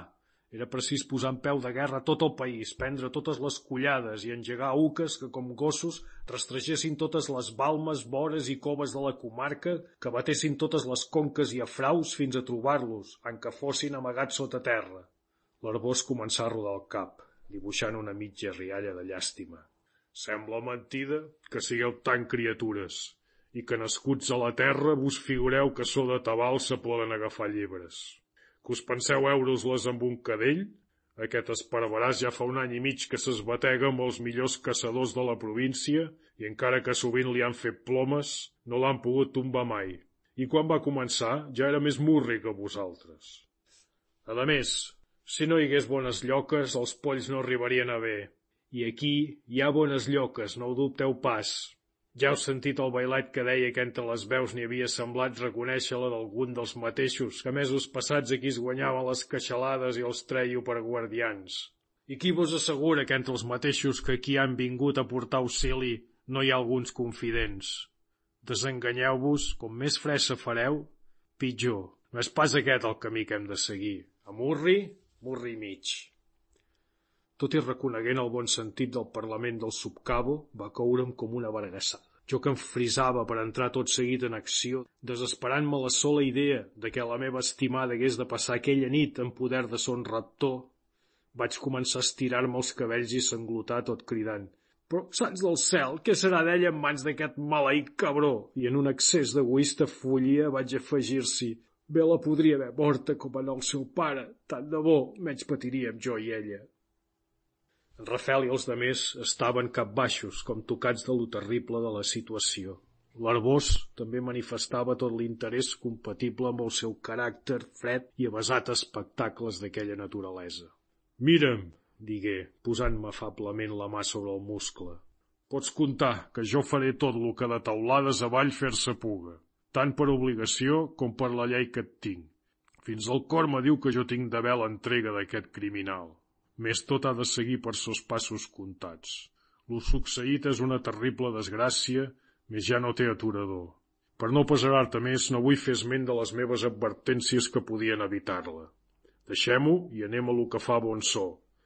Ni en traurem res d'aixecar el coure cridant el llop, el llop, ni tampoc de tirar el cap per les parets, ni plorar com criatures. Siguem homes, prenem les coses tal com són i plantegem la qüestió. El teu mortal enemic t'ha robat la promesa i et matarà quan pugui a tu i a mi i en aquests, després de cremar i robar quan li vingui a mà. Això és la veritat. No cal donar-li voltes, veient que jo em reblincava. Ho ha jurat i té prou mala sang per complir el jurament i prou gent per ajudar-li. Cal confessar que nosaltres, per nostra part, no li portem pas millor voluntat en ell i que farem alguna cosa per cegar-li l'avantatge.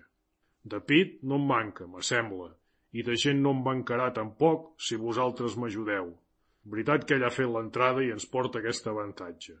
Això em tornà a posar sobre el terreno de medissort i em feu esclatant de nou en senglots i esbufecs. Ell, després de parar-se un moment, reprengué. Escolta'm bé, minyó, jo tinc més experiència que tu i et vull bé i per això parlo així.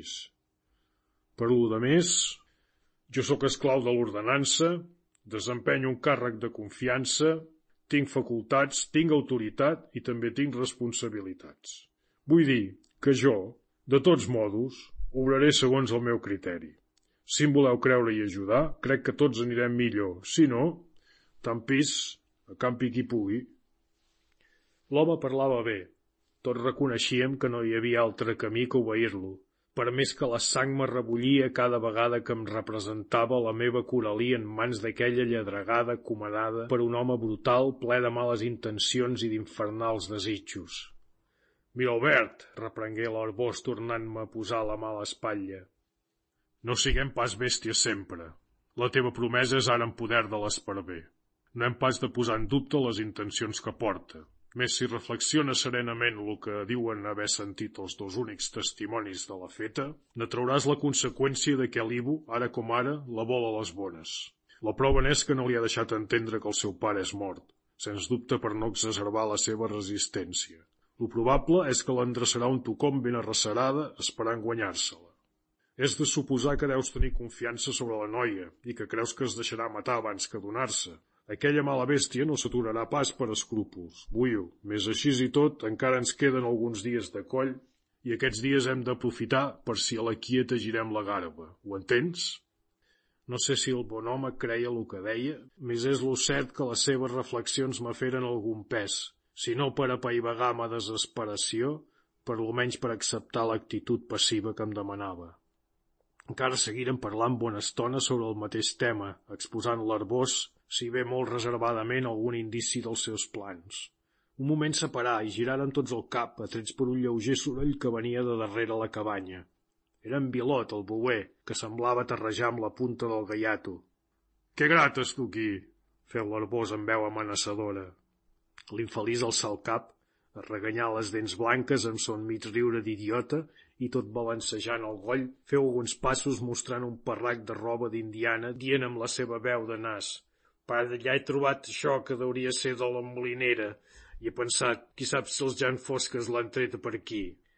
Veu havia sigut un vestit de la Coralí, però que el coneixia, més la troballa no tenia cap importància. Era un retall rebregat, que el vent hauria dut boscallar, fins se veia que hi havia copsat la pluja. Tu plats un Jan Fosca, li digué l'arbós rebotent-li el parrac per la cara. Arria jaure, maleït gollut del bordell. Mira, Vilot, agafa el drapau dret a casa, afegí el seu amo, i digues que maneixin sopar per sis. D'aire, eh?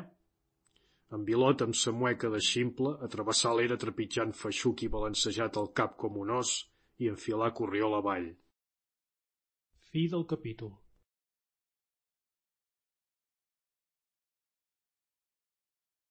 Aquest és un enregistrament de domini públic per a LibriVox.org. La punyalada, de Marià Beireda, llegida per Joan Pujolà. Capítol 14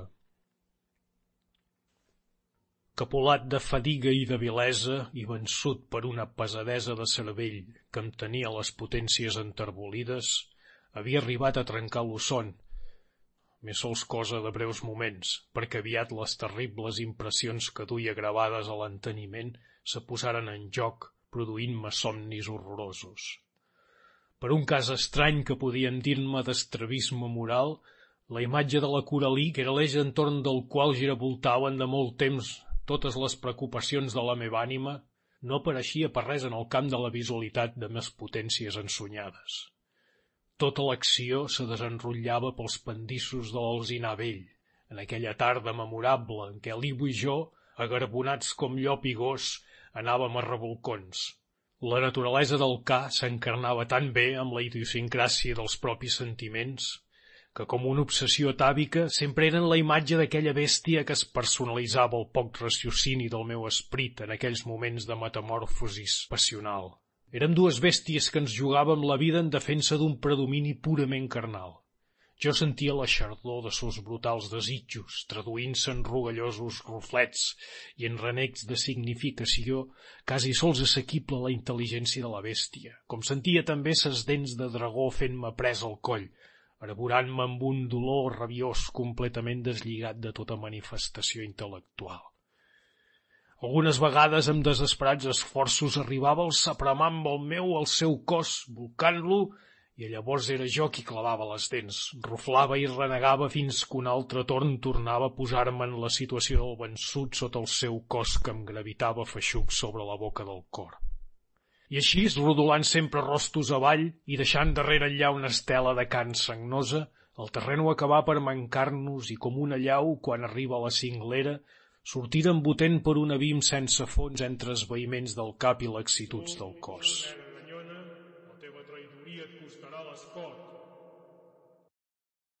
llavors vaig despertar-me horroritzat de mi mateix i amb la clarividència de l'al·lucinat vaig començar a recapacitar sobre les peripècies d'aquella jornada luctuosa, representant-se amb tota la tràgica història reconstruïda per modo admirable per elements testimonials propis i ahens i pels deduïts gràcies al coneixement que posseïa de les coses i les persones. Veia la Coralí, saltant eslaiada del llit els primers espatecs de la invasió i dirigir-se a la cuina per armar-se de la destral. El seu pare, atacant coratjosament els lladres a escala amunt i morint sense esbategar esclafat pel número.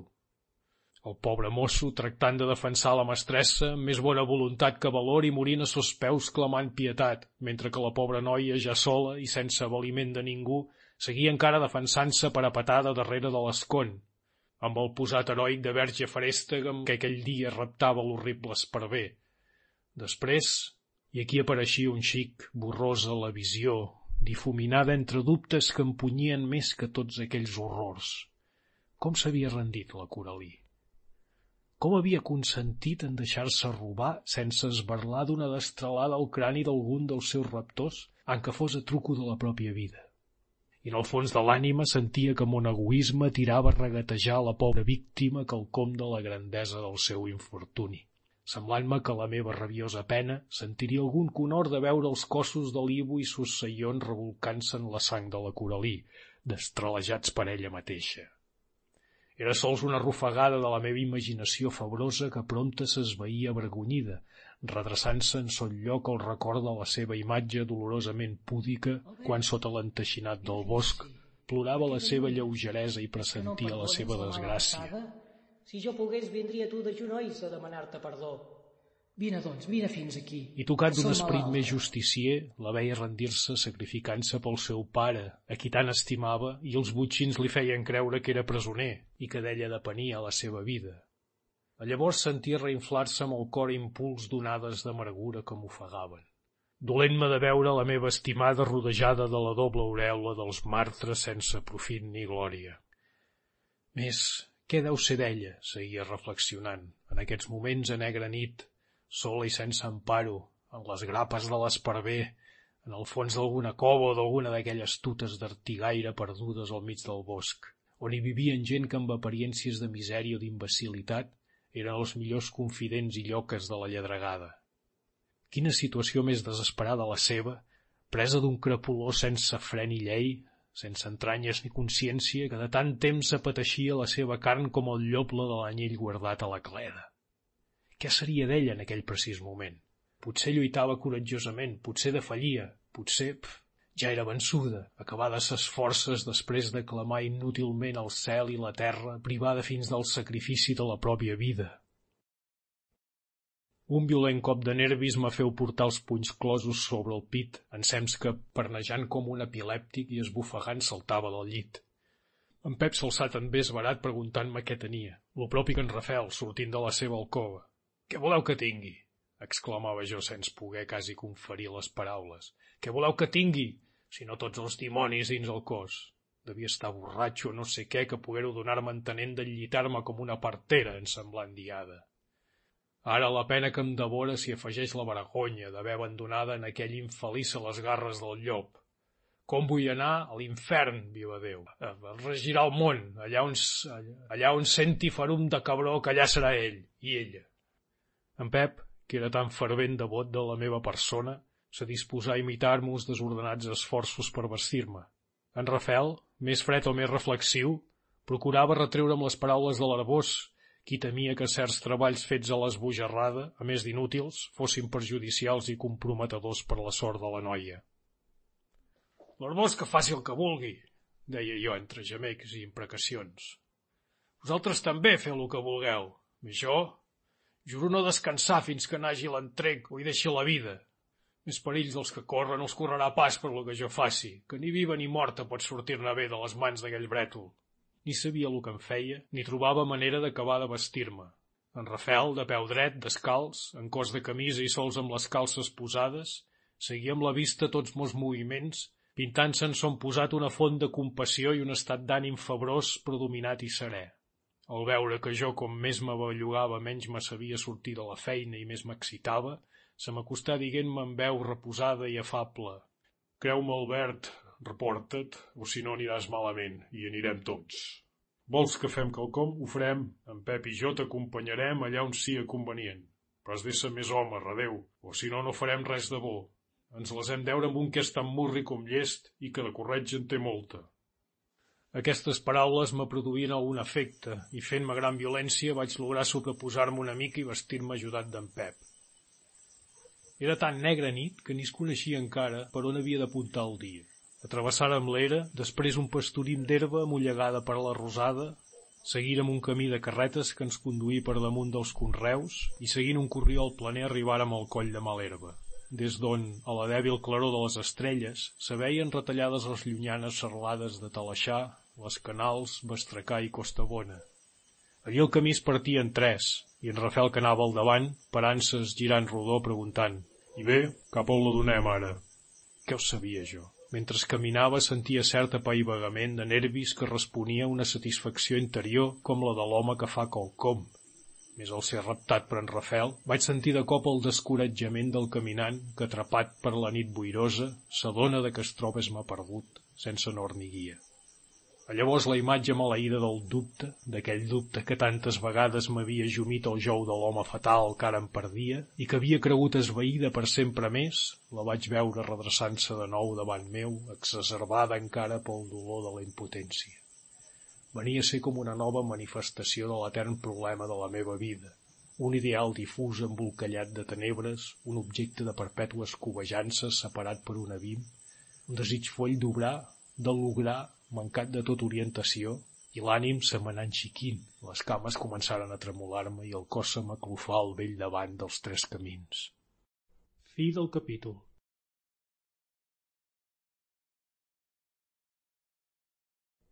Aquest és un enregistrament de domini públic per a LibriVox.org.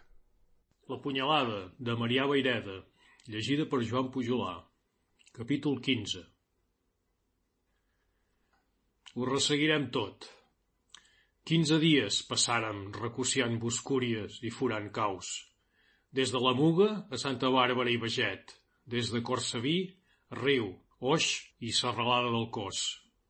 Igual que gossos ratoners, furgàvem sa i enllà entre maleses, baixàvem a les timbes, escalàvem els espadats, ensumàvem totes les coves conegudes i moltes que en descobrirem de nou en busca sempre d'un rastre d'un indici de rastre tan sols, que pogués donar-nos una mica de llum, una mica de l'e que ens encoratgés en nostra tasca, i ni el rastre, ni l'indici, ni llum ni fum aparegueren mai per lloc. Parlo de rastres frescos, d'indicis certs i positius, perquè de rastres falsos o passats i de veus mentideres ne vingueren massa sovint. La partida era assenyalada en un mateix temps en llocs oposats. No m'encanti mai la dona tapada i garrotada dalt de la mula, ni tampoc l'esparver fent o dient açò i allò. Alguns d'aquests dits i fets eren innegables i consistien en malifetes i enrecados que per sa índoli acusaven la mà veritable de l'esparver i sa tàctica diabòlica per desorientar-nos. En nostres investigacions empleàvem de primer totes les habilidoses precaucions pròpies del temperament fred i precabut d'en Rafel. No seguíem mai cap camí, sempre bosc a través. A vegades, abans d'arriscar-lo, passàvem hores enteres espiant la boca d'un cau o rotllant-lo per tots cantons, buscant una petja que ens pogués fer suposar un passatge de fresc. Altres vegades ens posàvem a l'agoit, des d'un collet esbrossat, o la punta d'un cingle, que donés vista als corriols o viaranys, dels que suposaven freqüentats pels malfactors o gent de frau. Així alguna vegada perdérem hores i hores, seguint la petja que després resultava d'innocents contrabanders, els que donaren veritables espans. En algunes coves feren troballes que provaven l'estatge més o menys recent de gent fonedissa, però mai cap de data prou fresca que pogués interessar-nos. Residus d'ossamentes de bèsties que haurien servit per alimentació, trossos de llauna o de ferro rovellats, fragments de fusta tallada amb ganivets, papers cremats, senyals de foc o caps de teia reinosa, això abundava molt. Passant els dies, com si anéssim perdent la fe en la nostra tasca, començàrem a deixar les precaucions que la prudència ens dictava. Les inspeccions les fèiem més al vol, i sovint aprofitàvem els camins afressats per fer més via, i moltes vegades ens dirigien, sitiant-los a preguntes, els carboners buscarols i els artigaires de les masies que ens responien amb el recel i manca de franquesa de la gent acostumada a negar entre dues aigues. Per aquest camí tampoc avançàrem res i en Rafel començà a donar senyals de cansament i d'impaciència. El pobre Pep, més pacient, o potser més afectat pel meu estat d'ànim cada dia més aclaparat, s'aguantava encara. Un dia, després d'estar separat algunes hores de nosaltres, se'ns presentà més animat que de costum, faltant-li temps per comunicar-nos que estava sobre una petxa que, si volíem, l'endemà estaríem sobre la jassa dels trabucaires. La jassa dels trabucaires, feu en Rafel desconfiat. No busquem altra cosa, més qui pot saber la jassa que tindran els trabucaires demà? De segur que n'hi ha mateixos. Doncs no manca qui la sap, respongué l'altre, escapant-se-li l'ànima dels ulls. Sabeu aquell carboner sord que li diu el en qui varen parlar allà ahir i que us vaig dir que semblava que em guinyava l'ull? Doncs vaig tornar-lo a veure ahir quan anava a cercar pa a riu i vam quedar d'avistar-nos avui, que potser me'n diria alguna de nova, encomanant-me en gran manera que no us parlés de res. Tal i tal fet, mireu el que hi ha, veu? Feus a compte que no sabeu res, perquè així m'ho ha fet jurar. Demà anirem al coll de Clarioles. Devem ser-hi abans de tres hores de la tarda i parar ferm, perquè ell no pot assegurar quina hora serà que la partida baixarà a la collada roja, però sí que serà abans de fosc. Podrem seguir-la de lluny i veurem on s'aclata. En Pep feia posat de tota la confiança, més en Rafel continuava manifestant-se desconfiat. I què demana l'asa per aquest servei? Feu després de meditar un vell moment. El que nosaltres vulguem ho deixa a la nostra mà, respongué l'altre amb la satisfacció de l'home que ha previst tots els punts. Bé, bé, però l'home que sap on passarà demà la partida de l'esparver, per força ha de saber moltes coses més. Per què no les diu, si vol servir-nos, en lloc de quedar-se tan curt? Senzillament, diu que primerament vol dar-nos una penyora de lo que sap. Després diu que ja parlarà. Aquesta raó Semblà fer força en en Rafel. Més no per això desarrugar la cara i continuar posant reparos que l'altre procurava de desfer, a voltes amb més bona voluntat que fortuna, i començar a veure's acorralat. Menys m'agrada això, afegir encara en Rafel, de parar hores enteres al lloc senyalat perquè estan relacions més o menys descobertes amb l'esparver. Si aquest home és un murri, com sempre he cregut, això és un llaç. La collada roja s'obira de molts indrets a més del coll de Clarioles. Per què vol, doncs, aquest asa del dimoni, que siguem justament allí? Perquè diu de saber on som, si convé donar-nos alguna contraordre o fer-nos alguna senya. Passaren alguns moments de silenci en què tots reflexionàvem. Jo, portat pel desig de fer quelcom, me deixava seduir per aquella perspectiva d'acció i m'inclinava a agafar-me confiadament en aquell fil d'esperança, la confiança ingènua d'en Pep m'encantava, i per altra part, volia convèncer-me de que la posició d'en Rafel, a més d'ésser filla de son caràcter desconfiat, provindria d'un sentiment d'amor propi ofès per no haver sigut ell el prefer per l'asa per depositar-hi sa confiança. No obstant, fou el mateix Pep que acabà per tirar-me sobre la galletada d'aigua freda. Com un home que vol treure de sobre un pes, digués somrient amb la convicció de que donava un argument de pes al seu propi contrincant, però alguna cosa m'ha fet jurar de no dir-te'n res. Ets tan desconfiat. Era jo qui us devia portar com a cosa meva. Ai, ja! Feu aquest amb expressió triomfal. Ho veus, ara el parany? Redeu si no t'arriba a fer mal la llengua. Tu plans portaves al mig del fang. Els veus? Ara comença això a engrescar-me. Ara sóc jo qui us dic. Demà veurem el llop. Senti la veu de l'esparver que ens crida per boca de l'asa i cal no fer-li mals averanys. Cal fer el pollí i preparar unes altres morralles, per al que sia més ruc. I es fregava les mans de satisfacció, tot rient-se del joc de paraules que li havia sortit. Se convingué en executar les prescripcions de l'asa, però separant-se en Rafel, que cuidaria de recollir més gent, i preparar una segona ratera prou grossa per enganxar-hi el caçador. El mateix Rafel que no hi veia de goig de poder sortir d'aquella vida que l'ensopia, en traçar el plan que nosaltres seguírem al peu de la lletra. Degut a la forta tensió a què havia estat sotmès durant aquelles setmanes, tirant sempre el descoratjament i la debilitació de la fe en la meva sort, se m'havia grejat de més a més el cor amb una mena de desesperació sorda i fonda que sols per un excés de força de voluntat no esclatava en violències. però la idea de que anava a trobar-me davant de l'enemic, de què l'anava a veure, encara que no fos més que per espiar els seus moviments, me tenia del tot preocupat, com, com desatinat i fora de raó. Unes vegades me deixava portar per l'optimisme, pensant que d'allò n'havia de venir la redempció de l'infern que duia dins i llavors la imatge de l'alcorolí venia a ballar-me davant dels ulls, encisera com mai, prometent-me una nova era de ditxa i felicitat. Els nervis de tot el cos semblaven deslligar-se'n per efecte d'una laxitud morosa i el cor se m'espendia de goig. Més ben aviat el més negre pessimisme tornava a ensenyorir-se de totes mes potències. Comprenia que aquella operació, fins realitzant-se tal com preteníem, distava molt encara d'ésser la resolució del problema.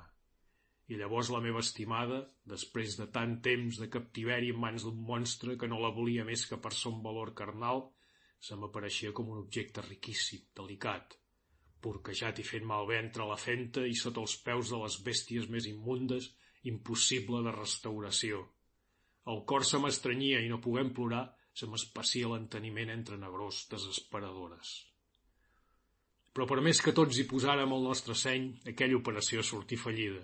Malfiança de nostres segones intencions ens parà una tercera ratera en la que de poc ens hi enclou tingué no obstant l'avantatge de posar-nos cara a cara amb l'enemic. La meva desesperació no em privà pas de comprendre el fracàs de l'operació, ja que encara que teníem l'enemic a tret de bala, tot era gastar pólvora en salves. L'espessor del bosc no deixava veure ningú. Sols per les fogarades se podia comprendre la posició d'uns i altres, i uns i altres feien foc a la bona de Déu vers on veiem el fum, i les bales rebotent per soques i branques cap dany causaven els que s'amagaven darrere d'elles. Lo verdaderament perillós era el descobrir-se, doncs era presentar un blanc segur. Així tothom s'estava quiet, contentant-se en galejada de bo. D'això es perd el temps, i les municions de bada, Rafel! Vaig cridar en aquest, a qui sentia disputar-se crits amb els trabucaires. Tirem avant! Tal dic jo, feu ell, i ja que aquesta bretolada no té pit per venir, hi anirem nosaltres. Apa, millons, amunt i foris! Alto el foc i avant! La veu ressonar per la boscúria i els més coratjosos començàrem a avançar, saltant d'un arbre a l'altre la quieta i amb l'arma encarada prompte a fer foc. A vegades sobirava un llampec i una bala xiulava a prop de nostres orelles. De tant en tant se reparaven algunes ombres que s'apartaven emparant-se amb les soques a mida que nosaltres avançàvem. Llavors feien foc, si fa no fa, amb el mateix profit que ells. Amb tot escurçàvem les distàncies i com la selva es trobava cada vegada més neta de brolla, si bé més ombrívola, perquè anava caient el dia i la volta de verdor que descansava sobre les robustes soques dels faigs era més espessa, per moments ens veien menys, però se sentien més clares les veus fins al punt de poder-nos parlar.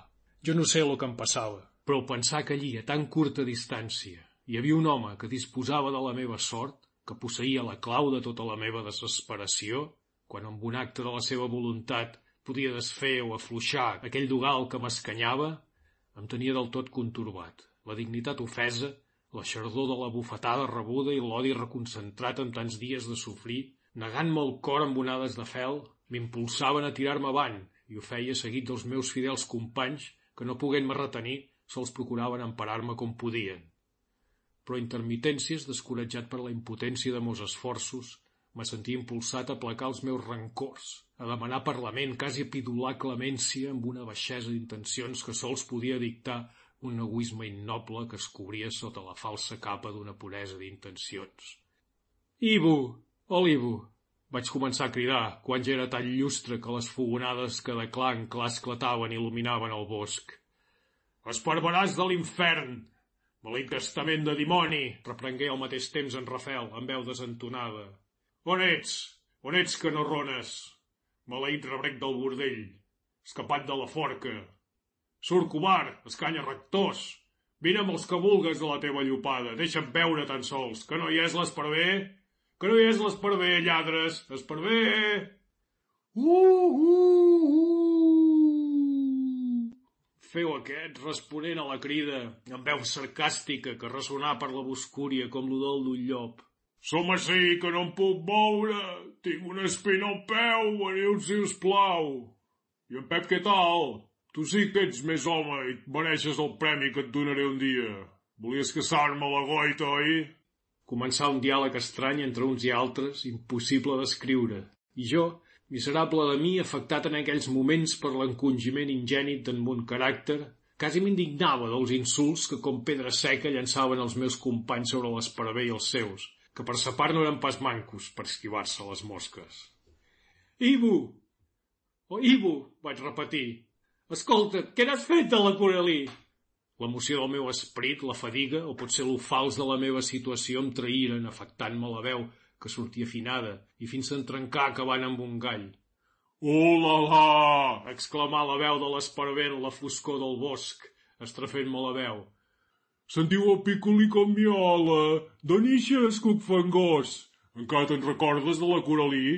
Deixa-t'ho córrer, home, que està millor que tu, que n'has de fòscar d'una mossa tan maca mitja femella, i engegar algunes brutalitats del seu repertori corejades per les riallades dels seus. Una glopada de foc m'ha pujat a la cara, vivada per l'avergonyiment de mi mateix. Anava a llançar-me com un boig cap a una mort segura, però en Rafael va retenir-me per un braç en tant que ressonava encara la veu de l'esparver que xiulava clamant-me com un gos. Té, eh, picolí, té. En aquells moments ressonaren més amunt xiulets d'altra mena que callaren la gatzara dels trabucaires, els qui sentírem allunyar-se corrents bosc amunt. Com ja fosquejava, era ben de vares anar-los al darrere. Més tard ens reuníem amb l'Arbós, que amb la seva esquadra arribava pel camí de la Muga. Aquest, per tot consol, ens tractà de ximples i criatures, declarant que amb gent així no es podia fer res. Com resum de la jornada, un centenar de bales perdudes inútilment, el galliner valutat i jo, amb l'amor propi, més rebregat que abans. Fi del capítol.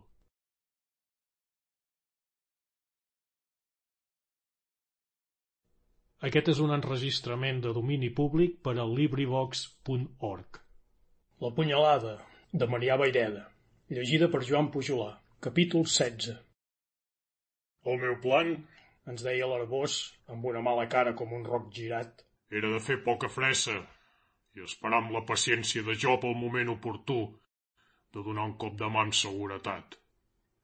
Vosaltres l'heu malmès amb la vostra impaciència i a l'asa que era un bon trumfo, podeu fer-li un nus a la cua, ja cuidarà ell de no fer-se més present.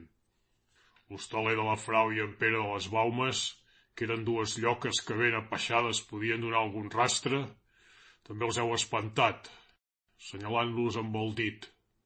Us creieu que marcant-los i aquestes lloques se quedarà desemparat de confidències, criatures? El que farà serà tenir-les més dissimulades i més fines, fent més difícil la seva persecució. Però compreneu vos, vaig saltar jo exasperat pel tofret i calculista del subcabo, si el que li roben l'únic que estima al món pot aguantar-se setmanes i setmanes esperant que li baixin del cel. Si aquest home hagués passat a mata de golla mitja comarca, si m'ho hagués cremat tot, deixant-me amb la roba de l'esquena i m'hagués bufetejat i garrotejat, podria encara trobar en mi la fortalesa i força de voluntats suficientes per esperar-me mesos i anys, amb la paciència de la llúdriga que es posés a tret de la meva grapa, per tenir l'immens goig de rebejar-me en la sang aviada del seu cos encara viu. Més ara el que m'ha robat i reté és l'ànima de l'ànima meva, el que estimo més que Déu. L'Arbós separà a mirar-me, com estranyat del meu exaltament. Sa mirada freda prengué alguns llunyans reflexes de piadosa llàstima. Tot ho comprenc, minyó. I perquè ho comprenc, me fas més llàstima encara. L'esperver t'ha robat l'ànima, i jo crec que ja abans l'altre t'havia robat el seny. Amb tot, ja veus quin aixec n'has tret de les teves impaciències. Les setmanes han transcorregut igualment, i la paciència la necessites encara més que abans. Per lo més, la noia ja saps que l'esparver no la vol pas per fer-ne diners. És o no és el que tu creus? Si ho és, el mateix se tindrà ferm un dia que sent, i del contrari, ja n'han passats massa perquè t'hagi fallit. Sortosament que encara no éreu casats. Tal raciocinar era propi del vell solter, que ha passat la vida amb preocupacions de mena que li feien qualificar de foteses els encaparrinaments de joves i que se'ls per sa missió que desempenyava tota consciència, de protector de vides i béns de les famílies, arribava a concedir importància als amors arrecerats a la llar. Sortosament que encara no éreu casats, Igual que el comprador, que ajustant el preu d'una ampolla la veu fer-se miques en mans del vidrier, exclama «Menys mal que encara no era pagada». Més coneixedor de les malícies i egoismes que de les tendreses del cor humà, trobava bé basar sus consols en el relaxament de les causes que motivaven el desconsol. I era home d'innegable bon cor, l'Arbós. Més ses paraules de gel me feren mal en quantitat deu vegades superior al conor que es pensava donar-me. Per què me l'havia de presentar el dilema de si la cura li era o no era el que jo creia? Massa que el veia apuntar jo, allà lluny entre les negrors del meu pessimisme, per més que procurava foragitar-lo com un gripau repugnant. Assegut per terra vaig començar a picar-me el cap com un orat entremig d'un cercle d'amics cap baixos i callats, uns si és no és admirats de tals excessos, fins que en Pep, l'únic que em comprenia, se m'acostà i passant-me els braços per sota les aixelles, tractant d'alçar-me, em deia quasi cau d'orella. Albert, sigues home, pas criatura, redeu. Fes-te compte que encara hi ha res perdut, sinó, sinó el que tu hi espatlles amb les rebequeries de noi. És que no ha arribat encara l'hora de fer-li gitar la llenga i descapdallar-li les tripes en aquell dragó de Sant Jordi. Més no et manqui coratge que de bons brasons per ajudar-te no en mancaran pas, redeu. Aquest bon amic, sortint-se de son temperament d'ordinari bondadós i pacífic, Recordant-me discretament el qualificatiu de mitja femella que m'havia aplicat l'esparver poc abans, tocar la tecla que em calia per tornar a ser home. Vaig redreçar-me i emprenguérem la marxa cap a Ribelles, mentre l'Arbós, com reprenent el fil d'una conversa interrompuda, em deia amb accent que procurava fer bondadors. Endavés tornant-hi, no li girem el cap enrere. Déu nos guardo ja està fet. Fem-se càrrec, de cara al galliner ja està esvalutat i no cal anar amb tants miraments. Reunirem gent i donarem una batuda sèria segons el vostre sistema. De fet, l'endemà mateix envià un part a Girona sol·licitant reforços. Desgraciadament el govern, que estava llavors preocupat amb no sé quines entremaliadures d'Espartero, se limità a enterar-se de si el cabecilla Esparver tenia caràcter polític i assegurat de que sols era un bandolero, li semblà que no era pas cosa del seu cuidado. També es dirigiren algunes comunicacions de caràcter particular a les autoritats franceses de la frontera, ja que en molt fonament se suposava que a part d'allà de la ratlla hi tenien bons amagatalls i bones lloques que s'hi refugiaven en cas de puro. També els francesos anaven una mica trasbalsats amb llurs coses polítiques. Mentre els trabucaires, i això ho tenien aquests ben present, no fessin malvestats en llur terra ni es deixessin veure amb armes i en so de guerra, no s'hi encaparrinaven gaire amb nostres misèries. En resum, que un dia l'Arbós ens reuní i força pesarat ens contà que amb molta dificultat havia pogut reunir mitja dotzena de números i encara no estava segur de si els hauria de retornar de seguida llurs respectius cantons. Si vosaltres no podeu pas reunir una vintena de sometents, no d'aquests de toc de campana que surten sense gec engegar trets a les alcines, sinó minyons ben decidits, del vostre tarannà, el que és amb el govern no cal comptar-hi, altres mal de caps té amb els lladres de ciutat. No pas una vintena, digué en Rafel. Però una brava colla em penso que sí que la trobaríem, si no fos que... Una vintena i també més si en calen, interrompent Pep, sempre optimista. D'això ja n'havíem parlat abans de que l'Arbós ho apuntés al veure que l'auxili del govern no eixia per cap cantó. Justament les circumstàncies ajudaven. Perquè el petit contrabando, que era la vida del país, era mort des que l'esparver l'havia donada en saquejar els pacataires, mirant-los pel mateix reser que els mercaders i propietaris. Això suposava la vaga forçosa d'una mena de gent que passen una part de l'any engandolits per les tavernes, sense que per res del món els féssiu doblegar l'espinada sobre la fanga ni l'esteva, i l'altra part muntant cingleres i ports sense camí ni carrera, carregats més que uns ases sota un sol d'agost que els fon el cervell o sobre quatre pams de neu que els refreda fins l'ànima. Part d'aquells bramaven contra l'esparver, no per escrúpols del seu ofici, sinó per dignitat de cos, ja que no s'havia vist mai que els trabucaires molestessin els contrabanders, o al contrari que prou vegades s'havien donat ajuda a la gent d'ambdós oficis, que per raó de tal se consideraven, si no germans, per lo menys com a cosins. Aquesta circumstància prou l'havia notada el faristela de l'Arabós, que s'enfregava les mans retraient el cuento de la guineu. Per qui caurà l'esparver? deia ell. Però les trobaríem, repetia en Rafel. Fins una vintena de bones escopetes, però aquest però se referia que aquella gent no ens ajudarien sinó a jornal. Era qüestió, doncs, de diners. Però d'on surten aquests? Tornava en Rafel. Això vosaltres ho sabreu. Feu l'arbós amb son to de veu fred. Jo no en tinc pas. I si el govern no m'envia homes, menys m'enviarà diners. L'únic que puc oferir són armes i municions, que no és poc. En Pep rompé el glas, manifestant que tot el que teniu donava i, si necessari fos, vendria la casa. Quin cor més gran, el del pobre Pep. En Rafael declarà que el rascar-nos la butxaca era l'únic mèdic que hi havia i si no l'havia exposat era perquè volia que un altre l'avancés, però que no es quedaria pas endarrere. Jo, no cal dir-ho, el més interessat de tots, vaig regraciar des del fons del cor les generoses ofertes de meus companys, manifestant que sols quan hagués apurat els meus possibles acceptaria els seus sacrificis. Resol aquest punt, l'Arbor reprengué les cartes. En un sentiament feu la llista de gent amb què es podia comptar i calcular el que pujaria un mes de manutenció. De tal manera, sumada aquesta gent amb la de l'Arbós, se trobà que ens aniríem a reunir cap a 35 homes, sense comptar els que, de bona voluntat i fora de soldada, en moments donats podrien aplegar-se. Era alguna cosa, i prou se li coneixia a l'Arbós la satisfacció amb què s'imaginava ja què fer indiscutible de tal exèrcit. Prompte hagué delineat el seu plan. Se formarien dos cossos, L'una ses immediates ordres i l'altra les d'en Rafel, a quals qualitats d'organització i energia feia justícia, posant-li al costat un dels seus Mossos de confiança amb quatre números més. No sols per donar més consistència a la divisió, com a soldats vells, sinó per donar-li oficialitat, ja que legalment figuraria aquest com a quefe. En Pep i jo quedàvem amb llibertat d'anar amb un o altre cos. Vaig prou entendre que comprenien que amb mi no podien subjectar-me disciplina i m'agregava un company de confiança que em vigilés. No vaig pas ofendre-me'n, ans al contrari, vaig agrair la delicadesa de llur procedir.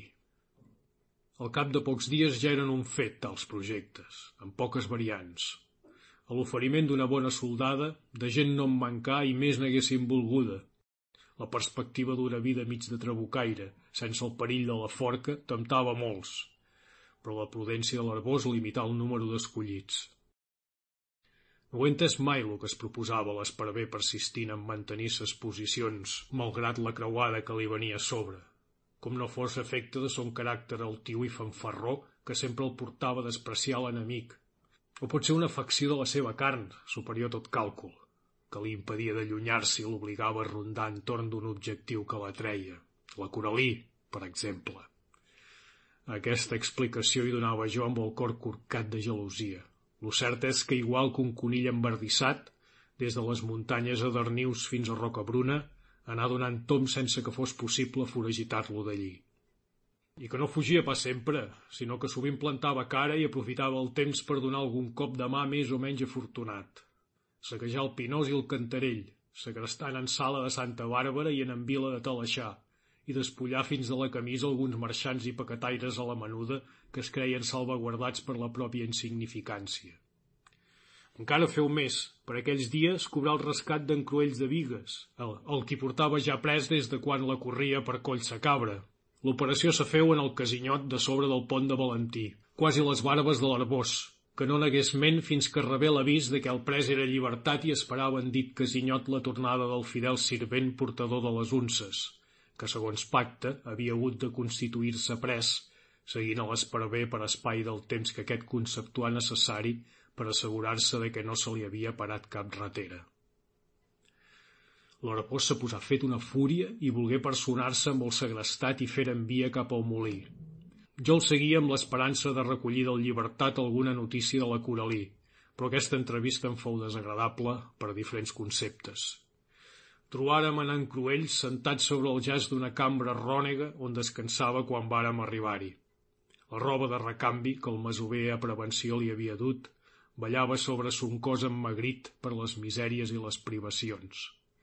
Sa cara arrugada i terrosa, sombrada d'una barba grisa, arrenada tall d'estisora, desapareixia quasi sota una barretina musca que se li enfonsava fins a les orelles, de just de la qual apuntava, com un rivet d'un blanc brut, un estreny caps garrotat amb força entorn del cap. Semblava un captaire vestit de deixes. Efecte de son llarguíssim captiveri estava traspassat i com mig entontit, costant-li gran esforç conjuminar les idees i formular les paraules. L'Arbós, en qui sota de l'escorça del bon taujà li apareixia a vegades el mal humor despòtic del soltat, estigué amb aquell infeliç destampat inconvenient com no l'havia vist mai amb ningú. Li parlà crits, amenaçant-lo fins a denunciar-lo als tribunals per sostenir tractes ocults amb els criminals, proporcionant-los i diners que, a més de donar-los i força, els enllapolien en el crim en lloc de posar-se d'acord amb l'autoritat per procurar sa captura i son càstig. Els ulls del pobre home relluïen febrosos sota l'estranya caps i sus llavis tremolaven.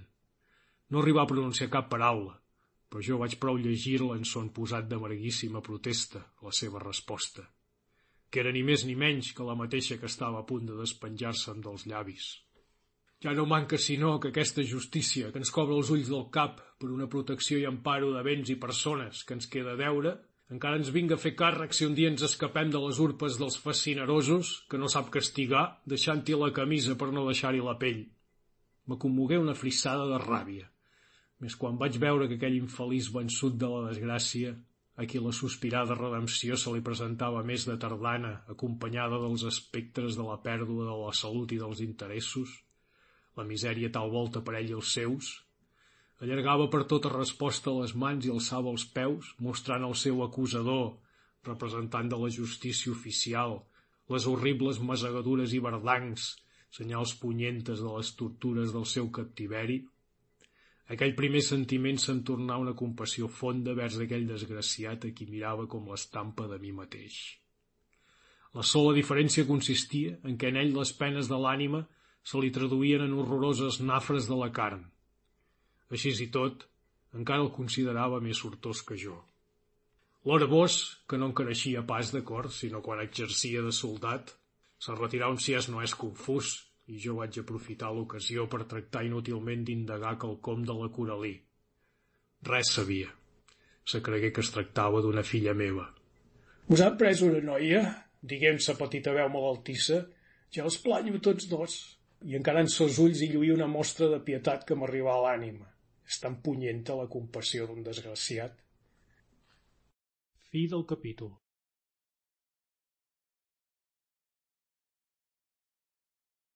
Aquest és un enregistrament de domini públic per a LibriVox.org. La punyalada, de Marià Baireda, llegida per Joan Pujolà. Capítol 17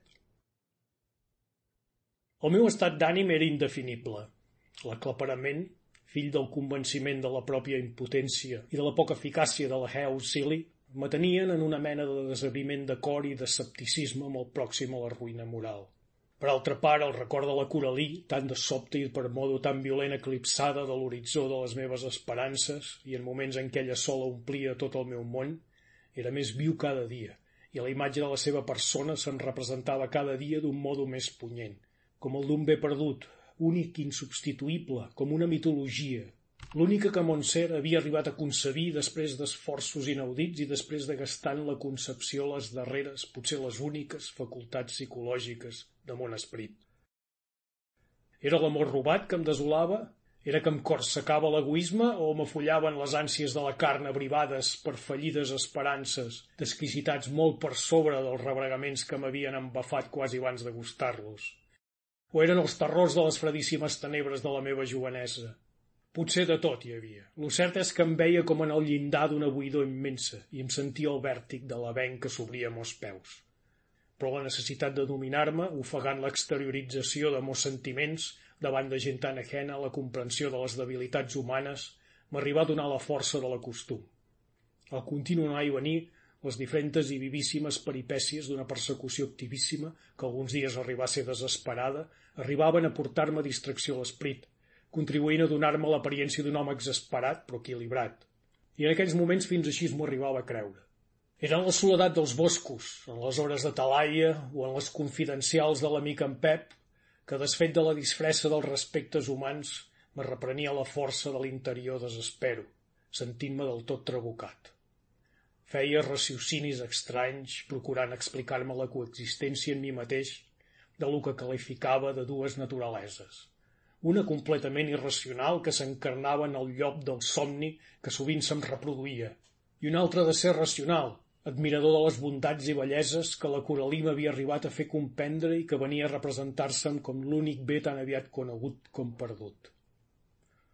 Però és el cas que el buit produït per la pèrdua d'aquest bé, exasperant la naturalesa racional, en lloc d'elevar-la d'esfera en ales de l'altruisme propi dels amors virtuosos i espirituals, anava planant entorn del meu propi egoisme. Ja crec haver-ho apuntat abans. Jo no ho he sigut mai d'espiritual, en el sentit de cultura de sentiments.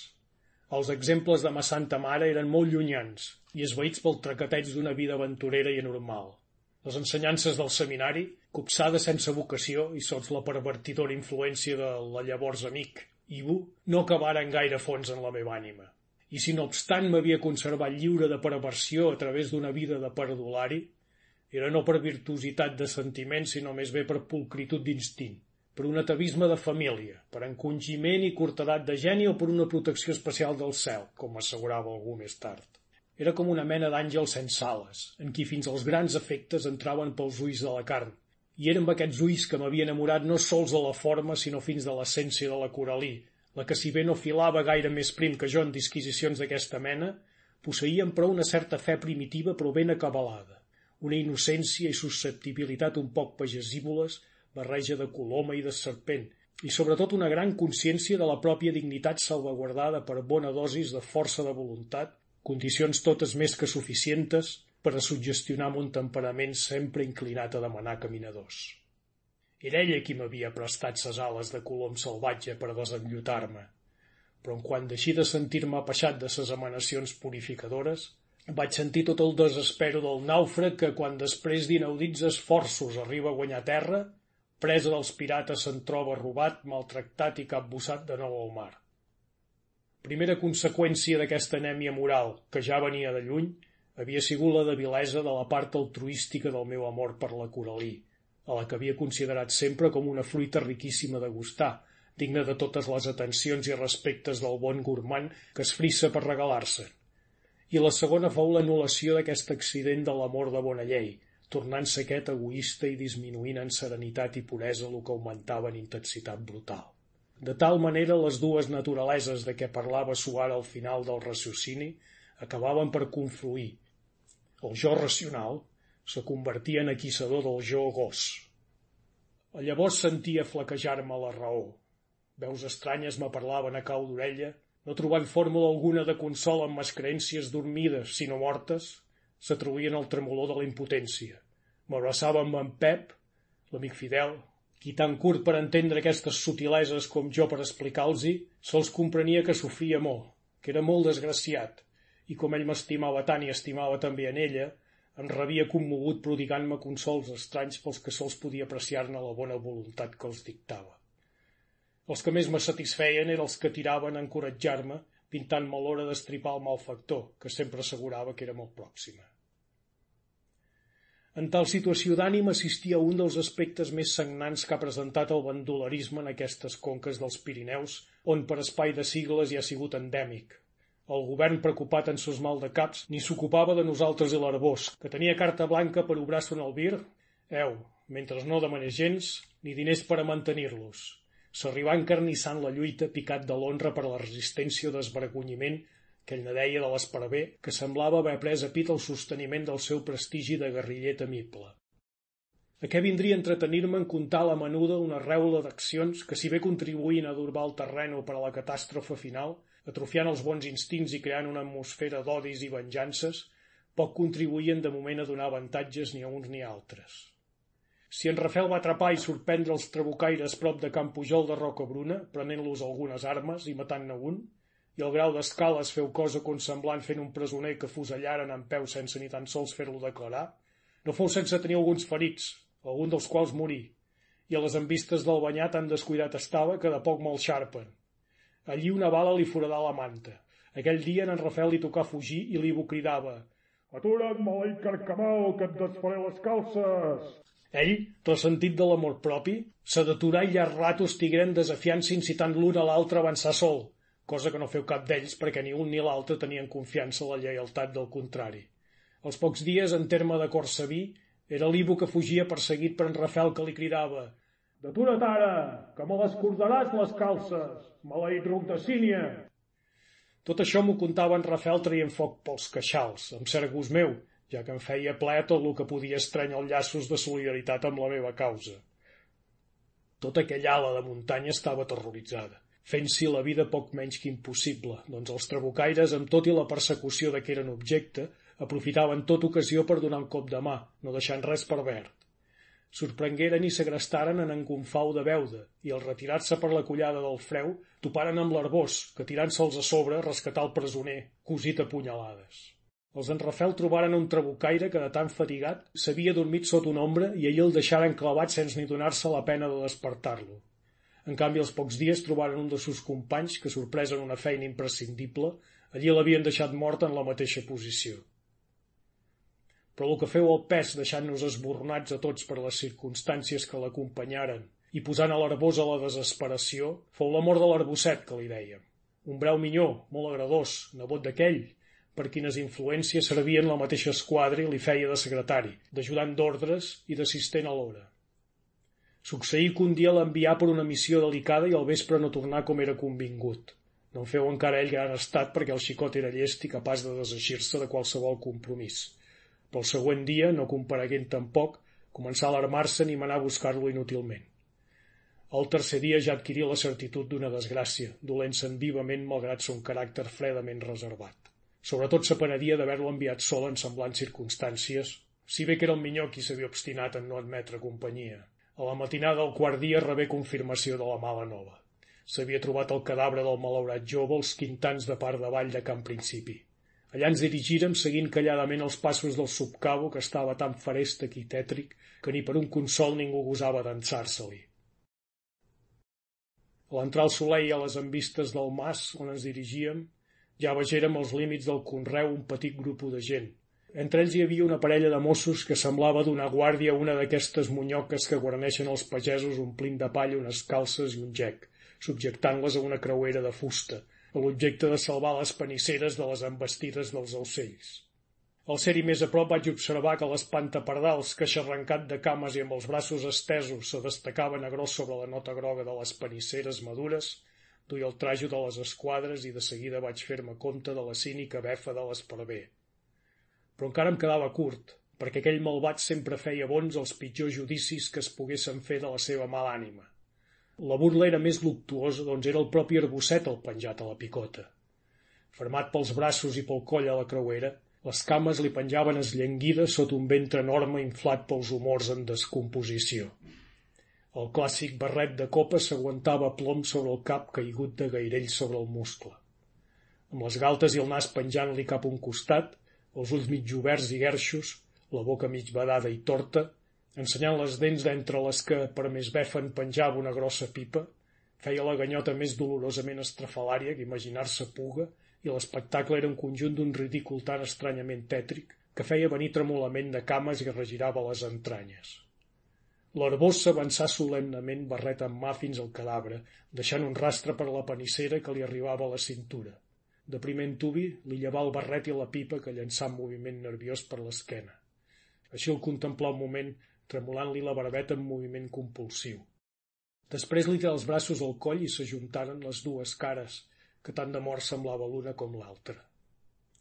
Dos dels seus subordinats l'obligaren a la força desfer-se'n fent-lo seure al marge, i mentre altres despenjaven el difunt, ell arrencà una mena de plor petit i estrany com el qui no sap per què no ho ha fet mai. Qui més qui menys, plorava tothom. Tothom menys jo. Menys jo, sí, que amb les entranyes regirades i fetes malbé, encara semblava trobar un principi de consol per ma moral pervertida amb el dolor d'aquell home a qui sempre havia trobat ferreny i eixut com les roques de Bastracar. Ara sabràs, cor de gel, me semblava dir-li. Sabràs el que és sentir l'ànima carbonitzada de dolor, patir fam i set de venjança i donar punyalades al vent. Fi del capítol.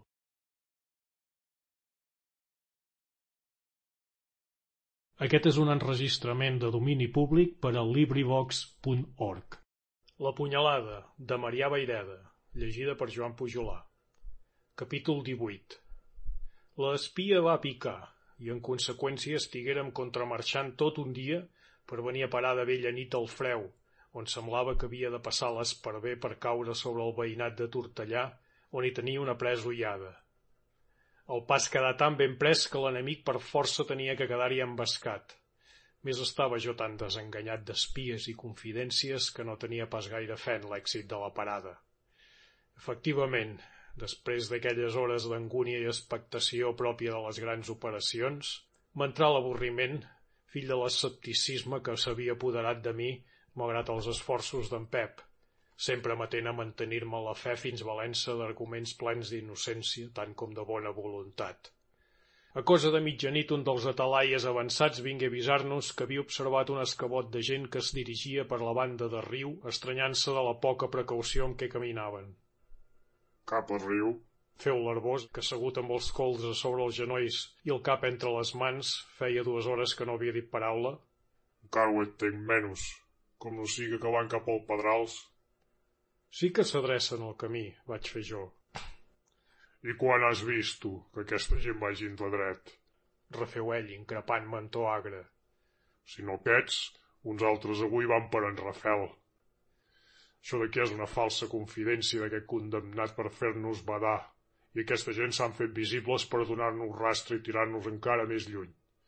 Llamp de Déu d'home, i que no hi hagi medi de palpar-li la pell malanegada i tirant-se el retaco al coll se disposà a donar ordres per recollir la gent que estava escampada pels crenys de la cinglera.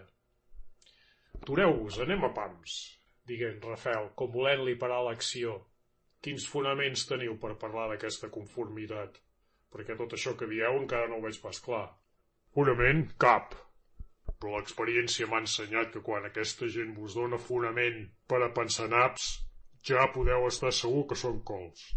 Si l'esparver no ha vingut aquí és perquè sap que la ratera hi és parada, i sabent-ho, a què treu nas aquesta babarota de gent per un camí que no va enlloc, com no sigui amb segona a canvi? Ell sabem que rondava ahir per la ratlla de la Muga, doncs quin millor tret se li presenta que clavar l'ur pel Pedrals on sabem de molt de temps qui té clavada la mirada. Jo en el seu lloc és el que faria, i ben cal suposar que ho farà ell que és més morri que jo. És el cor que m'ho diu, i aquest no falla. Si tal vos sembla, anem-hi. Feu en Rafel arrossar les espatlles, com qui careixent d'arguments en contra refusa encara donar-se per vençut. Però ja sabeu que el Pedrals no dormen pas a la paia.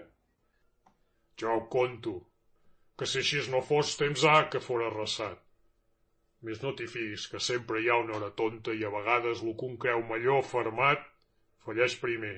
Si vols creure, Agafa la gent reunida i tira al dret. Jo plegaré la de més i vindré darrere enllà. Rafel, que s'anà interessant amb les paraules de l'arbós, prengué el consell i a grans gambades emprenguérem el camí de Pedrals. A mida que ens hi costàvem, creixia la impaciència d'en Rafel que se'ns comunicava a nosaltres.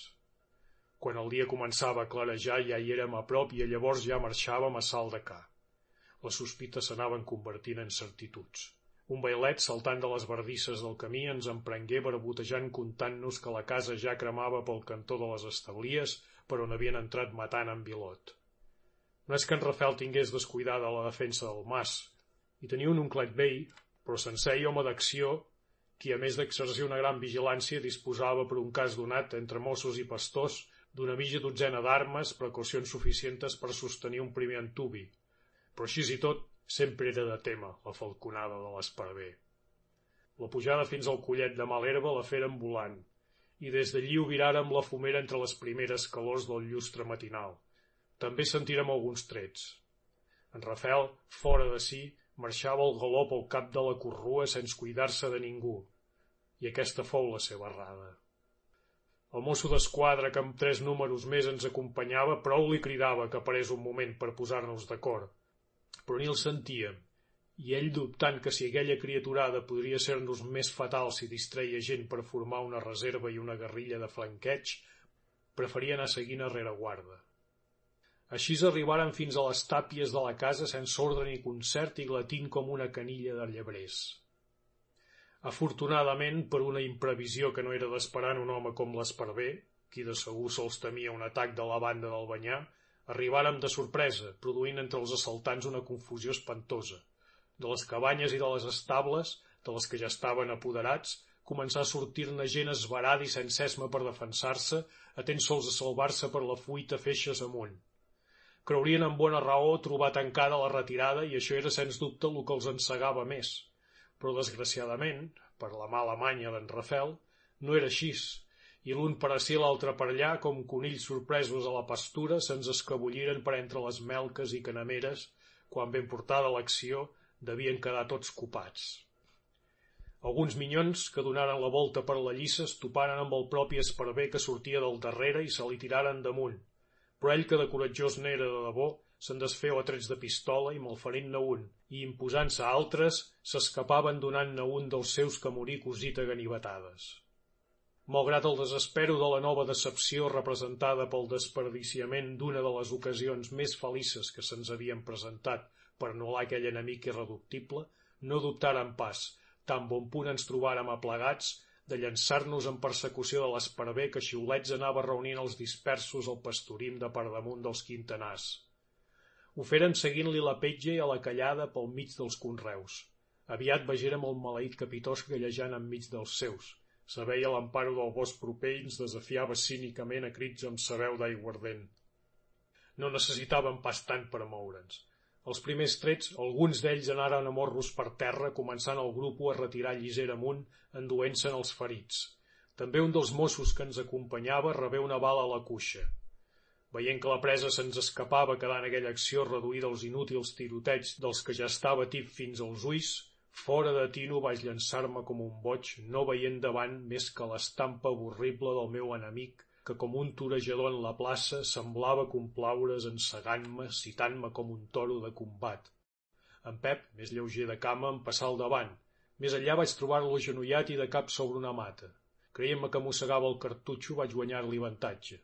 Sempre amb l'arma a la cara anava avançant Fit sempre els ulls als moviments de l'Ibu que semblaven asma perdut fent-se invisible a intermitències. Obsecat en aquella delió de caçador que setja el senglar, amb prou feines vaig sentir darrere meu la veu d'en Rafel que em cridava «Albert, fes-te enrere, per Déu, que et cacen com un conill!» Jo no em feia cas. «Fes-te enrere!» repetia ell cridant. «O fusellen per l'esquena, encara vols donar-n'hi més de carn al llop, maleït borrec ramader? Aquí baix tens en Pep que panteja!» La seva veu era tan aspra i imperiosa i tot el seu posat tan transmudat que va imposar-me en aquell moment. Algunes bales que es creuaven xiulant per damunt de nostres caps me convenceren que efectivament se'n preparava una trampa que no els reixí perquè sentiren l'arribada de l'arbós amb els seus. Més avall, entre un grup de minyons espalmats, l'onclet del Pedral resava les recomanacions de l'ànim al pobre Pep, que amb una bala al sagí agonitzava estirat sobre una manta i servint-li de capçal un braçat de falgueres.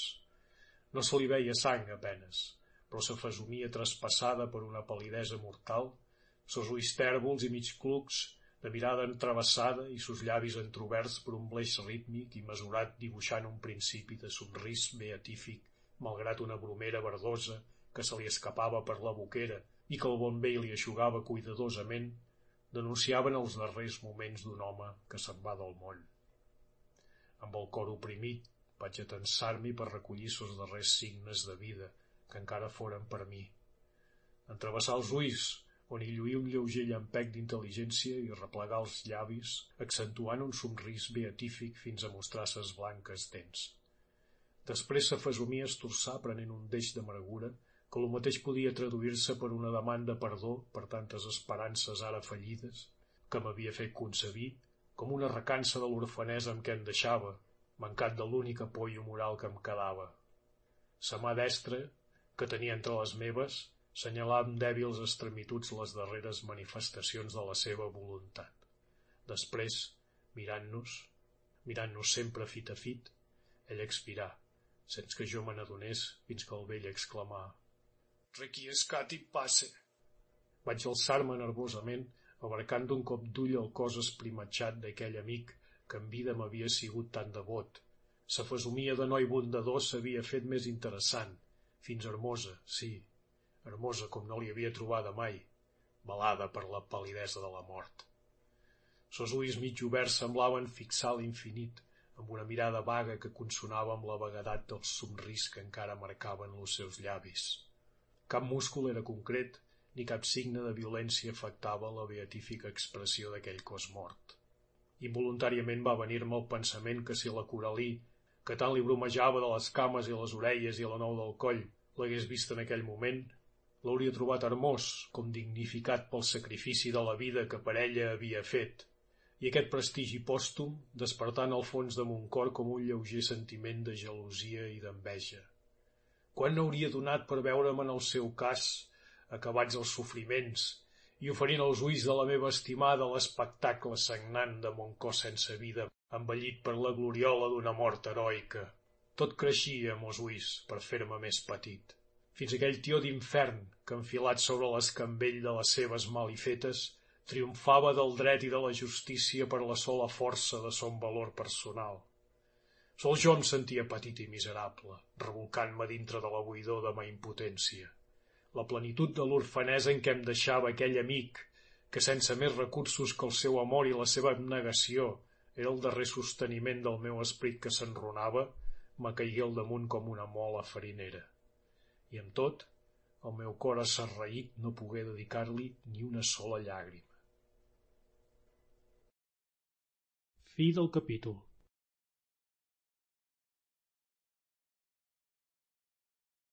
Aquest és un enregistrament de domini públic per al LibriVox.org. La punyalada, de Marià Vaireda, llegida per Joan Pujolà. Capítol 19 Passant dies vaig sentir-la més encara, la falta d'en Pep. Vaig sentir-la de la manera egoista que sols sabia sentir les grans afeccions.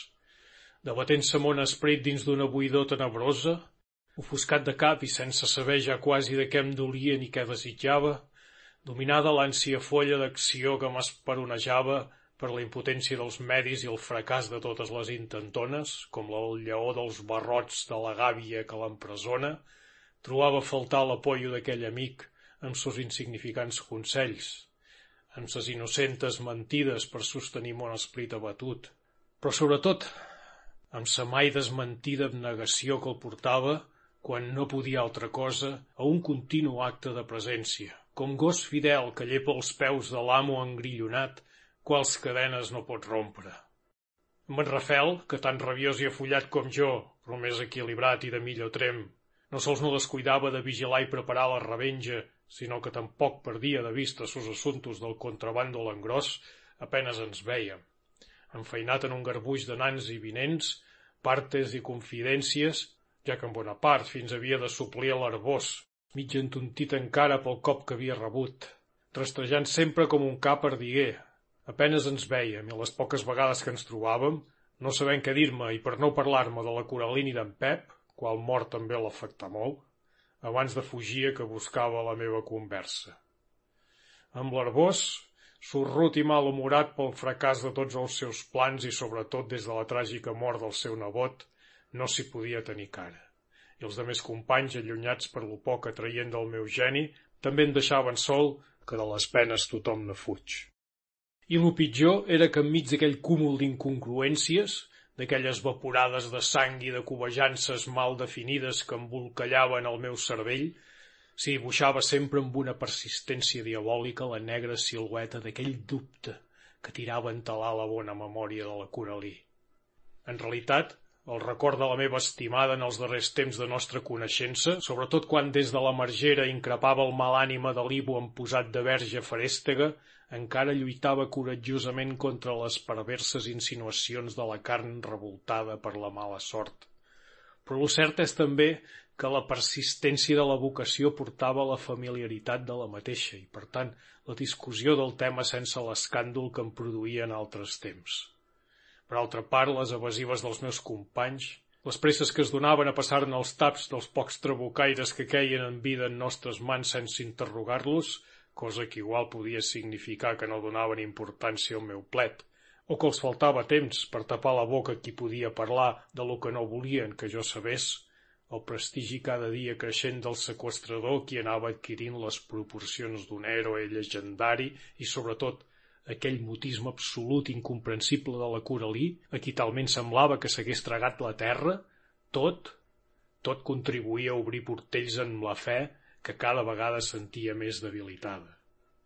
Fins vaig començar a sentir inquina contra aquells homes que em semblava que sols se movien per seus interessos i sentiments particulars, sense tenir en compte que en veritat era per interès meu que s'havien ficat en tots aquells maldecaps, i si molts d'ells tenien ara gravis personals que els esperonaven, ni aquests tindrien si no s'haguessin fet solidaris de ma primera desgràcia.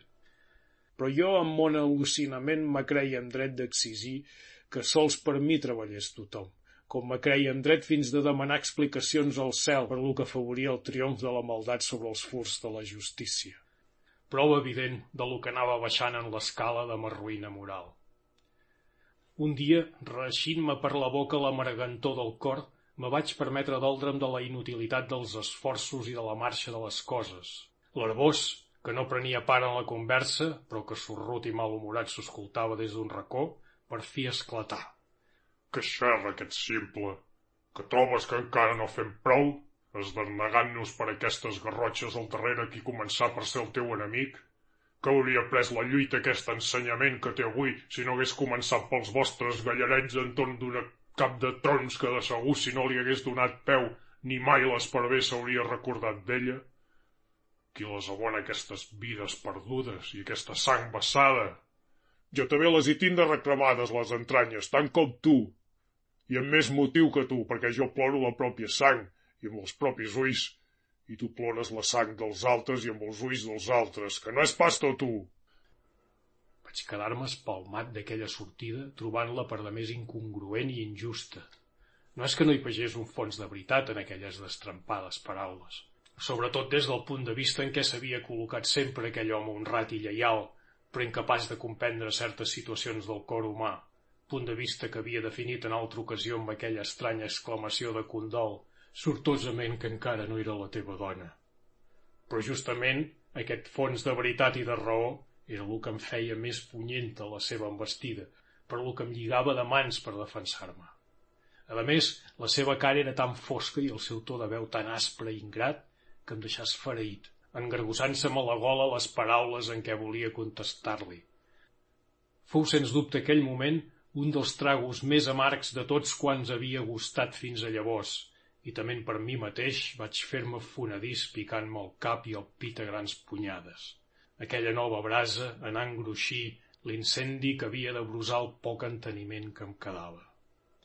Creguent-me rebutjat pels meus mateixos i resol anar en persecució de l'enemic fins a trobar-lo i en traïció sense matar-lo o fer-me matar, que ja tant s'abandonava, vaig recomençar per mon compte aquelles ascensions i davallades del Bassegoda, el Bastracà, el Mont i les Aguges, encinglant-me per espadats i avencs inaccessibles, en busca de baumes i confurnes, de grutes i vores ignorades o no visitades per ningú, descobrint racons esfereïdors i besardosos que a mi mateix, fill del país, m'eren sorprenents.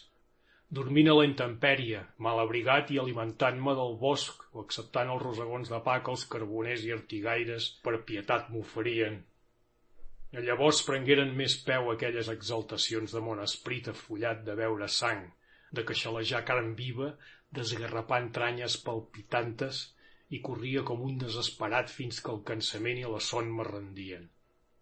Després, en moments de major sossego, la donava per armar-me de paciència i, com l'aranya a la goit, passar-me hores i fins dies enters aclotat al peu d'una cova, a la vora d'un viarany, sobre un collet, esperant amb estúpida passivitat que el qui buscava vingués a caure per ell mateix a les meves mans, fins que, canviant novament de tàctica, tornava a rastrejar per instint com els perdigués, en tant que la debilesa del cos i els dolors periòdics de la ferida del coll me preparaven noves exaltacions i desesperos. Així es vaig passar setmanes, copsant totes les inclemències de l'estació, una boira persistent me tingués-me perdut per espai de tres dies, consumint-me en una desesperació sorda, sense objectiu. A voltes, esquinçant-se la boira, em trobava de cara un espadat que em barrava el pas, o bé de peu sobre un avenc en qual fons hi veia, com a vista d'ocell, els arbres centenaris alçar cap a mi ses soques i branques cobertes de molsa verdosa, i entorn s'hi descapdallaven encara dèbils filagarces de boira, com vaporades nascudes de l'ardència de les entranyes d'un monstre esvacunat en matinada d'hivern. Cas estrany, llavors que m'hauria bastat allargar el peu o amullar les mans per estimbar-me i acabar d'un cop amb aquella vida de desespero, me'n sentia guardat per una mena de compassió estranya de mi mateix. Llavors me parlava a mi mateix procurant convèncer de que no era pas mon destí morir coll trencat com una cabra i m'apartava del precipici que m'atreia com s'aparta un noi d'un perill. En moments de concentració de vegades recuciava entre els records de la infantesa, de quan ma santa mare m'apeixia amb les cristianes ensenyances de que ella estava sadollada, quelcom que em rescalfés, com el pastor enfredorit grat entre les cendres de l'apagada carbonera, per si troba cara alguna brasa amb què encendre un fogueró. I quan passava frec a frec les ermites, que com les de Sant Sebastià o Santa Brígida de Lliurona tantes vegades havia visitat en companyia d'ell i de l'avi, M'atensava la finestrala, guaitant aquells altars on hi veia els pitgers, tantes vegades omplerts per mes mans de noi. I res, ni l'oració del Pare Nostre em recordava per remullar meus llavis enfebrats. Aquelles visions lluminoses d'altres temps passaven davant mon cor com la llum de la candela davant de les nines del finat, que encara guaiten i no veuen. Sols me movien els llocs que em portaven records de la Coralí, més, sabria jo dir de quina manera em removien? El Molí Cremat, l'Alzinar Vell, el Camí de la Muga i tants altres llocs que havíem trepitjat, sols o acompanyats en aquell oasis del desert de la meva vida em despertaven reminiscències ben doloroses, que com a tals podien denotar encara un signe de vida espiritual. Però, Déu meu, que amb elles s'hi acoblaven recances impures com agreujaments d'ocasions desperdiciades que no tornarien mai més. Un dia, més febrós i més entenebrat que mai, va atrapar-me a la fosca al vell cim del puig de Bassagoda, fins que el rellent de la nit va desensopir-me i comencia a baixar per la part de tramuntana la claror d'una mitja lluna malaltissa que amb prou feines me deixava entreveure on posava els peus enfonsant-me en la pineda que davalla fins al camp dels emigrants. Aquesta era en bona part incendiada de fresc, presentant-se negra i fumada com boca d'infern.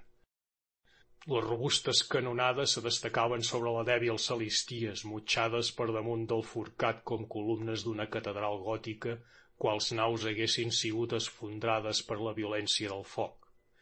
Moltes geien per terra, mig carbonitzades, o havien quedat estontolades sobre llurs veïnes i algunes, rosegades per la brasa, s'havien tombat sobre les roques formant balança i apuntant al cel com colossals peces d'artilleria. El sol de terra estava tapeït de cendra fosca i de munts de carbonija que cruixia sota els peus o s'embascava per les cames, efecte de la reïna plorada per les soques, que en alguns punts fins havia format regalims i tolls d'un fang llepissós com posterna. En cert indret on la cinglera s'acanalava formant com una xamaneia, la força de la corrent havia avivat l'incendi en termes que el bosc quedava allí ras, com si n'hagués passat un bufarut, i les roques calisses de les altures havien quedat cuites, engronant-se en còdols que blanquejaven escampats per sobre la tofa negra de la llisera com despulles d'un ossari profanat. És indescriptible l'aspecte infernal d'aquell espectacle.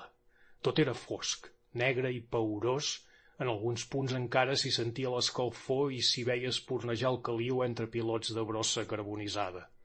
L'atmosfera era irrespirable en certs indrets per la fortor de la raïna barrejada amb nassades de can socarrimada i el vent treia sons tètricament metàl·lics dels pocs branquillons que restaven de les soques despullades. Tot era mort, la terra, les soques, el cel blanquinós i fred sobre el que aquestes se retallaven i fins la lluna esmortuïda, qual claror quedava anul·lada al reflectar-se sobre aquelles negrors de sutge. Jo també en contemplava mort, vagant sols en esperit per aquells llocs de desolació dels que, pres de la besarda dels cementiris, volia fugir-ne sense trobar mai la sortida. Per fi, començant a trepitjar verd, vaig córrer encara més, deixant enrere la taca negrosa fins que, ja lluny, vaig caure esdernegat sobre la molsa al peu d'un corriol adormint-me de fadiga més que de son. Però amb la quietud del cos va començar la seva feina al cervell, dibuixant sobre aquell fons d'infern del que estava obsessionat escenes diabòliques de dimonis tips de carn i dones pròdigues d'elles mateixes. Els dimonis eren l'Ivo i els seus que reien ensupits, com si verites en plena digestió, i entre les dones hi havia ella, la cap de trons, alta, garbosa, però xuclada i caricaturesca. De les velles pagesívoles d'altre temps ne conservava sols el gesto provocatiu i encara transformat, com interpretat per la imaginació d'un crepulós. Jo també ho era, un dimoni, però un pobre dimoni macilent i afamat que de bona gana m'hauria ferrossat a les deixies d'aquells malfarts. I la Coralí començà a mirar-me amb aquell aire de befa i compassió que algun dia li havia conegut i es disposà a donar-me com a un pobre pidolaire les llapies d'aquelles carícies de què els altres ja n'eren farts. Acostà sa cara a la meva i sentia l'alè libidinós de la seva boca, Sos llavis freds i humits, com un cuc de fangada, se posaren sobre els meus, produint-me una sensació tan ingrata que em despertà. En aquell moment, una silueta negrosa i llarga brincava pel meu davant, anant a fondre's entre les tenebres del bosc, quedant sols visibles dos punts lluminosos i bellugadissos com dues cuques de llum. Allò no era pas somni, era pura realitat. Un lloparràs, creient-me tan mort de cos com ho era d'ànima, havia vingut a donar-me sa besada, l'òscul del fosser. Fi del capítol.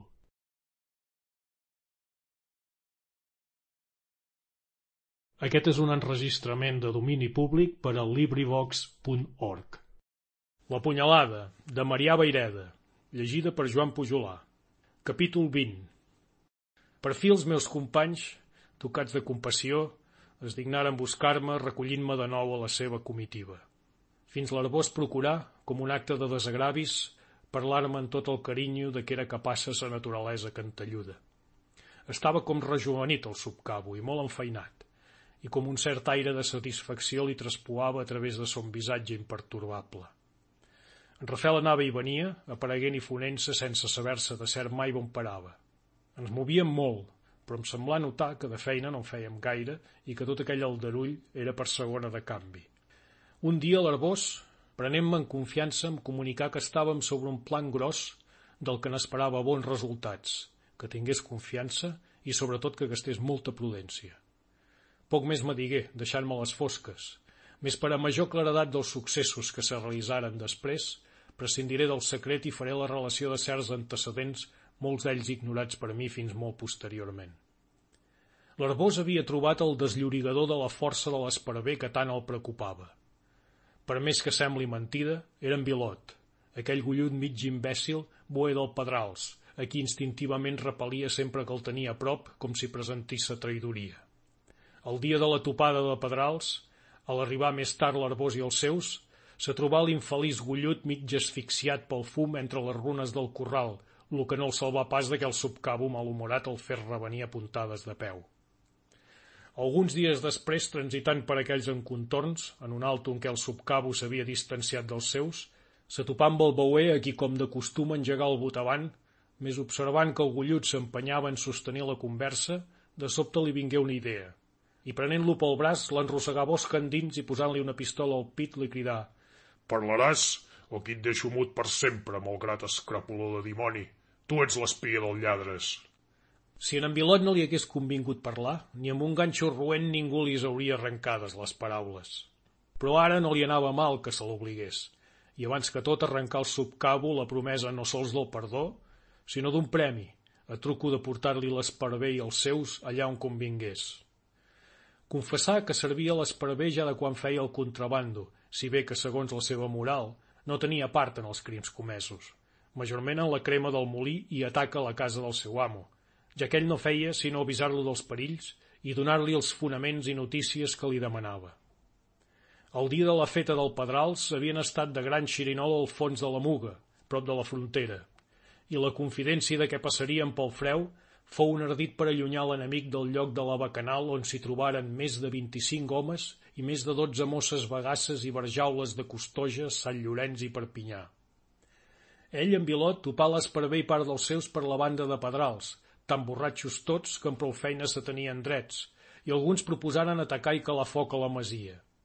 Ell deia tractar d'impedir-ho per quan tenia promesa de l'esparver de que la casa seria respectada, però fou garrotejat, arrossegat pel goll i tirat enmig de l'incendi amb aprovació del mateix esparver.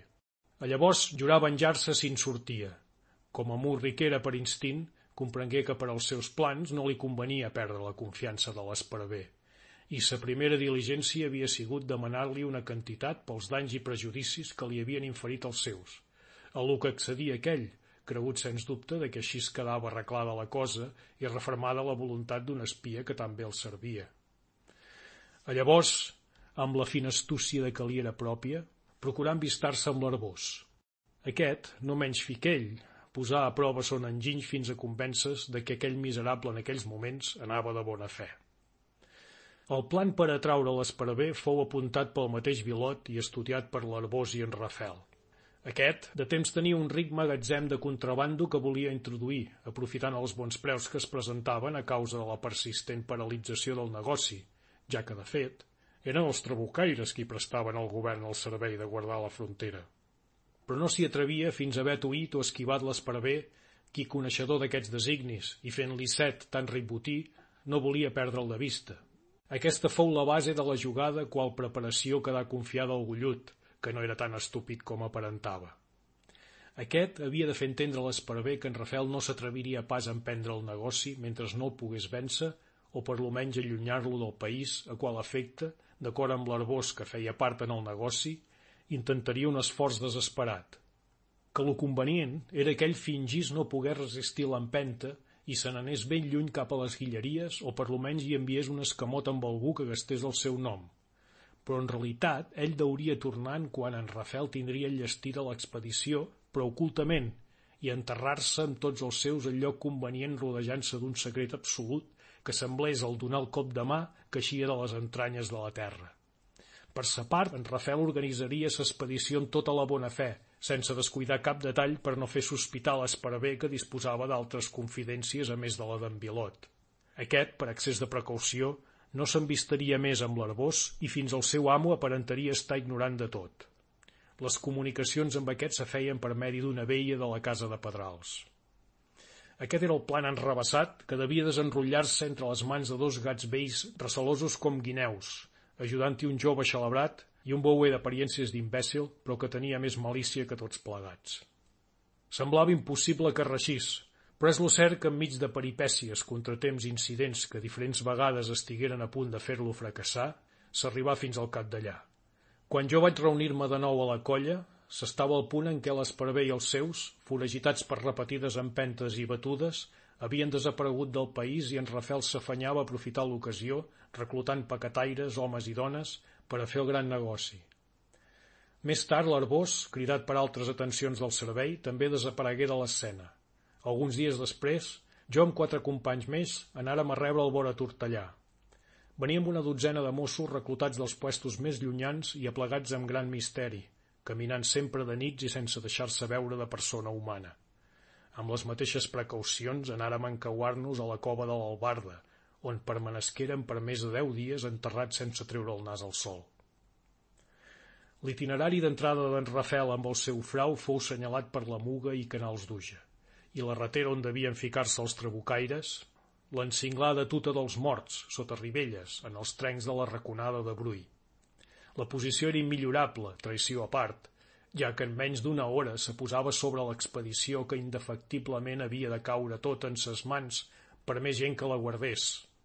Però aquesta fou la part més dificultosa del plan, ja que l'astut bé repugnava d'engaviar-se i sols quan se convencé de que la presència d'ell i els seus, que no havia respirat per el lloc, podia d'un moment a l'altre ser notada i de que els seus se negaven a entrar i si no el veien en ell, i en fi de que passada aquella oportunitat no se n'hi presentaria d'altra, s'ha determinat a tancar-se a la vigília del dia assenyalat després que els seus ho havien anat fent per tandes i en successives nits. Jo me'n feia creus, no comprenent quina mala manya podia conduir a un home que era de la pell del dimoni a tancar-se com un conill dins d'un cau encinglat on s'hi anava sols per un viarany format per un relleix de la cinglera tan estret i perillós que bastarien quatre per barrar-li el pas, obligant-lo a morir de fam, Seria la mateixa hora tonta que portar el famós trucafort i sa partida a morir emmetzinats com rates sota les parets del mas de la sala, i la que feu caure el terrible plana de món en el parany innocent que es tremaren a l'hostal dels plans per juguesca quatre fadrins mig borratxos. Sortírem de la cova de l'Albarda nit fosca, i atrevessant el Llierca, que anava gros aigua enllà, emplenguérem la cinglera del salt de la Núvia amb intent de resseguir la gran cornissa fins al trenc de un altre escamot, a les ordres d'en Rafel, tot figurant acompanyar l'expedició dels contrabanders, devia concórrer per Ribelles i tapar altra fugida de la cova, que encara que quasi inaccessible, era de suposar que l'embastirien els bandolers al trobar-se encorrelats.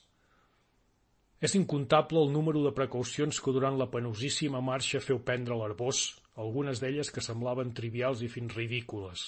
Ens escorcollà, despullant a tots de tabacs, esca i foguer, per temor de que algú distreta o intencionadament fes llum. Ens feu deixar les mantes i tot impedimenta que no fos el fusell i les municions, i els Mossos els alts barrets per molestos i inútils. Prohibí baix severes penes pronunciar cap paraula que no fos necessària i encara cau d'orella. En molts indrets anàvem descalços amb les espardenyes lligades al coll o marxant de quatre grapes, i com en alguns punts la fosca era tan gran que ningú veia el que davant d'ell marxava, ens feu treure la camisa fora les cames per sobre les anques, amb objecte de que, obirant la blancor, no es trenqués la corrua. Al davant de la fila marxaven dos dels quatre paisans, guies de confiança. Darrere d'ells el seu segon i els altres dos paisans intercalats perquè en el desgraciat cas de que es trenqués la filera o de qualsevol incident no quedés tothom sense guia. Darrere de tots anava jo, i ell després de mi, atent sempre a l'ordre, a recontar la gent sempre que li venia bé i transmetent veus i ordres de boca en boca filera amunt i fent preguntes qual resposta tornava pel mateix conducte filera avall. Així caminàrem hores i hores, sense fer gaire via per les dificultats i precaucions de la marxa, pels repetits altos que fèiem, tant per a descansar com per a sutjar qualsevol moviment i soroll que pogués denotar ser espiats. L'Arbós partia sempre del benentès de que se les havia amb un enemic tan astut com ell, i tampoc concebia bé que hagués pogut ficar-se a la ratera sense prendre mil precaucions, semblant-li que fins les mates havien d'espiar per compte seu els nostres moviments. En a l'indret del Puig de Sant Martí estàvem verament llaçats, però com hi ha millor petja poguérem revenir-nos un poc si bé l'arbor redoblar les precaucions, malgrat les quals ara era una pedra que rodolava, ara un buscar i que petava en sec, posant-nos els cabells de punta i fent desesperar l'arbós que de baix en baix renegava com un oriol. Baixàrem la clotada de Sagàs i vorejant les cingleres de la raconada de Bruix, prenguérem una vessant escabrosa que mira de Cairell l'espadat on hi ha la tuta. Allí esperà la gent. Uns pocs amb l'arbós ens avançàrem fins a arribar a poc més d'un tret de pedra del lloc on desemboca el viarany que ve de la cova. La ratera quedava tancada. La salistia matinera començava a apuntar per orient, però encara les tenebres de la nit no eren esveïdes més que per la dèbil claror de les estrelles. Fora el ressò de les cascates que remolaven a nostres peus, la quietud era absoluta, no sortint de les boscúries més que les remors placèboles de les nits calmes, i a mi em semblava impossible que allò pogués preludiar altra cosa que una matinada esplèndida com tantes altres. No podia capir l'existència quatre passes de l'home terrible rodejat de trenta seions armats fins a les dents en mon escepticisme, creia la jornada fracassada com les de més. L'enemic, si hi havia sigut, ja havia volat, i gràcies que no fóssim nosaltres els enganyats. A més, jo no sentia pas aquell interior desfici, aquella conturbació d'esprit que altres vegades me delatava la proximitat d'aquell poder amb qui pugnava de tant temps. Fins l'arbó semblava com entontit i temerós d'haver treballat pel dimoni. Crec que igual que jo li semblava impossible que el terrible adversari, aquell rei dels trabucaires en l'esplet del seu poder, hagués pogut cometre la borrada d'anar-se eclatant un lloc sens més sortida que el viarany que com una reglada fosca creuava l'espadat d'allí enfront. De sobte es sentí un cant d'au matinera, que l'arbor reconegué per una contrasenya dels nostres, i no s'enganyà. Feu la contesta pel mateix estil i als pocs minuts, com un conill d'entre la brossa, aparegué un home. Era un dels que eclatats dies ha entre les mates del bosc vigilava el moviment de la cova. Estava escrit que aquell dia era la nostra. Tota la llodrigada era la trampa. Amb el i tot, deia l'arbós fregant-se les mans. I encara aquell home ens havia aplanat el camí d'un obstacle que podia haver-ho tirat tot en orris. S'adonà de què l'esperver per darrera precaució havia deixat un home per a vigilar els encontorns del pas de la cova, ell, comprenent la gravetat de la cosa, no el perdé de vista de tot l'odia i entrada de fosc, acostant-s'hi amb tota l'astúcia d'un llop cerver, se li tirà sobre, escanyant-lo sense donar-li temps de dir ai. Amb aquesta mateixa senzillesa ell ho contava. L'arbós quedà amb la nova tot transformat. Li desaparegué aquell tremolor de la barbeta, que en ell designava ràbia concentrada i impotenta, i posar una cara de Pasqua com la del caçador que ha trobat la ratera plena. En quant a mi, ni ho sé el que sentia. Aquella mena d'insensibilitat de moments abans desaparegué, és cert. La idea de que l'esca del pecat de tota la meva vida, la font de totes mes desgràcies, El rival avorrit que s'havia complegut en lletzerar sense compassió la meva ànima era allí, a quatre passes, voltat dels seus sicaris, dormint la son dolça del miserable venut? No hi ha dubte que aixecava en mon cor, entre el munt de rancúnies i d'odis acumulats, aquell agradols de les grans venjances satisfetes. Però en tot quedava un buit per un planar. Potser la consciència de que el mal que m'havia fet era ja irreparable, si és que havia de conceptuar perduda la Coralí, en qual cas totes les venjances del món no arribaven al lloc. Lo cert és que aquella situació tan sospirada i latida, aquell nèctar dels déus que tenia flor de llavi, a mi mateix me sorprenia de que no em fes més ple. En aquestes estàvem quan algú li semblà que el reviró fosc que el viarany marcava enmig de l'espadat s'engruixia i tenia moviment. La fosca encara era espessa, per més que l'orient s'anava eixamplant la taca lluminosa que precedia el crepúscul matinal. Amb tot, les llambregades d'uns i altres confirmaren aviat la dita del primer de que al viarany de la cova hi havia moviment. De fet, una corrua de grops negres, caminant amb molta precaució per por de mancar amb la fosca al peu i estimbar-se d'una elevació de més de 150 pams, anava resseguint el viarany. Els primers estaven ja unes poques passes de la rostada on el corriol s'eixamplava, si bé l'espadat continuava sota, però menys sobtat i més brut de brossa. Se produïa entre nosaltres un curt moment de confusió que l'arbós dominà el punt amb enèrgiques interjeccions sordes donades a mitja veu. Quatre Mossos s'avançaren entre la bardissa amb ordre de tapar la sortida en què fos avellonatades. El nostre lloc fou reforçat pels que havien quedat més amunt, i el mot d'ordre de l'arbós fou «Apuntar bé i estalviar municions».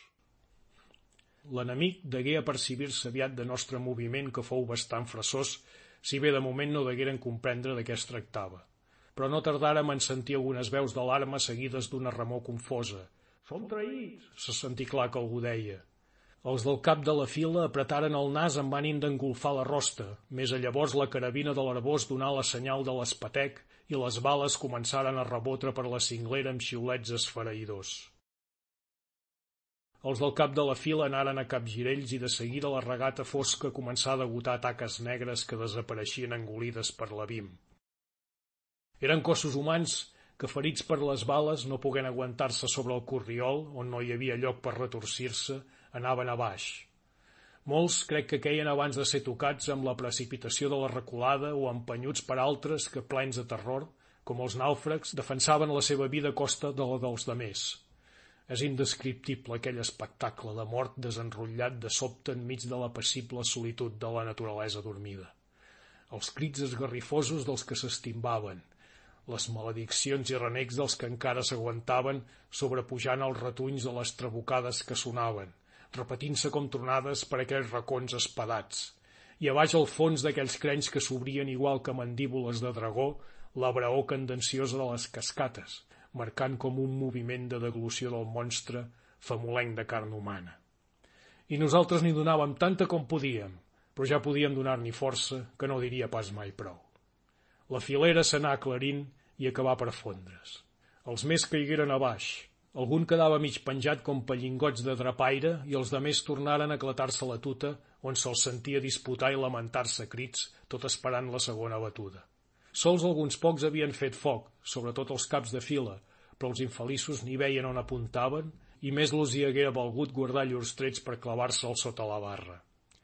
Entremig de la braó de la lluita, o per millor dir, del carnatge, se sentí vers del cap de la filera uns cops secs, com si destralegessin un plançó, i després un refrec de branques timbera avall, com d'una alzina que els carboners estimben des dels relleixos de les cingleres.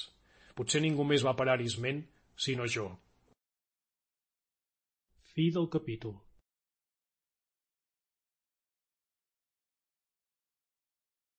Aquest és un enregistrament de domini públic per a LibriVox.org. La punyalada, de Marià Baireda, llegida per Joan Pujolà. Capítol 21 El mar de roses començava a inflamar-se amb les primeres besllums de l'aurora i del fons dels avencs començaven a alçar-se les boires matineres per gaudir-se uns moments joguinejant amb els capbrots de les boscúries i amb els talls i morrots de les cingleres, tot esperant que el sol se les mengés, quan començaren a arribar escamots de sometents que posta havia citat l'arbós per un cas de necessitat. A tots se comunicava l'alegria per el bon èxit de l'operació realitzada i s'alegraven més quan sabien que hi havia quelcom per fer, majorment quan aquesta feina es presentava tan descansada i sense perill. L'herbós, amb tot, començava a frissar perquè els d'en Rafel, que havien de tapar l'eixida de l'altra banda, no donaven senyals de vida i encara que l'escapatòria per la part d'allà era molt problemàtica, per ser la sortida d'ella mateix més perillosa i difícil que per la banda de sí, amb tot bé calia suposar que ho intentarien els desesperats que quedaven en vida, al veure's tan apretats entre l'escon i la paret. Potser, potser ho estaven intentant ja, perquè feia estona que havia cessat l'aixaners de crits i renecs que es sentia suara per l'indret de la cova. Ara sols se sentien el panteig i angoniosos gemecs d'algun que altre ferit que havien quedat a dalt o penjaven emmatissats pels relleixos de la cinglera. Ja parlava l'herbós d'enviar gent per a subsanar la falta incomprensible d'en Rafel, per més que amb la marrada que havien de fer, calculaves que trigarien més d'una hora en arribar-hi, quan se sentiren alguns trets per aquell indret. La gent que els engegava no es veia pas, encara que ja clarejava, però sobiraven les fogonades que anaven de dalt a baix. Més tard, els fins de vista s'adonaren d'algunes taques negres arrapades a les roques com sargantanes. Algunes s'estimbaren tocades sens dubte per les bales que els engegaven des de dalt els d'en Rafel. Altres anaren baixant, i poc després se sentí de nou dins la bauma l'aixaners de moments abans. A llavors l'arbós considerà arribat amb la llum del dia el moment d'acabar la batuda i fent avançar els millors tiradors per les puntes de les roques que s'encaraven millor amb la cova, per lo que alguns degueren fer marrades de molta consideració i ascensions de verdader perill, se disposà a fer fusellar aquells infeliços sense cap mica de pietat, per més que enviaven alguns congoixoses veus de clemència. Per què perdonar-los? contestà secament l'Arbós a l'interrogar-lo sobre el cas. Creieu que són aquesta púrria tropes organitzades per donar-los i quartel?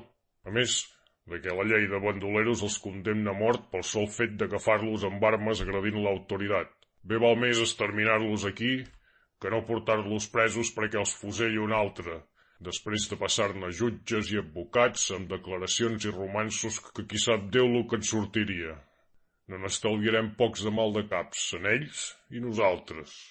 L'esperit de venjança que respiraven les cruels paraules del subcabo no em feu fred ni calor, però em contrarià de gran manera, per quan m'impossibilitava d'encarar-me amb l'Ivo, si és que encara era viu, com era el meu més gran desig, i sobretot d'inquirir notícies de la Coralí, que malmès o no, obsessionava com mai el meu pensament.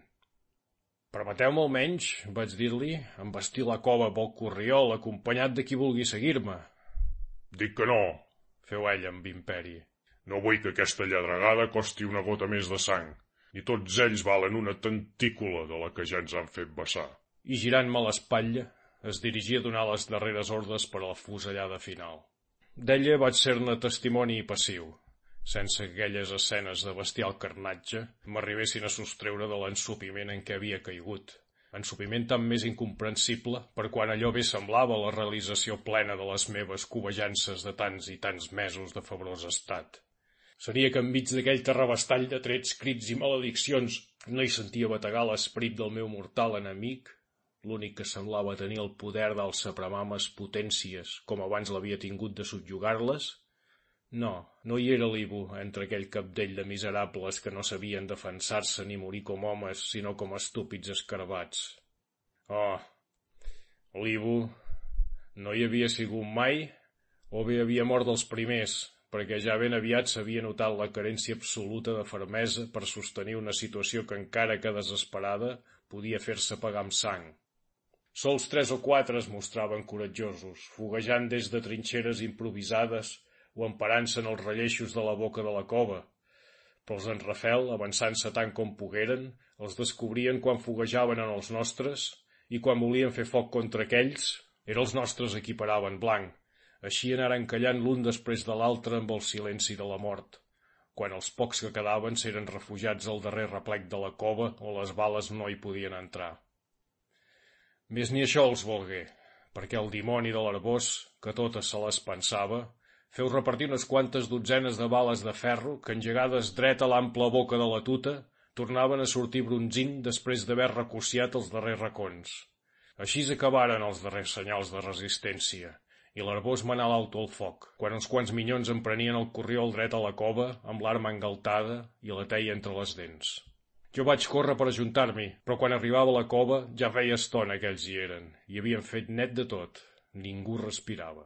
Semblava una conjura perquè no tingués ocasió d'interrogar ningú sobre el que més medalia.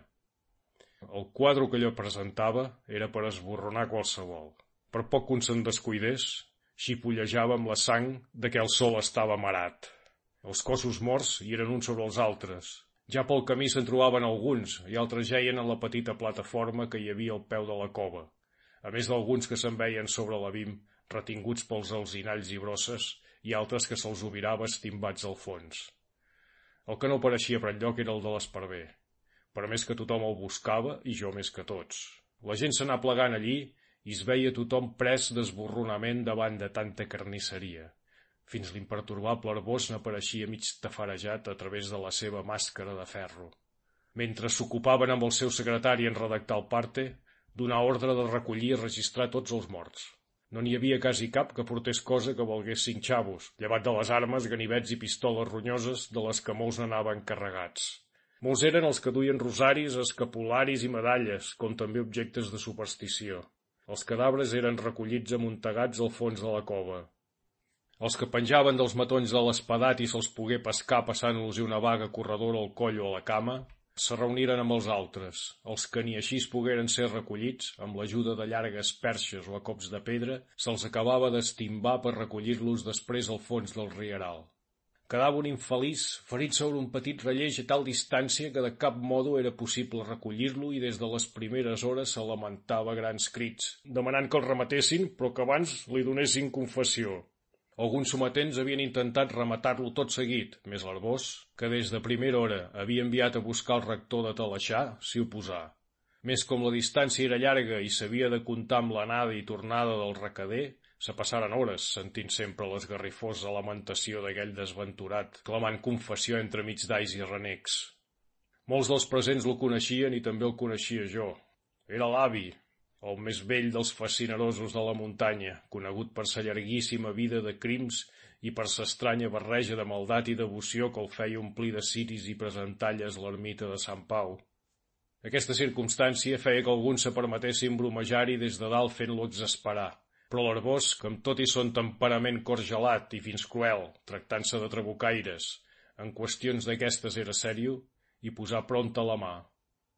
Jo anava desesperant-me perquè amb tot i aquella desfeta de l'enemic, la meva causa no avançava ni un pas. Ni apareixia per enlloc el cos de l'esparver, ni m'havien deixat medi d'inquirir per boca de cap d'ells son paradent ni el de la Coralí. No em quedava més que el pobre avi, que capolat de cames i braços ja hi el relleix. Ja l'havia interrogat abans, més qui li parla un home, aclaparat pel dolor i la febre i exaltat per les xanxes d'altres pocs menys malvats que ell. De més a més, com per causa de la gran distància en què es trobava, se li havia de parlar a crits. Amb tot, vaig intentar-ho i posat de boca terrosa per no agafar goles traient el cap pel tall de la cinglera, comencia a cridar fent corn amb les mans. Avi! Oh, l'avi! Escolteu-me! Us tinc que parlar! Qui crida? Feu ell, entre gemec i gemec. Què vols dir-me? Sàpigues que ja ho tinc tot jo. Només demano confessió per l'animeta. I en acabat, un bon truc al tupí i prou, que ja s'ha acabat l'avi del dimoni que s'us entugui tots. Escolteu-me, avi! Ja us confessareu, us ho prometo. El rector de Talaixà està per arribar. Però abans escolteu una pregunta i responeu. Me coneixeu, l'avi? Què la dimoni tinc de conèixer? Deu ser un patolària com els altres, el llamp us esberli a tots. A ningú conec, només que les meves maldats de tota la vida i que en tinc de fer un present al confessor si vull salvar l'animeta. La veu. I tinc tots els dimonis penjats a les capes que m'estiren. Ah! Ah! Confessió, per pietat! Escolteu-me, l'avi! Jo som l'Albert, sabeu? Aquell equilibri n'ha fet tantes. Ho teniu entès? Doncs bé, jo faré per vos el que pugui, però m'heu de dir què s'has fet a la Coralí. On para? No sé jo n'és, ni on pare aquella gata bordissenca. Me'n cuidava pas jo de les barjaules. Anjà, Anjà que havia fet a tots per aquest cantó, tant de bo per l'altre. Perdoneu-me, Déu meu. Sant Pau, primer ermità, si ha una bona ajuda. I amb l'única mà que li quedava sencera, s'adonava punyades al pit que ressonaven per la cinglera. Jo sentia a la cara fogarades de vergonya i ràbia, però retenint-me encara vaig tornar-hi. I prou que ho sabeu-vos quan el van portar. Avi del dimoni! Vos hi éreu al molí aquell dia. Prou que ho sabeu que n'ha fet l'esparver. Digueu-m'ho, que si a l'hora de la mort no voleu fer una obra bona, així vos enrossin tots els dimonis de l'infern, que per vos no hi haurà ni confessió ni absolució. Te dic que no en sé res d'aquella mossa, ni l'he vista més des del dia dels funerals del teu sogre. Pregunto en Mascoll, que penso que hi tenia que veure, o boc, o boc de l'esparver, si els dimonis no li arrosseguen ja els ossos. No en sé res, t'ho juro. Sinó que em moro ple de pecats, rodeu de Déu, i com ho faré jo, pobre de mi. Ah, ah. I encara no ve aquest dropo del rector així se coll tranquil. Ah, ah, eh, eh.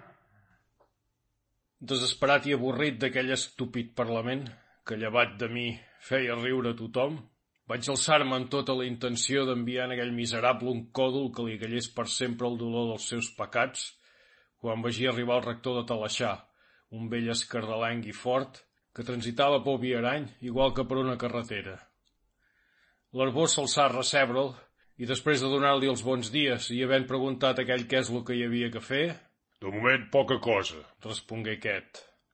Perquè aquesta canalla juga el tot pel tot i fan igual que els gats de bosc, es garrapen tant com tenen vida.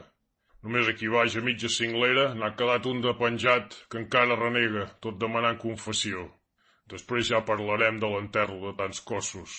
Els d'aquí dalt deuen ser de vostè, i els de baix de mossèn Jeroni. Tot jo, de vostè, els tapiria tots al fots de la cova. Al lloc podrien tenir millor ninxo, com ja diu que es va fer una altra vegada. Ja parlarem amb el batlle.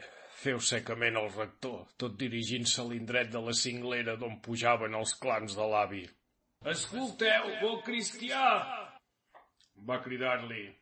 Voleu reconciliar-vos amb Déu? Jo som el ministre del Senyor. Que si vull, a vos esperava. Respongué l'altre amb un fervor estrany, on més que arrepentiment s'hi reflexava la superstició de la seva ànima bestialitzada. Mireu, senyor rector, jo som l'avi de tota aquesta morrialla, tan, tan corcat de dins com de fora. Jo ja volia retirar-me perquè som vell i ja volia donar-me a fer bones obres quan m'ha succeït aquesta desgràcia. Escolteu, ja us n'arrepentiu d'haver fet tant a Déu? Ja teniu un verdader dolor? Però Déu, si el sento, tinc les cames i braços capolats, el cap mig badat i de més una bala al ventre. Oh.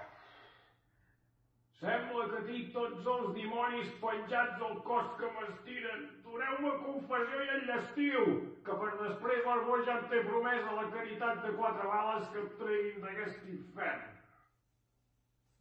Espereu, espereu. Jo tinc de veure-us i vull que vos me vegeu a mi.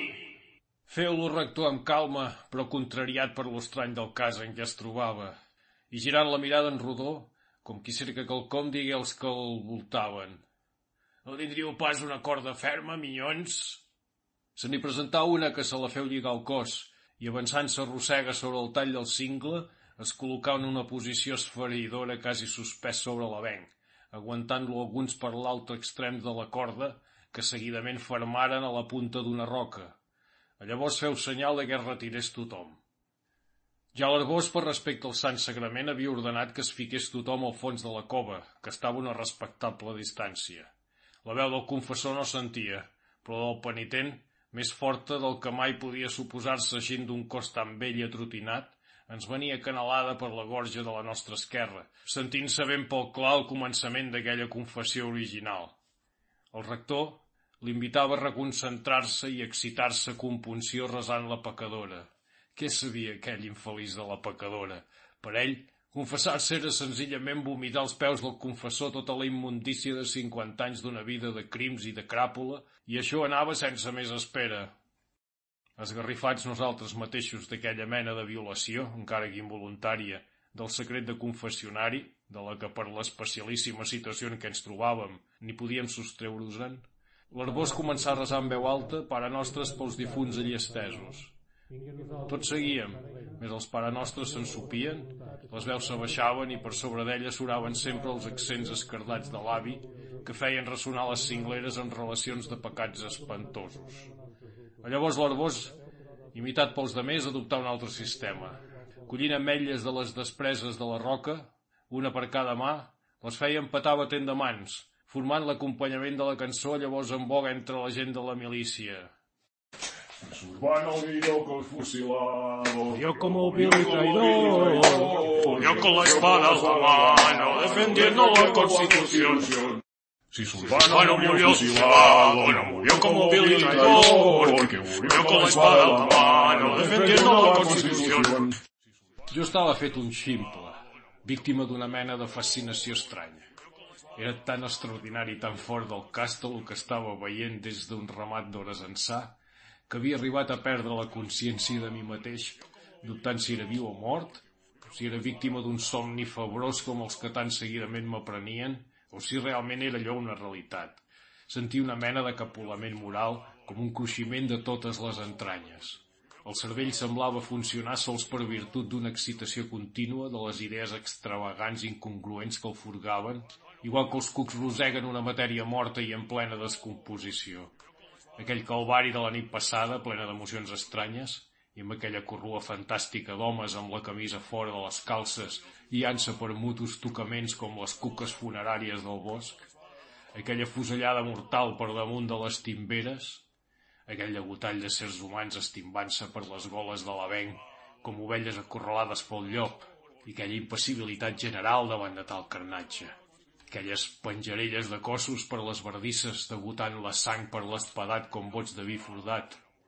Aquell infeliç, retingut en el relleix amb els ossos picolats i les carns despadassades, no quedant-li sencera més que la veu per clamar, renegant, per la salvació de l'animeta, i aquell sacerdot lligat amb cordes a dalt del cingle per escoltar una confessió que semblava sortir del fons de l'infern. I per final, aquell recull de gent d'armes durs com les penyes que trepitjaven, amb el seu capitós de cor gelat i cara ferrenya, cantant amb harmonia ingrata cançons estúpides tot xipolejant per vessals de sang i batent de mans per defensar-se del sacrilegi de la violació del secret de confessionari.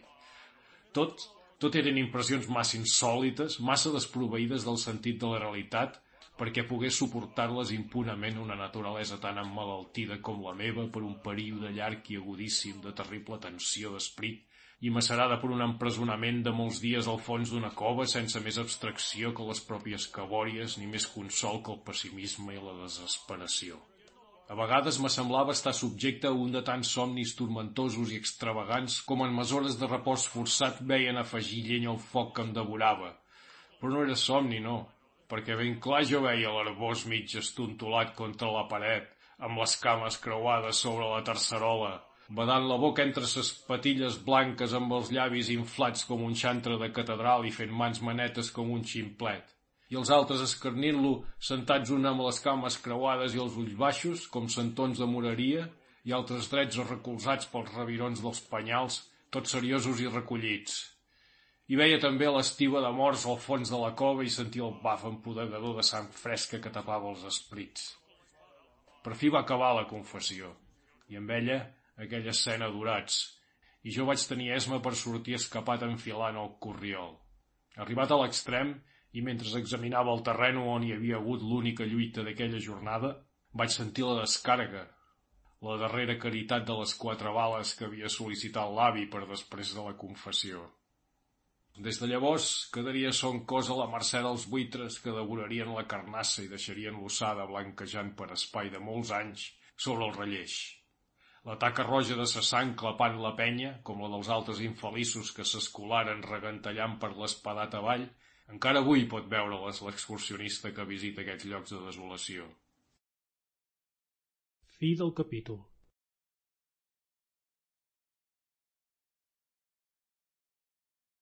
Aquest és un enregistrament de domini públic per al LibriVox.org. La punyalada, de Marià Baireda, llegida per Joan Pujolà. Capítol 22 Estava abocat sobre el creny de la roca, examinant amb mullada d'esparver els cadàvers que es veien negrejar al fons de la timbera, cercant inútilment qui podia presentar traces de ser el de l'Ibo, que tothom suposava allí, però que encara ningú havia assenyalat. Saps que ja n'he comptat 29 i que encara em penso que no hi són tots? Me feu una veu a la groia que em glaçà la sang. Era en Rafel, que havia baixat pel grau de la tallada, per allà mateix on intentaren escapar-se els desesperats. Sí, 29 o 30 o més vaig fer jo.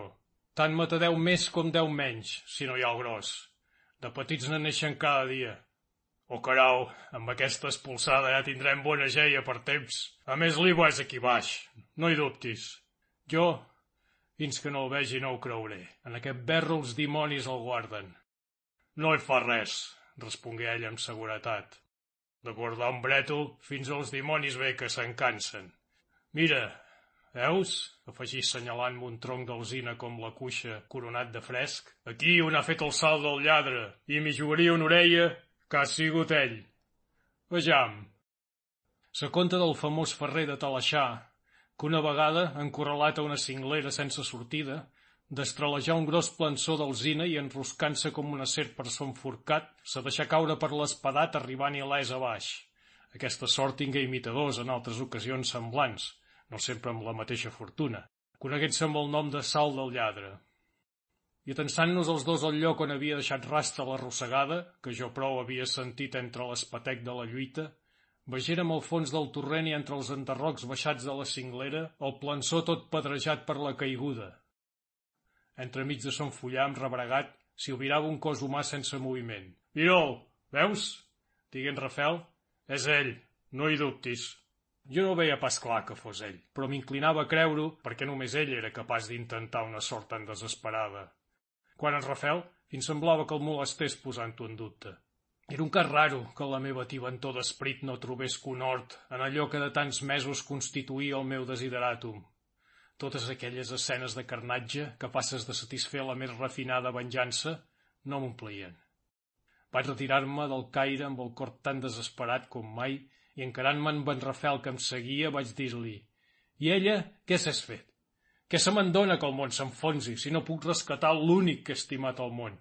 Aquest home, fins morint se venja de mi, portant-se'n a l'infern el secret de la meva aventura.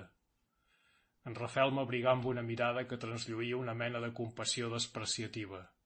Encara penses en ella, crec que mal, me digué. Fins a quan seràs asa? Si el regust de poder aixafar sota el peu el que tan mal t'ha fet i volia rentar-se les mans amb la teva sang no et satisfà, que ni mai, en quant a mi, et juro que la jornada d'avui m'apaga de totes les trifulgues i penes que he passat. Altrament, creu-me, amb aquella mossa no hi pensis més, ni t'enfalloneixis per això, que si manca dona per parar a casa, te'n tic tres o quatre duiades que són quelcom de bo. I acompanyant la seva xulada amb quatre copets a l'espatlla que m'acabaren d'enrabiar, se despedí per anar al seu negoci, doncs ell mirava sempre a l'hort i a la vinya, i aquell dia era jornada doble. Massa que les interpretava jo feia temps les mitges paraules dels meus companys. La Coralí no era pas morta, que llavors amb més o menys circunloquis m'ho hagueren dit. Era pitjor que morta. Era vençuda en vida. Tot aquell castell de sublimitat que havia vestit per aixecar-me sobre el fang de perversió en què s'havia desenrotllat la meva vida havia caigut combatut pel mateix esperit malèfic del que em creia deslliurat aquell lluminar que havia resplendit en un temps entre les tenebres de la meva imaginació, com el viril que incluïa la bondat i la perfecció, quan el pressentiment no m'havia abandonat ni en els moments de major rebaixament, s'havia esvaït, esclipsat per les vaporades de la corrupció. El poder de les tenebres era superior al de la llum. Per això no m'omplia aquell holocauste sagnant, que no podia pas oferir-lo en honra de la bondat triomfadora, si es que era en esprit de la maldat humana. Era un senzill acte de venjança contra la traïdoria del qui convertit d'amic en enemic m'havia reptat a mort i havia perdut. Però la venjança contra la dona que mentint-me amor i puresa m'havia tret del fang per a capbussar-s'hi ella, on l'aniria a buscar? Però abans que tot i per sobre de tot, calia saber pel cert si l'espervé ja hi allà al fons de la timba amb els seus companys. Volia veure-la a prop, i aquest desig feu nàixer en mi una verdadera pruïja d'arribar al fons de la gorja. L'únic camí accessible era per baix, anant a buscar la torrentera per damunt de Sant Aniol. Més això representava una marrada de prop de dues hores i va semblar-me que agafant la comissura del racó on l'espadat se trobava interromput per sollevaments reinflats per les arrels d'una vegetació poderosa, estenent-se en relleixos a dreta i esquerra, potser hi trobaria si no pas format, medi de fer-n'hi, despenjant-me amb l'ajuda de tanys i arrels i de la forta cordilla que per casos tals duien tot senyit al cos. Al principi la baixada no era pas impossible, començant a enfonsar-se ràpidament per la colossal esquerda. Després s'anava fent difícil i per fi vaig haver de fer prodigis d'agilitat i d'imprudència temerària per anar baixant, havent de deixar l'arma i tot, quan me feia impedimenta per arribar a enfonsar-me fins més de dues terceres parts de la fundària de l'avenc. Més allí ja l'espadat tornava a regnar barrant en absolut el pas, a menys de llançar-se de cap al buit. A llavors, tirant-me cap a l'esquerra, posat a peu nu i arrapant-me la roca com un llangardaix, me dirigia a treure el nas dalt d'un morrot sota el qual ja hi ha l'alzina estimbada quan una veu fonda i resposa com la d'un contrabaix se feu sentir a poca distància de les meves orelles, dominant per sobre la braó de l'aigua que rodolava per la torrentera. Ara el gos ensuma les peces que el caçador ha despenjat. Que va que n'hi trobes a mancar una perquè et batin els comptes. Tan impensada me fou aquella interrupció de la besardosa solitud de la gorja que va donar-me un cop al cor. Ah, espervaràs de Déu, ja et val tenir pacte amb el dimoni! Vaig exclamar dirigint la vista vers la cinglera veïna, que com la paret rònega d'un cel obert s'estenia al meu davant. Pacte amb el dimoni? Feu ella amb sa veu fúnebre. El pacte és qui m'ha perdut, llamp de Déu. Tant de bo no m'hagués refiat mai de Déu ni del dimoni, sinó de mi mateix, que no seria allà on som, ni tu gaudiries comptant les penques de la matança perit de bordell. Fins aleshores no vaig poder precisar d'on sortia aquella veu que semblava la d'un soterrat. Poques canes davant meu entre les darreres mates que creixien sota l'espadat xuclant del talús format pels detritus caiguts de la cinglera, s'hi bellugava una massa informe que no tenia d'humana més que uns ulls febrosos que lluïen com llampecs enmig d'una cara fosca, peluda i tota empastada de sang sostenint-se arrambat a la roca pujat en dos buscais. Anava espallofit de roba i tan desconjuntat de membres que ni es comprenia com se tenia dret. Com me veia sense arma de foc, per això no em manava por. Podia per sobre el torrent enviar-li fàcilment una pedra, una escopinyada quasi, més per posar-li la mà sobre n'era dues hores lluny. Per això es complavia en exercir l'única venjança que li era possible, enviar-me ses cíniques befes que com flingantades m'alçaven butllofes a l'ànima. Què n'has acabat d'aquesta jornada, gos mordissenc? Has vist caure les perdius sense ni tenir el gust d'alçar-les ni menjar-te la que caçaves. Més valdria que t'enterressis set canes sota terra, que no pas fer el bèstia anant tota la vida a la retranga d'en Pere i d'en Pau, clotint rosegons i guitant el rascle, maleït morral de somera, i lograva de fer-me votar aquell rebroll d'infern. Ets un malvat, escursor de margera, li cridava jo, bufant de ràbia. M'has robat la sort, valenta d'engany, follonàs de dimoni, i t'has guardat de posar-te a matret. I veient que no era possible llançar-me a l'espai per sobre l'avenc per escanyar-lo, anava reculant, a fi de recollir l'arma que havia tingut de deixar i fusellar-lo com un gos. Més ell no era pas tan tonto per no donar-se'n, i es disposà a guanyar mitja rossegons el petit trajecte que el separava de la boscúria amb la que s'unia el talús, tot engegant-me les fletxes més enverinades. Si us sapigués dir el que jo sentia.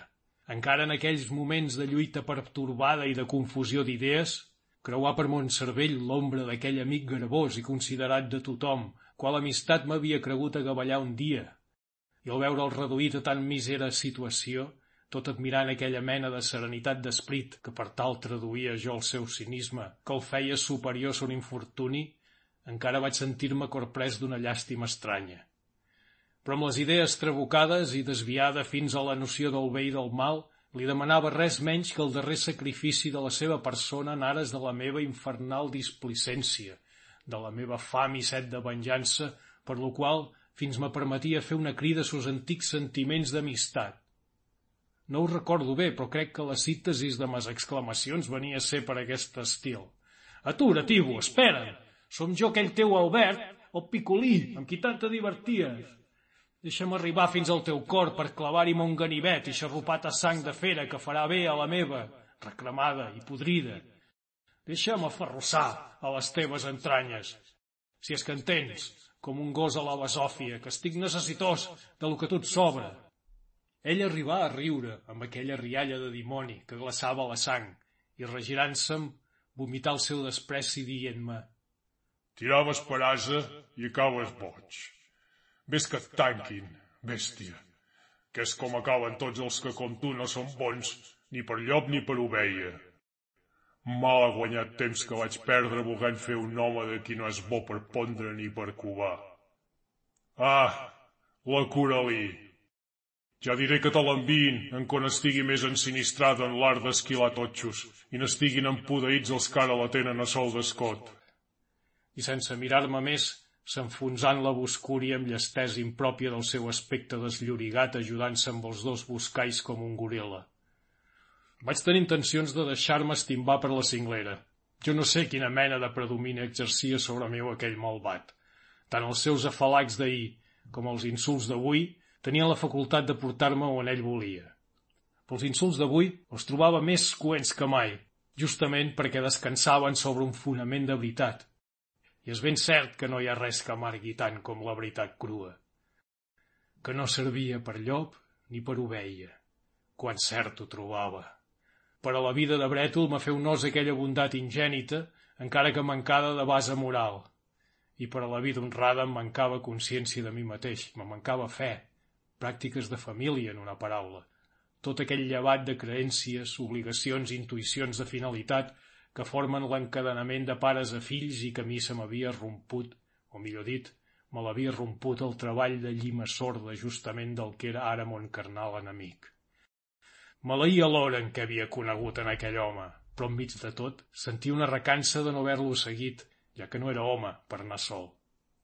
Potser a la fi m'hauria fet a les seves grulleres gaubances i hauria fruït de les platxeries del cos, ja que les de l'esperit m'estaven badades per desconèixer la clau de la seva incògnita, si és que existia per algú. Així, per lo menys m'hauria estalviat de passar-me la joventut glatint rosegons i guitant el rascle, com deia ell. Tot això ho raonava jo més tèrbolament encara del que ho escric, entremig de rafegades sagnoses que m'entalaven els ulls i de clopades de fel que em feien sanglotar, tot esgarrapant cap amunt pels matolls i relleixos de la cinglera. El meu ànim era voltar ràpidament per la marrada amb l'esperança llunyana de segar-li a l'Ivo l'avantatge o seguir-li el rastre, confiat en què pel seu estat no podia haver-se allunyat molt del lloc de la caiguda. Si hagués tingut el cap serè, hauria remassat una dotzena de minyons de bona cama i marcant-los i bé el lloc de desaparició de l'esparver, se podia fer una batuda al bosc en tota forma amb alguna esperança d'èxit. Més estava tan desorganitzat de cervell i tan divorciat mon esprit de tota acció col·lectiva que ni vaig recordar-me de tal cosa, a part de que tampoc vaig topar-me en cap d'ells. Un cop dalt, vaig desfer bona part del camí de la nit passada, resseguint l'espadat per la cornisa i enfonsant-me en les marrades difícils i emboscades de matacans. L'afany d'avançar camí me'n feu perdre, perquè no coneixent bé les tasqueres topava amb badrunes inaccessibles, allà on creia que el terreny era llis. Per fi, creixent d'orientació, perquè l'espessor del bosc me privava de veure les muntanyes, Vaig perdre l'esma. A llavors no em quedà més remei que de ballar sempre fins a la torrentera, per arribar remuntant-la fins a les raconades. Això suposava encara major marrada, però era preferible seguir rodant a l'aventura per entre aquella inextricable selva. Devia renunciar al propòsit de segar l'esparver a l'avantatge i concretar-me a tractar de seguir-li el rastre. Amb penes i treballs, fent de la torrentera camí i passant en molts indrets les gorges aigua enllà, vaig arribar per fi en aquella darrera i més espantosa ruga de la cinglera on bremolaven les cascates acallant tot altre signe de vida quan ja fosquejava. No vaig trigar gaire en reconèixer la fossa dels infeliços estimbats, molts dels quals ja hi han mig empastats sobre les roques, enrugint amb la seva sang les gorgues manses. Altres penjaven mig esquarterats pels brancais dels verns i alzines. Vaig reconèixer l'arbre en què suposava havia l'esparver fet el salt mortal, esglaiant-me de veure retorcit enmig de son brancatge un cos humà. Era que aquell, tal volta en tota la intenció, havia associat un altre a la seva sort. Ho vaig deduir de que, a més de que aquest restava encara agarrotat al brancatge amb la pròpia faixa, se'n veien els restos d'un altre que havia sigut tallada. Al atensar-m'hi, notíem més sorpresa encara que aquell cos capulat com un manat de carmuixes passades per l'estriculador encara blaixava, respirant amb un ruflet metàl·lic i acompassat, precursor de l'agonia. Vaig reconèixer-el de seguida per aquell mal carat de roig que acompanyava l'avi el dia de la topada de l'hostal. La mateixa barba de fregar i les mateixes dents blanques darrere d'uns llavis curts de pell, la mateixa mirada blava i freda que sempre fitava com la d'aquells retratos que poseu-los com vulgueu, sempre us guaiten, i sobretot aquella mitja rialla, no sé si estúpida o maligna, que ens rabiava. I doncs, roig, què us has devingut avui? vaig dir-li, espantant-me el ressò de la pròpia veu per aquelles verticals terrorífiques. L'infeliç no donà més senyals d'intel·ligència que la concentració de la seva mirada freda com si volgués traspassar-me, accentuant aquell principi de somrís estúpid o criminal. Pel de més, seguia el ritme del seu gemegó. Iec, iec, i sempre el mateix, vaig fer-li altres preguntes sobre l'esparver i sobre la coralí amb el mateix resultat. Sols al parlar-li d'aquesta em semblà que la mitja rialla tornava més morriesca i que el nyi que li sortia de la gola adquiria un to més marcadament burleta. Això m'exasperà, fent-me aixecar l'arma pel canó i amenaçant descarregar-li la culata sobre el pit. Digues ara, roig de mal pèl, que s'és feta de la coralí. Digues-ho o t'estenallo aquí mateix la carcassa. I res més, sinó insultar-me amb la mirada i amb la seva rialla de bestiota. La culata va caure sobre el seu pit que ressonà com un sac ple de terrissa trencada, reixumant la sang per molts indrets sobre la jarra seca i negrosa que li empastava la roba. Horroritzat d'ell i de mi, vaig girar-me en rodó, anant a caure mig recolzat sobre les roques del llit del torrent, sense ni recordar-me d'anar a buscar el rastre de l'esparver. Les cingleres que m'envoltaven, regressant-se gegantines sobre mon cap, retallaven finament llurs freus i puntes sobre la dèbil celistia, sense relleus, com les dents d'una serra colossal, entorn d'aquell lloc profund en quals relleixos i negrejava a grops la boscúria lleugerament entelada en alguns punts per un principi de boira blavosa que es congriava en el fons de la torrentera. El silenci fora absolut a no ser per la braó de les aigües sallentines que corrien revoltada riera avall.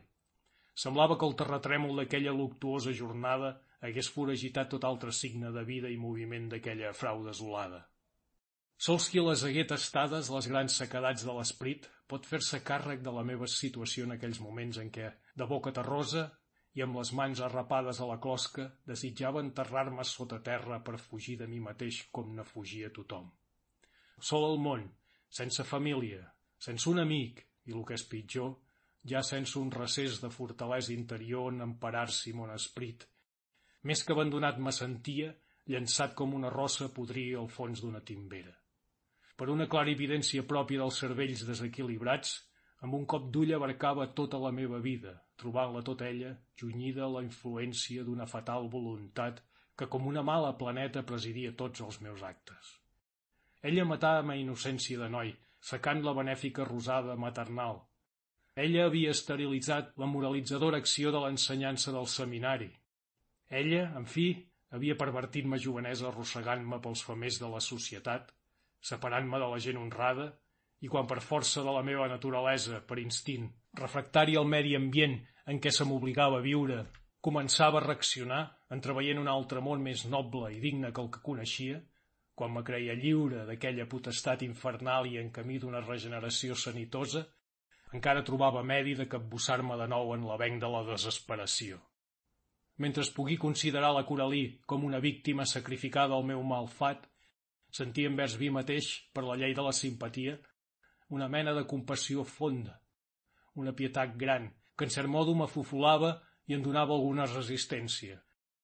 Però des de que havia adquirit la certitud de la seva claudicació, d'aquella, la que havia d'alçar-me del fangal en què em revolcava, tampoc havia sabut o volgut resistir l'onada pestilent i corruptora, aquella compassió i aquella pietat, que s'havien anat debilitant com si cada vegada me'n considerés menys digne, acabaren per fer plaça una mena d'odi bestial. Era el dimoni aquell de les dues naturaleses que fins combatent-se semblaven sostenir-se mútuament i ara s'anul·laven. Era la darrera etapa d'aquell procés desesperat. Fins l'espectacle d'aquell miserable desconegut, fill de qui sap on i de qui sap qui, que després d'una vida de bèstia, amb la mateixa despreocupació d'una bèstia es moria, sense protestes ni sentimentalismes de cap mena, m'acabava d'exasperar per lo que m'enxiquia amb uns propis ulls i embullant-me les pròpies idees que en quedaven. Però el seu estertor rítmic s'havia anat infiltrant de tal manera en el meu magí com si sortís de mi mateix. Semblava com un pèndol que marqués un temps que finia, com si fos jo mateix que agonissés, o millor dit, el meu món que s'anés acabant, esveint-se engolit per les tenebres del no-res. I quan després de debilitar-se paulatinament cessà per complet, m'adongui per mort. Però cosa estranya, a llavors d'aquell cúmul de despulles, d'aquell pilot de podridura que no era més que egoistes residus d'il·lusions i esperances fallides, n'ha ressortir un sentiment airat de rebeldia desenfrenada, de concupiscència no satisfeta que em feu votar contra el cel com si allí existís el poder que em subjugava. De peu dret, aixequí els braços a la boca d'aquell pou espantós, amb les mans crispades, amenaçadores, com si volgués esgarrapar les estrelles però eren tan altes. Déu meu, Déu meu si ho eren. Mai m'ho havien semblat tant. I miraven d'una manera com si reflectessin tot el cinisme d'aquella mitja rialla que no s'havia esborrat encara del cadàver que allí. I tota aquella immensitat d'espai m'aglanava amb el seu pes de just del que em retorcia jo, com un cuc de terra sota la petja d'un bou. Vençut, rebregat i destruïts els darrers vestigis del meu ser moral, vaig caure d'espatlles rompent en un plor sec, sense llàgrimes, que malament podria dar-les mon cor aixerraït com un esca, barrat a la fe, a la caritat i a l'esperança. Fi del capítol.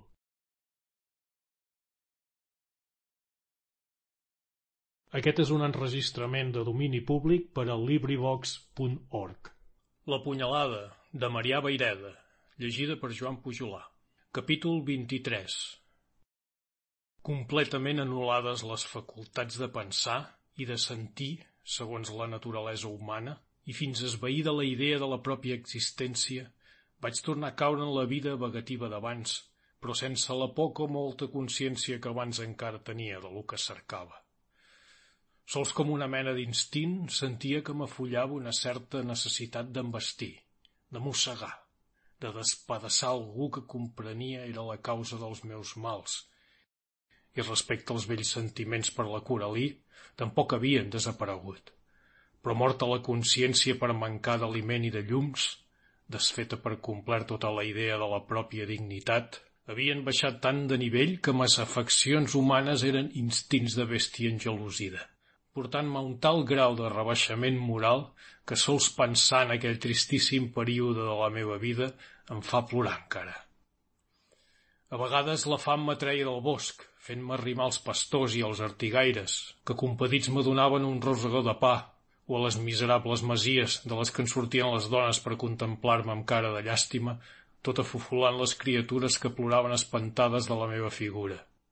En certs moments semblava alçar-se la boira de plom que m'entenebrava i un raig d'alegria, sense idea, semblava invadir tot el meu ser. Llavors sentia ganes de cantar i de ballar i cantava i ballava davant dels pagesos, sentint-me tot admirat de que la seva alegria no se'ls comuniqués en ells, sinó tot el contrari, que se'ls allargaven encara més les cares i les criatures s'espantaven més. Allò m'exaltava, deseixint-me a vegades amb improperis i amenaces contra els presents que en lloc d'indignar-se prenien un posat més compassiu encara. Un dia deguera-hi propassant-me en matèria grava, no recordo en què, sols tinc idea que, després de molta brega, em vegi tancat en un corral, on permanesquí llarguíssimes hores alimentant-me de crostons de pa que em passaven a través d'una retxa de fusta.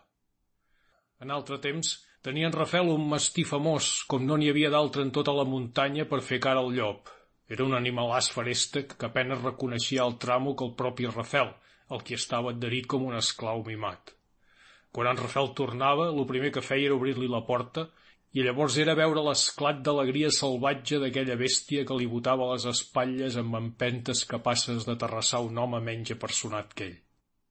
Ara bé, mon captiveri i aquella retxa em portaren a la memòria el mastí captiu com jo, i aquella idea s'anà infiltrant de tal manera en mon pobre cervell malalt i incapaç de coordinar gaires idees que vaig acabar per identificar-me amb el record d'aquella bèstia, de tal manera com si fos ella mateixa. Així, quan després de molt temps s'obrien un dia a la porta i aparegué en Rafel, vaig sentir un esclat de joia verament bestial i alçant-me rebent vaig dirigir-me vers ell amb ànim de saltar-li a les espatlles com feia el mastí. Més ell, repel·lint-me amb el peu, m'acanà l'esquena crudelment amb una vara de freixa que duia a la mà. La cara de ferro i l'insòlit d'aquell Déu vos guard de l'amic de tota la vida ressonar dolorosament en la buidor de mon cor com una maledicció dins d'una tomba. La decepció, més encara que el dolor, me feu caure per terra exclamant «Rafael, tu també em pegues?» No sé quines inflexions de veu devien vibrar en aquell gemec d'ànima morta que encara pogué exhalar-se d'entre les consumides despulles de Montsé. La veritat és que en Rafael esdevingué groc com la cera i que llançant la vara un racó es tapava amb una mala cara. Després, girant-se'm de nou, me diguem tot sec i contingut. Segueix-me, Albert. Sortírem a fora. A l'era hi havia vàries persones que em miraven calladament i en compassió barrejada de recel. Un home arranjava un matxo amb una albarda. Un altre tenia a la mà una forta cordilla. Per algunes mitges paraules i per certes llambregades entre compassives i desconfiades que en donaven, comprengui del que es tractava. Doncs semblava que la garrotada d'en Rafel hagués tingut la virtut d'obrir una lluerna en mon conturbat enteniment. Se tractava senzillament de dur-me a l'hospital de Girona, de recluir-me a la bogeria. Aquesta revelació em deixà aglanat, despertant-me una desesperació fonda però impotent. Tan impotent que ni tan sols concebia la idea de revolta, el que la feia més dolorosa. Prou que l'havia vista d'estudiant, aquella casa fúnebre i desvirundada, amb aquells corredors foscos i de parets brutes i aquelles finestres petites, altes i enratxades, on s'hi debatien macilents i malaconduïts els pobres malalts del cervell. I prou vegades m'havia condolgut i fins capficat amb la sort d'aquells infeliços enterrats en vida per no posar-se amb els cabells de punxa sols el pensar que em tocava per final de la meva desventurada vida anar a sumar-me amb aquelles ànimes difuntes.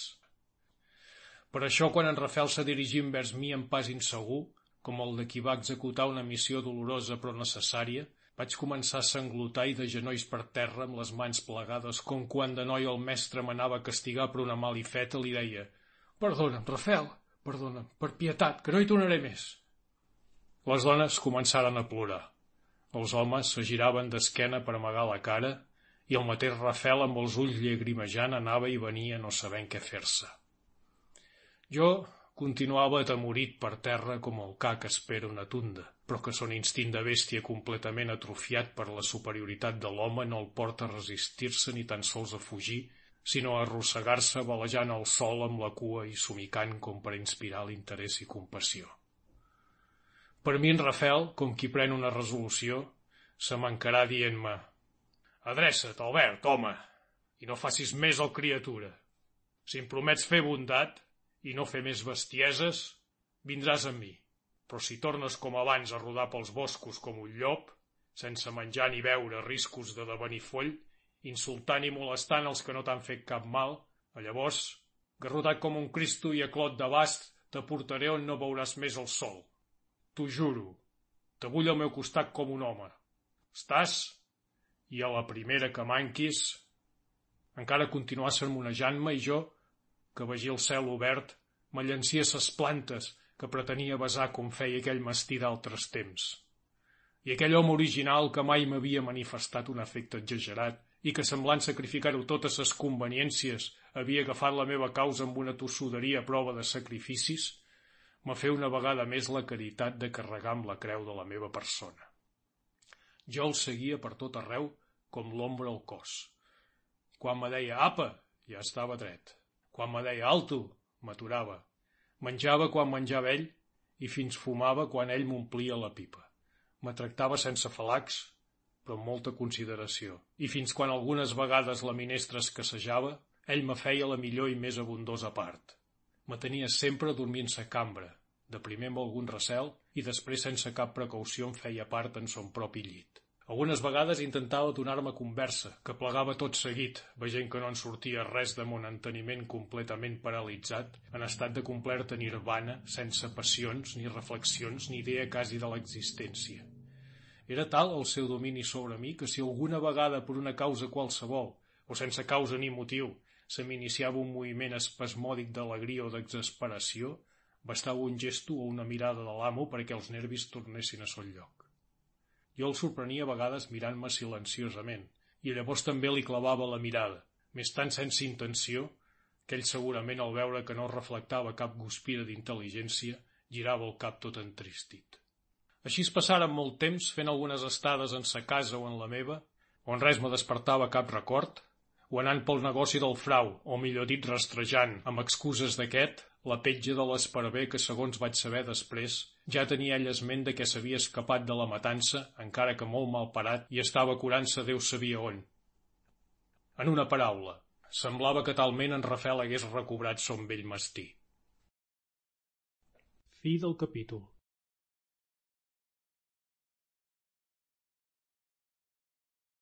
Aquest és un enregistrament de domini públic per a LibriVox.org. La punyalada, de Marià Vaireda, llegida per Joan Pujolà. Capítol 24 Un vell matí de maig sortirem encara fos de la masia dels Plans, on havien fet nit, i travessàrem el Llierca per sota el pas del Duc. La riera portava molta d'aigua per causa de les passades pluges, i també en Rafel que seria impossible remuntar el rieral per les farèstegues gorges del pas d'en Roca, sense passar l'aigua igual moltes vegades, m'estava consultant, igual que si parlés amb son mastí, de la conveniència d'emprendre les marrades de lliure. Tot just la primera llum del dia començava a posar de relleu les verdents de les muntanyes, i estant el cel serè, sol sobirava una lleugera filagarça de núvol que es gronxava mandrosament arran de cingle per damunt del celler de l'emmetllada, que ve a ser una depressió d'aquesta muntanya, tal com si una punyada de gegant li hagués enfonsat les costelles. En Rafel, fixant-s'hi, me l'assenyalà amb el dit preguntant-me «Què et sembla que és allò que s'esfuma per damunt del celler? Fum o boira?» «És fum o boira», vaig fer jo, badant com un encantat. «Au, anem, Reprengué ell al cap de poc, quan ja quasi era fos aquella lleugeríssima taca, i tornàrem a caminar. S'anava fent dia clar, el cel era puríssim, d'un blau fosc reglaçat. La temperatura era tan flonja i agradosa que jo començava a sentir un revifament interior com si em toqués l'alè de resurrecció que respirava l'esplèndid del primaveral panorama que es desplegava a nostra vista. A l'esquerra s'estenien les corbateres, com un muradal immens figurant una fortalesa amb sorreductes, terrasses i merlets. Al primer terme caminaven per correus abandonats que groguejaven com catifa de corpus amb la florida de la llitja i la gata rabiosa. Aquella riquíssima nota daurada s'anava ponderant, erms enllà, agrupant-se entorn de les mates de gòdoles que també en plena florida flamejaven com fogarades, anant algunes d'elles a esclatar com bombardes als peus del Puig de Molins, qual vegetació gegantina d'un verd intens s'enlairava com un cimall davant de castell s'espasa muntat com un caire com a tall de cimitarra. Darrere d'ell, la negrosa boscúria de l'emmetllada, mig tapant el reclòs del celler sobre el que rogejaven les esmicolades cingleres com una nafra mig resseca, i per damunt d'aquesta muntanya, les espantoses verticals del salt de la núvia esblaimant-se amb tornassols de perla. I més lluny encara, entre les fosques cingleres de lliure que limitaven el quadre per la dreta, apuntaven al nas les canals d'uja, aperduades i finalment enrogides pels primers reflets de l'aurora que anunciava la sortida del sol del fons del mar de roses. No sé per què m'ha quedat memòria d'aquell quadre de luxuriosa primavera, d'aquell aire embaumat que em vivificava els pulmons, d'aquella harmonia d'exuberants colors que semblaven gronxar-se dins d'una atmosfera saturada de polsina d'or d'aquella xerradissa d'ocells que m'afalagava els sentits com un pessigolleig de mar amorosa. Jo em fruïa d'aquell ambient de poesia que semblava desvetllar-me quelcom de dormit al fons de les entranyes, però em fruïa com de frau, amb l'ànsia i trascor del bailet que guaita pel pany de la clau les esplèndides del palau barrat a les seves plantes. Encara en les foscors del meu enteniment aclocat tornava a pressentir l'existència d'una supernaturalesa, d'un món idealitzat per una vida ultraorgànica, espiritual, accessible sols a uns sers d'escala superior a la meva. Però en l'aniquilament de totes mes passions no ho agreujava com abans, però em complavia de disfrutar-ne de magatotis, com el ca fidel de les riques olors que exhalen les viandes que ja sap que no es couen per ell. Fins en Rafel, aquella naturalesa refractària tot exquisitat, semblava tot transformat i com si li n'arribés bona cosa d'aquell exuberant cant de vida. Caminava satisfet, xiulava i fins a moments tarallejava amb veu desentonada algunes cançons de la terra i de tant en tant, fregant-se les mans, deia com per ell tot sol «Minyons de Déu, quina matinada més maca!» Això revifa el cor. A l'anar a emprendre la primera marrada, sobresortiren per damunt dels cants de l'ocellada els picarols d'un ramat de cabres i la veu joiosa i metàl·lica de la seva pastorela cantonava harmoniosament muntanyenques corrandes. Sents com refila la dinderella? Fer un rafel mig girant-se. Sembla talment que fins els rossinyols separin per escoltar-la. Al cap de poc ens trobàvem sota la llisera on la dinderella, amb la filosa engallada i amb la mà dreta fent dansar el fus, es platjava la seva alegria cantant dreta damunt d'una pedra, com una cogullada dalt d'un terrós. Visca la dinderella! cridà en Rafel, alegrement, encarant-s'hi. Que ja tens galindó, que tant refiles, maca. Això pla, feu ella, joiosament. Faig crida per si surt. Doncs aquí en tens un que, si no et fes mal estrogança, poca se faria enrere, digué ell, plantant-se amb afectada fatxenda. Alça, pom de flors, Se coneix que no sent la vostra Mònica, que no les malvestaríeu així, les amoretes, torna ella rient. Aneu allà, coco! Què vols dir de la Mònica? Que no es pot morir o plantar-me de semblant faissó? I que no és de prudència buscar-se una poma per la set? I tu ets bé, una poma camusina. Va tu el drac, una moixina refistolada com un esquirol. Ja et diuen bé la dinderella, rossinyol cantaire. Digue'm que sí, és que no li escauria la dinterella a la gola d'un marrà. Li anirà millor la borromba. Mireu la petarrella! Fer un rafel girant-se, mi rient de gust. Mai cap mossa m'havia servit una carbassa tan ben amanida. Després, tornant a ella, Bé, Poncella, li digué, veig que tens el tel ben trencat, però ja n'hi ha prou de blaga. Baixa, que t'haig de donar un recado. Ella es resistia, tement una bromada, més a la fi, veient la insistència d'en Rafel, baixar tot continuant la tarola seguida del seu ca. S'atensà a poc a poc, tot dirigint-me a mi de gauixell i embregades receloses, mentre son gos venia a ensumar-me com si fos de la seva casta. Digue'm, xerida, li feu en Rafel quan la tingui prop. Qui té més gana, tu o les cabres? Au allà, ja em fuma, feu ella regirant-se per marxar tot fent ligonyes. Ja m'ho havia pensat que m'ho deia per folga. No, no, escolta'm, feu ella en posat d'agafar-la, més ella armant-se amb la filosa. Mans curtes, eh? li digué. O us estacareu truc? Escolta'm, dona, repetia ell posant-se sèrio. Prou de barloca, que va de veres. A quina hora engegues? Va com va. Avui ja era fora abans de trenc de dia. Com que tinc que tancar a les vuit, per mort de la munyida. Digues. I deus mirar al cel per si dona senyals de pluja, oi? I ara, a vos què us fa? Ja hi tornem? Va de sèrio. Veu deus llucar si el bastracà porta caputxa. Si el bassegó de fuma en pipa. Si les fondalades de brull sospiren. Tots els guardians fan lo mateix. Que va, que avui has vist una fila garça de boira per damunt del celler. Avui i altres matinades també. Feu ella després de fitar-li la mirada i amb un posat un xic encuriosit. Veus, dona? Doncs també l'hem vist nosaltres des de, just del pas del duc. Uh, I que disputàvem sobre si era fum o boira. Què et sembla tu que era? Fum? O boira? Feu ella mig rient amb mueca, com si hagués sentit la meva resposta de llavors. És el que nosaltres hem dit, però a tu, que ho has vist altres dies, què te n'apar? Digui ell amb insistència estranya. I ara, a mi què em fa? Feu ella rient i fent posat d'esmunyir-se. Aneu a veure, i si era fum, bé prou trobareu la cendra. En Rafel la retingué amb el posat i insistir. Però si tu creus que és fum, com s'explica? Jo no sé pas que hi hagi carboners, ni artigaires, ni escapiadors. I de bandolers, des de l'estanellada de Bruís, no s'encanta gall ni gallina. A més que allí no hi ha cau, ni tuta, ni una mala gaserna. S'ho sap si n'hi ha. Feu la noia per tota resposta. En Rafel baixà més la veu i des d'aquell moment no vaig sentir res més. Semblava tenir subjecte la noia a una sèria confidència i ella, ara sèria, ara riallera, contestava en poques paraules com si les hi arrenqués amb ganxo, regirant-se sovint com si volgués esmunyir-se. Els detalls de tota aquesta escena els ha reconstruït després Montmagí perquè llavors escoltava i sentia com qui sent ploure. Sentat damunt d'un roc, m'entretenia jugant amb el ca com si fóssim germans. Però recordo bé que la vista d'aquella joveneta, menuda, esparpillada i escaienta, me despertava com un confús record agradols d'altra figura consemblant.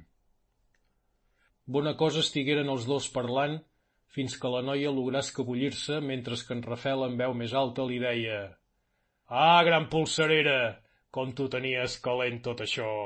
Cara mai havia set preguntada, respongué ella, i tot guimbant cap amunt, aclamava el gos aquissant-lo vers les cabres escampades pel terme, fent ressonar sa veu metàl·lica per l'encontrada. Musti, volta la morena! Ara la bigarra passa per dalt. Musti, a dalt, dalt, dalt, dalt, pisca-la. En Rafel vingué amb mi, encarant-se'm amb la cara animada, me digué a mitja veu. Fum, i no boira, era el que vèiem, saps?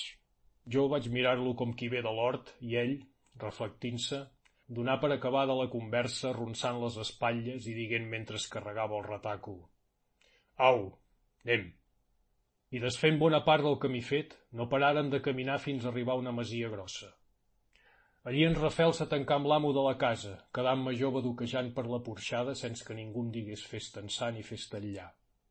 Després sortí i mentre l'amo s'arranjava a peu de marxa, ell me digué que jo em quedaria allí fins a la tarda en què vindria a buscar-me.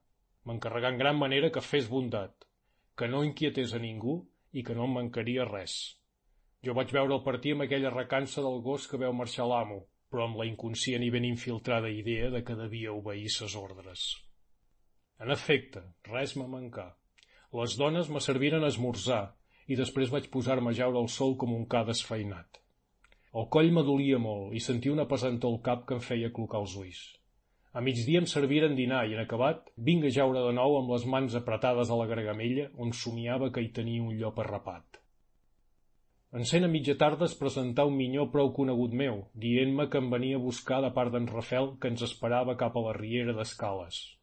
Partirem i sense canviar paraula caminàrem més d'una hora i mitja fins que trobàrem en en Rafel junt amb altres individus armats, entre ells una parella de Mossos de les Esquadres per damunt del pas de Prius.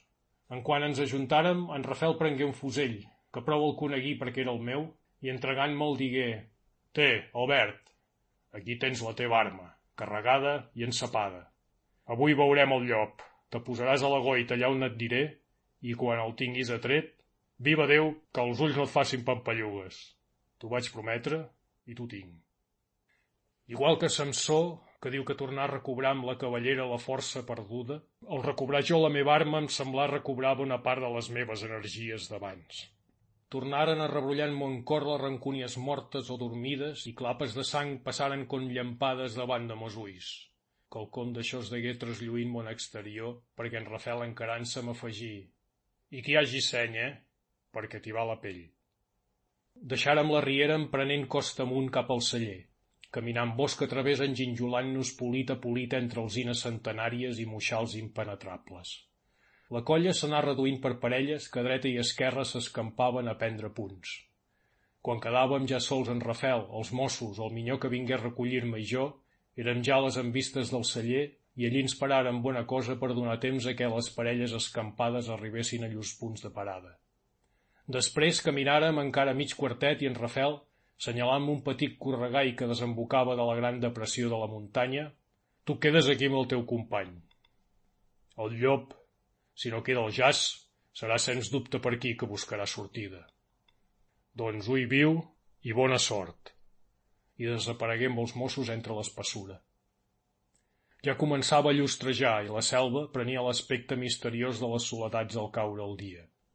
Jo estava en una mena d'inconsciència estranya que, no obstant, no em permetia perdre cap incident ni deixar de desxifrar cap de les remors que del sotabosc se desprenien.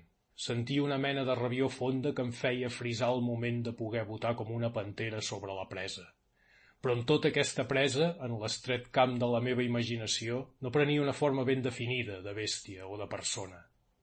Passaren llargs moments d'espera sense que amb mon company ens creuéssim paraula xica ni grossa. Els dos, arraulits al peu d'una soca, escoltàvem atents quan ja els ulls començaven a perdre la forma dels troncs més llunyers. Per fi s'aixecà una vaga remor. Allà lluny, cap a les profunditats de la vessant al peu de la cinglera, sonaren alguns trets i entre l'alabrai de crits inintel·ligibles s'apercibí clara una veu que deia «Toi avall, els del còrrec!» Ens posàrem de peu i passaren encara alguns minuts sense que poguéssim orientar-nos. Després se sentí cap a nostre indret un rossegall de bardisses com el rastre d'un senglant calçat cap a la dreta un poc amunt. Vaig dirigir-me cap allí corrent mentre mon company me cridava no ens moquem d'aquí, és el corre que hem de vigilar. Però el meu instint de gos m'ha portat dret a la trajectòria que duia la peça. Vaig esperar-la en una petita clariana i allí ens toparen tu per tu, quedant-nos parats, estamordits, com horroritzats de mirar-nos l'un a l'altre. Ell caminava grosses batzegades com un aire ferit, obrint-se pas entre les verdisses amb l'empenta d'una llau, tot deixant-hi un rastre de pallingos de rob i de carn. Duia unes barbasses cargolades a badies que penjaven d'una cara reduïda a la pell i l'os, com una mòmia de frare caputxí. Dins de les conques de sos ulls, que de tan foscos semblaven buidats, hi ballaven dues guspires de foc i amb ses mans de calavera armades amb ungles d'esparver, empunyava amb l'esquerra un buscai amb què s'ajudava per fer el saltiró i amb l'altre el retaco engallat. Brevíssims instants durant nostra suspensió. Tots surts, digué ell amb veu que li baumejava dins del pit. On vas? vaig fer jo quasi al mateix temps. A l'infern, i tu al darrere meu, va respondre amb veu sinistra ensems que engaltant-se simultàniament les dues armes ressonaven els dos trets en un mateix bàrbol. Vaig sentir que l'arma em desapareixia de les mans fetes telles amb una sacsejada forta que em feu trontollar, i per entre el fum de la pólvora vegi l'esparver que també s'esgarrapava per no caure i em llencí sobre d'ell, començant els dos a rodar capgirells per damunt de la gleba. Aviat vaig poder ferrossar-me-li el coll començant a rosegar-li la carn amb una força inconcebible. Me sentia més gos que mai, i l'esfrimolar entre les dents d'aquella carnassa dura consola em produïa una sensació de plaer intensa enterament pròpia de les bèsties.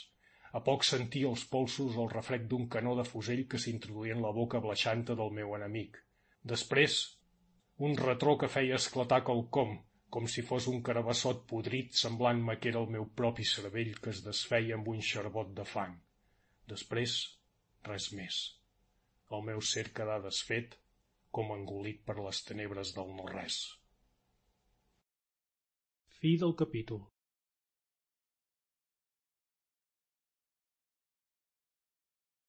Aquest és un enregistrament de domini públic per al LibriVox.org. La punyalada, de Marià Beireda, llegida per Joan Pujolà. Capítol 25 Una tenebra impenetrable, un silenci absolut i una buidor immensa embolcallava en mon esperit sepultat en les negacions del no-res. Poca tinc consciència de lo que va durar aquell estat, perquè les tenebres, el silenci, el baucis, signes de mort, anulen la idea del temps que és el darrer signe de vida.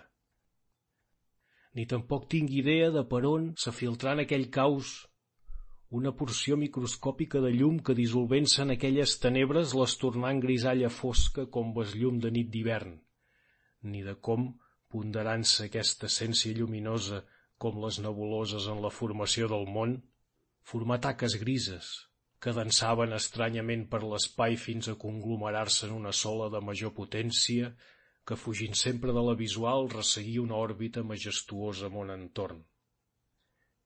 I aquella taca semblava prendre formes positives, com de signes cabalístics indexifrables per a una intel·ligència majorment atrofiada com la meva, per més que sentia iniciar-se en mon ser com una voluntat rudimentària de penetrar-los.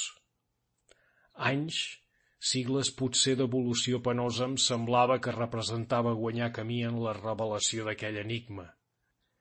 Revelació que pressentia, que desitjava i fins que perseguia amb una obsessió de cervell enfebrat, però que la falta de pressió del medi ambient en què em debatia, engendrant sols unes ànsies malaltisses que amb tot pesaven dolorosament sobre ma consciència embrionària, no em permetia assolir sinó per modo lent i mesurat. A poc a poc, no obstant, anava prenent nova forma aquella taca cabalística, i la idea començar a apuntar entre l'enrebaçada xarxa de l'enigma, idea representativa d'una forma humana. Era ella. Qui era ella? Jo ja no ho sabia. Sols trobava que aquella forma s'identificava amb quelcom que ja hi ha mort dintre meu, que s'emmollava amb algunes de les despulles d'allò que abans en mi vivia, com la forma del poll acabat de néixer s'ajusta encara a les clofolles de l'ou que l'ha mullat. Però a mida que avançava la gestació d'aquella idea, semblava irradiar sobre el meu cervell una major energia que tornava en major accelerament del període evolutiu d'aquella. Després de la vista, començà la reacció del sentit de l'oïdo. De primer, era sols una munió de sons indeterminats que comprenien des de la confusa braó de la cascata fins a l'estrident metàl·lic ressò del rotllo de la iglesia que arribaven de quan en quan a ponderar-se fins a formar la paraula. Albert, que jo tampoc comprenia el que significava, però que en l'esquifinyall de consciència que se m'estava formant recollia com a pertinent a la idea que ens subjugava. Per fi, entre la buidor de l'espai, alguns cops sentia contactes que em semblaven coadjuvar l'obra de resurrecció que tan treballosament s'estava realitzant. I la idea que va per aparèixer, encara que confusa i disfumada potser per falta de material de llum o tal volta d'eficiència dels òrgans destinats a apreciar-la. Era la Coralí que tenia al davant. Una volta precisada, la fórmula cobrava el miracle de ressuscitar les meves potències mortes, semblà que aquestes caminaven dretament vers la plenitud de llurs ideals. Recordo haver recollit no sé on una llegenda estranya que arranca de les foscors de la mitologia índica. Se refereix en aquells temps en què les pestes assolaven aquella terra cobrint els camps de morts, pitjor que les més cruentes batalles. Sorià, divinitat representada per al sol, S'acondolia de tanta matança i volia posar-hi remei retornant la vida a tants infeliços.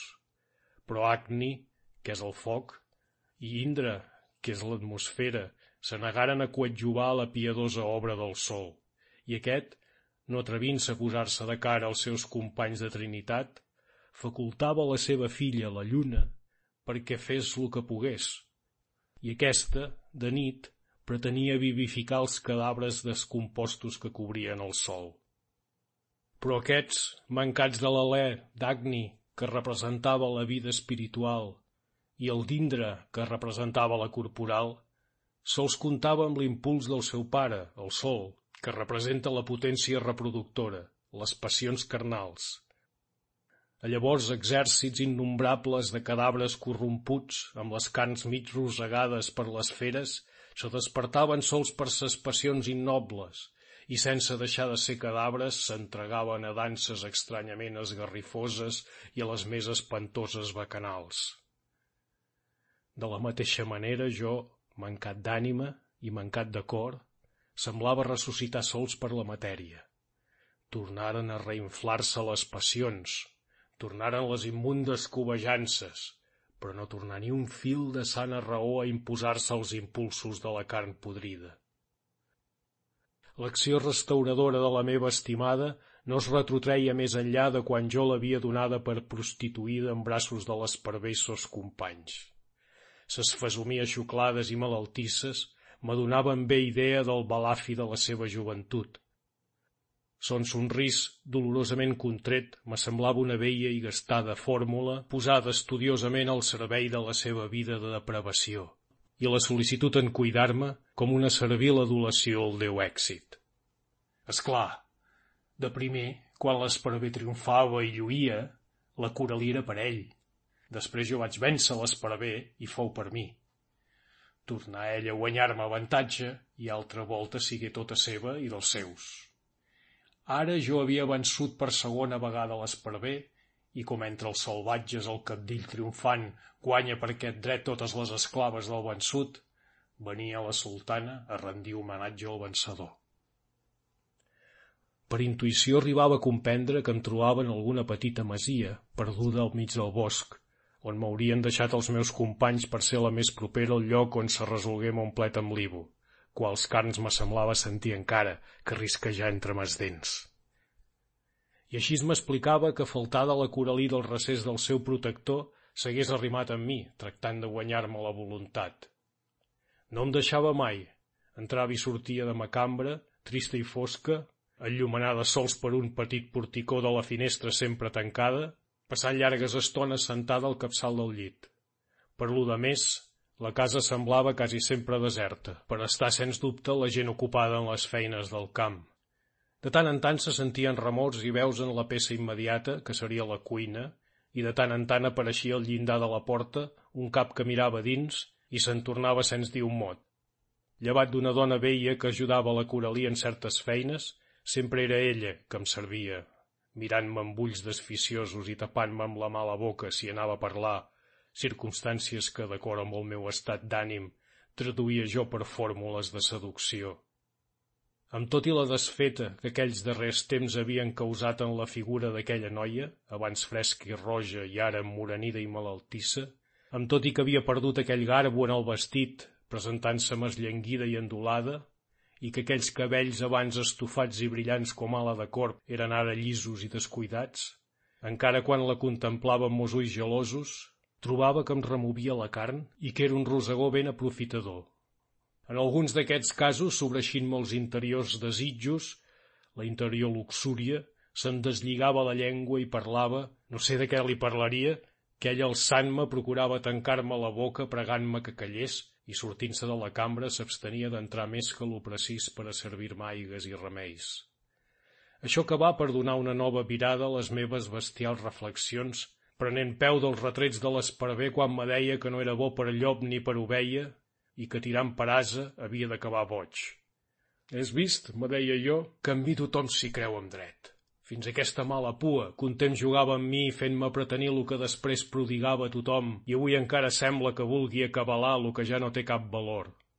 I per aquest camí vinga a donar tortura al poc magí de què disposava tota la mercè de la carn sense que per lloc vingués una espurna de raó sana a posar fre al maligne esperit que em corsecava la carn enfebrada. La mina s'anà carregant. Un dia, l'absolut silenci que regnava en la casa denotava que era deserta. Sols la Coralí feinejava per la cuina i de quan en quan entrava tensant-se fins a mon llit. Potser la mala intenció del projecte que covava em feia parèixer més sossegat, per lo que ella es mostrava confiada, fent-me alguna altra pregunta i dirigint-me algun amorós somrís que m'acabava d'encendre els apetits. Un moment en què ell havia sortit vaig provar de posar en moviment mos membres entomits que respongueren millor de lo que era d'esperar després de tants temps d'inacció. Llavors, la febre demoníaca que interiorment me devorava pujar de punt i llançant les robes d'una revolada, vaig saltar del llit. La remor inusitada tragué a la noia que al veure en tal estat llançà un crit. Què fas, desventurat? Que vols morir-te? Torna al llit, Albert, per Déu. Intentà obligar-m'hi, però jo vaig posar-li la grapa a sobre, que tal devia ser el meu posat que la noia esfereïda es feu enrere vers la porta. Més jo, amb una llestesa que ella no podia esperar-se, vaig guanyar-li l'acció tancant-la amb clau i llançant aquesta sota el llit. A llavors, igual que una bèstia gelosa, vaig tirar-me sobre d'ella, vaig atreure-la amb una força a la que ella inútilment tractà de resistir, volcant-la damunt del llit, ensems que ella, pugnant com una víctima, exclamava «Verge del coral, empareu-me!» Una terrible fiblada semblà partir-me el cor una sensació agudíssima. Penetrant-me entre dues costelles invadí tot mon ser, posant en vibració tots mos nervis, arribant al paroxisme del dolor a produir-me un esvaïment de cap fins a perdre el món de vista. Fou sols curts moments. Al revenir-me em trobava de peus a terra estontolat sobre la màrfaga i sentia un doll de sang encesa que lliscant-me pel cos avall s'escorria per terra enmig del greu dolor que encara em doblegava, sentia una mena de sensació benfactora, com la del malalt a qui el doctor d'un cop de llanceta ha rebentat un tumor ple de posterna. Aquesta sensació benfactora semblava afectar directament el cap, qual potència se m'aclaria com si despertés d'un pesat son. Llavors vaig adonar-me de la pobra Coralí, que de genolls en terra i amb la testa alta semblava parlar al cel. En les mans a l'alçada del pit, en actitud d'ofertori i tenia un punyal tot sagnós. Aquell mateix punyal que jo vaig regalar-li un dia i que jo mateix vaig presenciar quan el feia passar per les mans de la verge del santuari del coral. Estava descolorida, esblaimada com un desenterrat, i la cavallera se li havia estufat com enarissada d'horror. Va recordar-me aquell altre jorn que en circumstàncies consemblants jo vaig fer-li d'àngel de la guarda, també duia la còfia de gairell i la roba espallofida i desfardada per la lluita. Però així com a llavors en sa desesperada excitació s'hi notava una veu de protesta com de fera burxada, ara era més bé la imatge dolorosa d'un cor aclaparat per la immensitat del darrer sacrifici. Sos llavis se movien penosament, tot parlant de cara en l'aire, com un penitent in articulo mortis. Verge Santa, deia, ja sabeu vos que no era pas per ell que duia aquesta eina, sinó per l'altre. De les embestides de l'enemic me n'haveu salvar de vos per vostra gràcia i les de l'estimat heu volgut que me'n lliurés per mi mateixa? Potser perquè, bevent fins la darrera gota del calze de l'amargura, me fes més digne de vos. N'hi havia tanta d'amargura en sos ulls amarats era tan punyent el tremolós accent de sa veu i era tan horripilant tot el seu posat que mi semblava despedaçar-me l'ànima. I la sang que seguia escolant-se'n per la ferida, malgrat la pressió que feia amb la mà per deturar-la, desenfarfegant-me les entranyes, semblava deixar-les per a son funcionament amb una llibertat que mai havien tingut. El cervell, sobretot, amb una elasticitat desconeguda, semblava vibrar com una copa de cristall, reflectant les idees amb la transparència del diamant. Tota la meva trista història, l'enormitat de la meva conducta, tot se'n feia present amb una puresa de contorns verament admirable. A llavors, entrant en comparances, vaig començar a comprendre que per grosses que fossin les meves desventures, encara hi havia un ser per a qui ho havien sigut molt més. A llavors vaig mirar la gran distància que entre jo i ella hi mediava, trobant que eren poques i merescudes les meves penes davant de les seves incommensurables. I per primera vegada una pietat immensa vers ella invadí el meu ser. Per primera vegada de la vida vaig treure els ulls de les pròpies necessitats per condolir-me de les necessitats ajenes. Doblegant-se amb les cames, vaig trobar-me aviat de genolls sobre ma pròpia sang, allargant els braços vers la noia que continuava pregant en dolorós èxtasis. «Coralí!» vaig cridar-li, i ella tot es commogué com una víctima que present un nou atac. «Coralí, no temis!» que ja sóc curat. El meu cos, purgat de la sang endemoniada pel mal esperit, ha obert els ulls a la veritat. Ni ara ni abans mai he estat digne de tu, però fins ara no ho he comprès. Amb la mort m'adons la vida i te'n sento ben grat, perquè val més un instant de llum que tota una vida de tenebres. Perdona'm i encomana'm a Déu i compadeix-me, com jo compadeixo a tu. I entremig de les boires que m'entalaven els ulls, encara vaig veure que venia a mi i em mirava amb els seus grans ulls negats en plor vaig mirar-la sobre el pedestal de ses desventures sublimada per les virtuts, condolint-se de mi infeliç a qui les mateixes desventures, per falta de virtuts, havien precipitat al fons de l'abim. La vaig veure sorgir maculada d'entremig dels xerbots de llot, amb què tots fins jo, el seu estimat, havien volgut cobrir-la. Vaig adorar-la des del fons del cor com un ser sobrenatural, reflexo d'una divinitat en què començava a creure.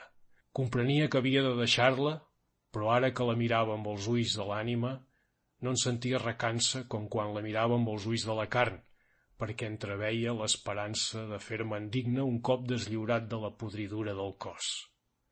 La seva compassió no em mortificava com en altres temps.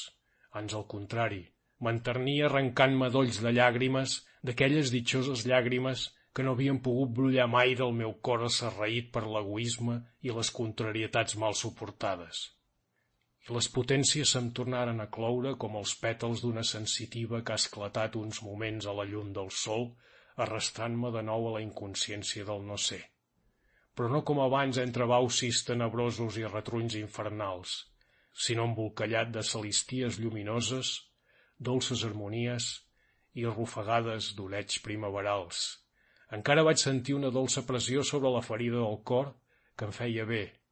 Després, una veu a cau d'orella em cridava per mon nom i com en somnis una rosada de gotes tèbies que em queia damunt de la cara i sobre el front el passiulleig d'uns llavis com de mare amorosa. I després, res més. Fi de la novel·la. 31 de gener de 1902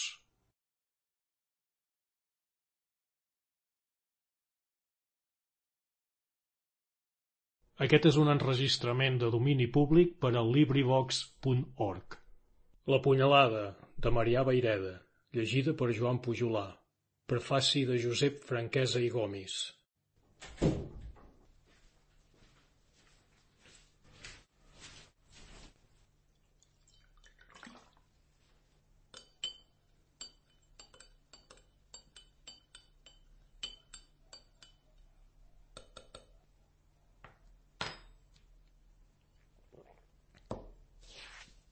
Advertència preliminar.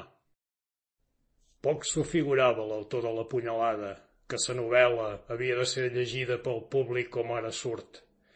No feia pas gaire que l'havia terminada de primera intenció i que la retocava per donar-li forma definitiva, quan una malaltia terrible li prengué la ploma de les mans i d'aturar la feina de correcció i de llima que son instint d'artista amb tant de cert li havia fet emprendre.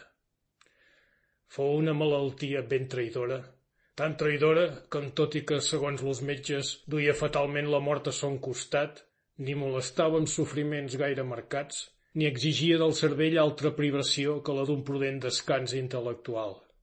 I justament per això el pobre d'en Marian Baireda, desconeixedor complet de son estat real, s'adolia de tan monòtona activitat i li trigava l'hora de poder continuar la reforma de sa novel·la i l'esporgada que ja hi havia començat. Cada visita que li fèiem, los amics que anàvem a veure a l'espaiosa sala de l'Hospital del Pilar, a on sa consternada família l'havia portat des d'Olot per ensejar nous tractaments i conèixer noves opinions facultatives, era un espectacle trist i amarguíssim del que se'n sortia amb el cor ben negre mentre los que tenia son entorn feien esforços imponderables per disfressar l'oneguit que el rosegava, lo malalt serè, tranquil, amb l'oceny ben clar i fins més animat i més comunicatiu que mai, s'acomplavia en comunicar les supressions que pensava fer en son llibre o ens entretenia amb la indicació de nous projectes literaris. Sa bona esposa, sobretot, sostenia una lluita verament sobrehumana.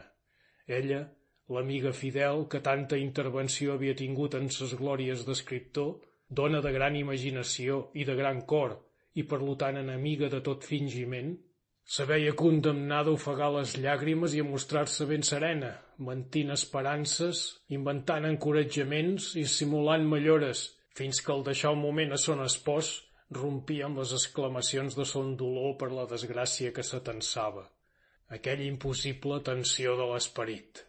I mentrestant, la pròxima víctima, ben lluny de pensar en la desolació que el voltava, seguia repassant amb la memòria capítols de sa darrera novel·la i volia saber l'efecte que ens produïen aquells episodis plens de trabucaires i lledragots i aquells passatges plens de crims i horrors i escenes de carnatge. L'amor vingué, com havien predit los metges, no molt després d'haver retornat amb aire de sa llar ben volguda, lo darrer d'aquells germans, que han sigut la més alta representació de la vida moderna d'Olot en l'art, la ciència i la literatura, moria també com los altres al bo de sa producció i en quant amb major delit i amb major forces disposava a treballar. Sa darrera novel·la no pogué, doncs, sofrir la revisió que ell tant desitjava, tal com la deixà son malaguanyat autor, quedaven sols corregits degudament i enllestits del tot els vuit primers capítols que l'olotí Narcís Planadavall tenia ja impresos, formant set fulls. Quedava també retocat lo novè i a punt d'anar a la impremta. Des del 10, el manuscrit ja va sense modificacions. El director de la il·lustració catalana demanà al cap d'alguns mesos a la viuda d'en Baireda, doña Maria del Pilar Olet, l'original de l'obra per publicar-la en son periòdic, i aquesta senyora ens feuen en Francesc Mateu i a mi l'honrós encàrrec de repassar-la, autoritzant-nos perquè, ja que son espòs no pogué fer-ho, en los capítols inèdits talléssim i cosíssim a la mida del nostre gust. Llegida detingudament la novel·la, nosaltres hem de confessar que no ens sentirem amb cor de fer-hi ni la més petita esmena i no volguérem posar la mà en aquelles planes en què és un fill de muntanya qui parla i qui pinta amb tal art i descriu amb tant domini que cada retoc qui fes un estrany hi semblaria una profanació. Així doncs, tal com quedà ha anat a honrar les planes de la il·lustració catalana, sense altra supressió digna de ser notada que la del pròleg. I així la donem avui, i ja del tot completa en lo present llibre. I en Mateu en la correcció de les proves ha portat l'escrúpol fins al punt de respectar algun buit que ha trobat en la indicació de llocs i fins a copiar literalment les paraules de redacció dubtosa i ben mirat, les prevencions del bon Baireda no eren pas justificades. Potser sí que tenia raó el dir que la darrera meitat de l'obra guanyaria en interès alleugerida d'algun capítol, però no hi ha cap perill de que tal com va quedi desmesurada la importància del conjunt. I encara que el perill hi fos, hi ha tanta veritat en l'estudi psicològic dels personatges, tant font d'impressió de la naturalesa en les descripcions, i quan altre no, tanta riquesa d'estil i de llenguatge, que sempre pagarien de sobres la lentitud que pogués trobar-se en el curs de l'acció. De tota manera, sense conèixer ben bé els intents de l'autor, era impossible que ningú que l'estimés, al veure una obra tan ben teixida, gosés treure-hi ni afegir-hi un fil. Però tal impossibilitat no ha produït altre mal que el d'haver contrariat el pobre Baireda, encara que aquesta contrarietat, prou expressada per ell en la seva malaltia, anava sempre seguida d'aquella sumisa resignació que era la gran virtut distintiva de la seva ànima tan generosa i tan bona. La punyalada és l'obra literària superior d'en Baireda, vigorosament concebuda, amb l'alenada salvatge que tota ella respira i amb l'utirat aspre i ferreny de son argument i dels llocs on passa, porta un braó desconegut en los altres llibres de l'autor i fins representa un esforç en sa naturalesa d'escriptor suau i tranquil, esforç no sense perills dels que sols són temperament d'artista de debò lo fa sortir victoriós. Lo lloc de l'acció és l'Alta Garrotxa, allà per les escabrositats del Bassagoda, niu de fascinerosos i segrestadors coneguts amb lo nom de trabucaires que la guerra carlina deixà com escorrialles dels anys que corren des del 1840 al 45. La trama de l'obra és senzillíssima, dos antics companys, d'aficions semblants, encara que de caràcters molt oposats, l'un Libo, fred, cínic, valent, malentranyat i temible festejador i seductor de dones, lo que li val lo sobrenom de l'esparver, l'altre, l'Albert, bo, generós i no gens covard, encara que fàcil de desviar-se i de caure en los vicis per encongiment de l'esprit o per curtedat de geni en saber resistir-se a estranyes influències, Viuen en estretíssima amistat, lligada primer per uns mateixos estudis de noi i després per una mateixa idea desenfeinada i aventurera de facciós i de contrabandista. Amistat tan llunyana i tan ferma que per part de l'Albert se tradueix en una verdadera sugestió exercida per damunt d'ell per l'Ivo, sols era possible que la trenqués una dona. I així succeeix. La Coralí, una xicota fresca, viva, enjugassada, potser una mica fluixa de cervell, però gelosa de sa dignitat i coneixedora de l'instint de l'home en qui pot confiar, és l'encarregada de treure l'Albert de sa vida de desordre, i aqueix, en efecte, s'entrega a la seva adoració amb tot l'apassionament propi dels caràcters encongits i reconcentrats. Però la filla del moliner de Balasc, encara que la groia i riallera i franca, els mal temps que corren l'han ensenyada a mostrar-se una mica farèstega i recalosa. Un dia, quan bo de son festeig idíl·lic amb l'Albert visita l'ermita del Coral, vol que son estimat la firi d'un punyalet, i perquè la ben defensi si el cas arriba el fa tocar per les mans de la verge entre les medalles i els rosaris. Enamistats los dos companys per causa de la Coralí, l'odi esclata entre ells amb una violència esfereïdora quan l'Albert la sorprèn al bosc debatent-se contra les urpes de l'ús per bé que l'ha escomesa bestial i traïdorament. L'Albert l'ha salvada, però no sense una lluita encesa per la gelosia de la que els dos rivals ne surten esgalabrats i sense que l'Ibus retiri vomitant juraments de venjança i imprecacions terribles. No passa gaire temps que l'arribar Albert al molí de Balasc lo troba cremant, assassinat lo moliner i desapareguda sa promesa robada pels trabucaires dels que l'Ibus ha fet ja el capità. L'esparver s'ha sortit amb la seva i des d'aqueix punt, trenat ja el nus de l'acció, comença el llarg calvari de l'infeliç enamorat i tot l'interès s'atanca en la persecució fadigosa, interminable i, el que és pitjor, sense cap fruit, dels avorribles criminals. Els incidents de la lluita són abundants, les topades sovintegen, la partida organitzada pels perseguidors treballa amb molt coratge, però l'Ivo té el servei d'espies molt ben muntat i sap desfer tots els projectes. I passen setmanes i mesos i el malaventurat Albert, que no ha pogut en tant temps veure ni el més mínim rastre de la seva coralí, creient-la ja vençuda i prostituïda en mans de son rival, després de desesperar-se i desertar de sos companys i córrer pels boscos, cau aclaparat i defallit en tal prostació moral i material que sos pensaments i sos actes són ja d'un degenerat o d'un boig. Al fi, Després de sagnants episodis i de la desfeta general dels trabucaires en un parany en què han caigut, però del que encara s'ha lliurat l'astut i temerari esparver, l'Albert recobra per un moment tot son valor i la possessió de si mateix al poder-se topar amb lo causant de ses desgràcies. És una guerrada de feres famolenques, però que sols dura un instant. L'Ivo ha mort, però el vencedor queda tan malmès i rebregat, tan sense esma ni sentits, que per alguns dies corre el perill de ser tan mort com l'altre. Al poder donar-se compte d'on és, veu que qui el vella dintre d'una casa i l'assisteix com una germana de la caritat no és altra que la seva estimada, la Coralí, esllenguida, trista, malaltissa, però encara vella. L'Albert sent reneixer sa passió forta i violenta, però embrutida pel rebaixament en què ha caigut, i suposant-se promesa com una dona envilida i un rebrec de son rival, Aprofita un moment de descuit per abraonar-se damunt d'ella.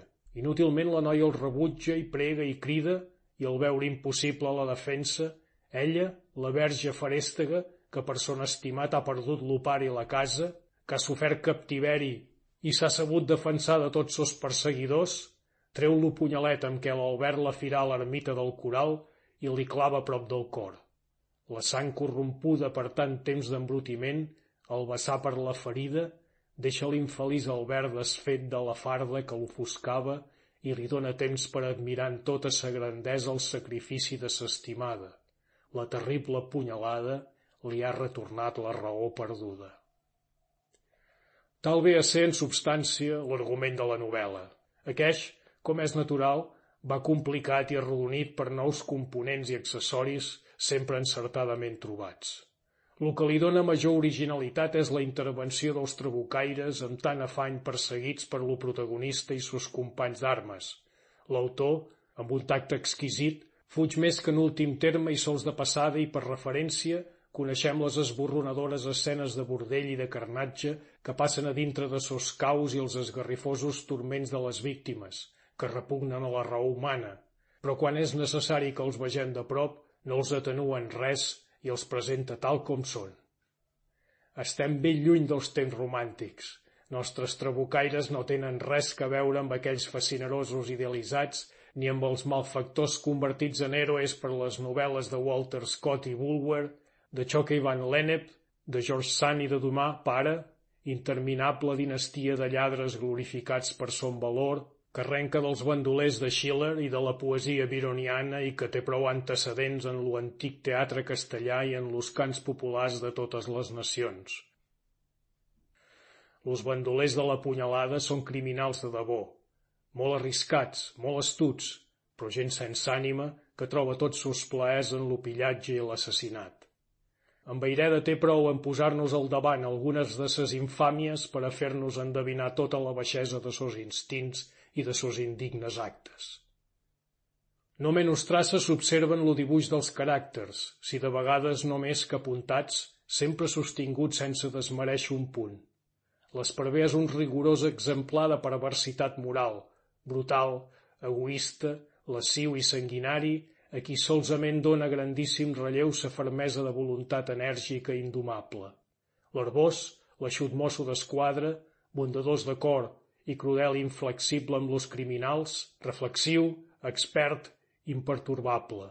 L'avi, lo trabucaire envellit en les malifetes, barreja estranya de devoció i de maldat i que renega fins enmig de sa última confessió.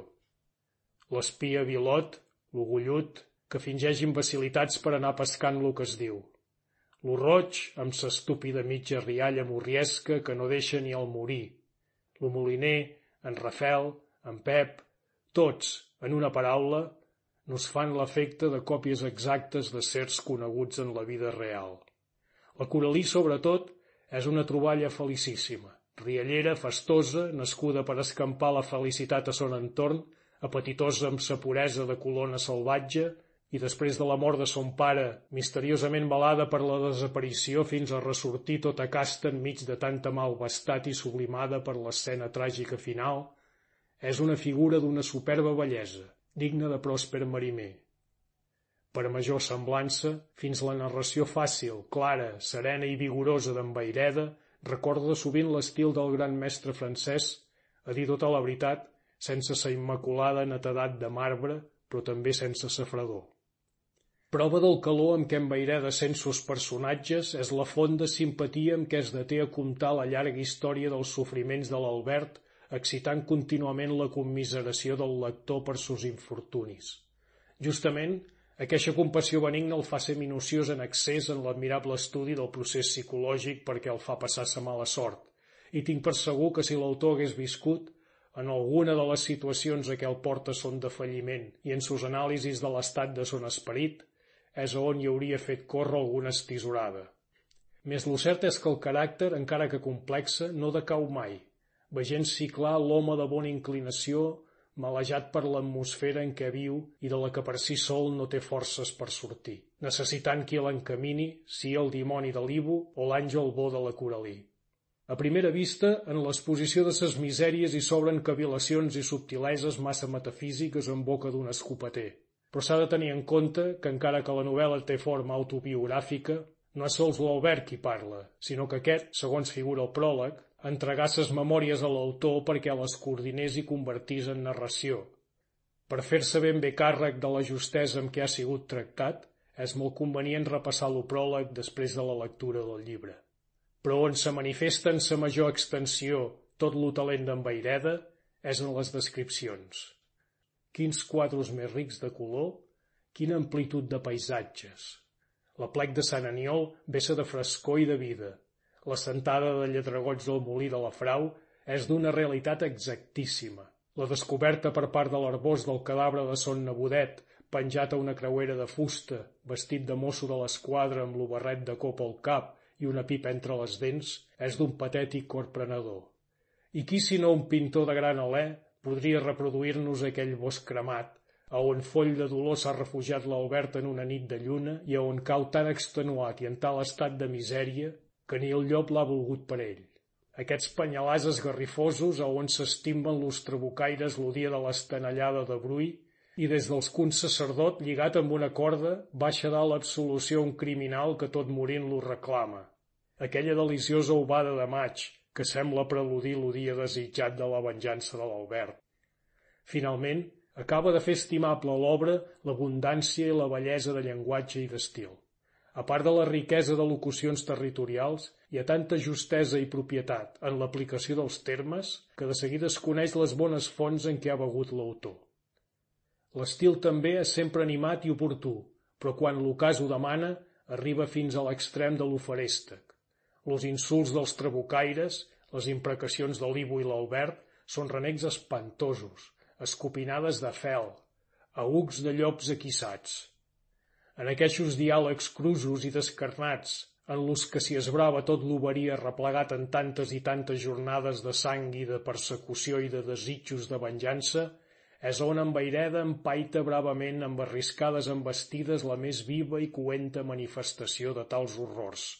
I la veritat és que triomfa, i que son llenguatge és de lo més ferreny i expressiu que pot llegir-se en català. A tanta força d'expressió i energia de frase no hi havia arribat entre nosaltres més que la ploma desfermada i valenta, fibladora i foguejant, d'en Víctor Català. Aqueixos m'han semblat los mèrits més notables de la punyalada, sense que això vulga dir que no n'hi tinga d'altres.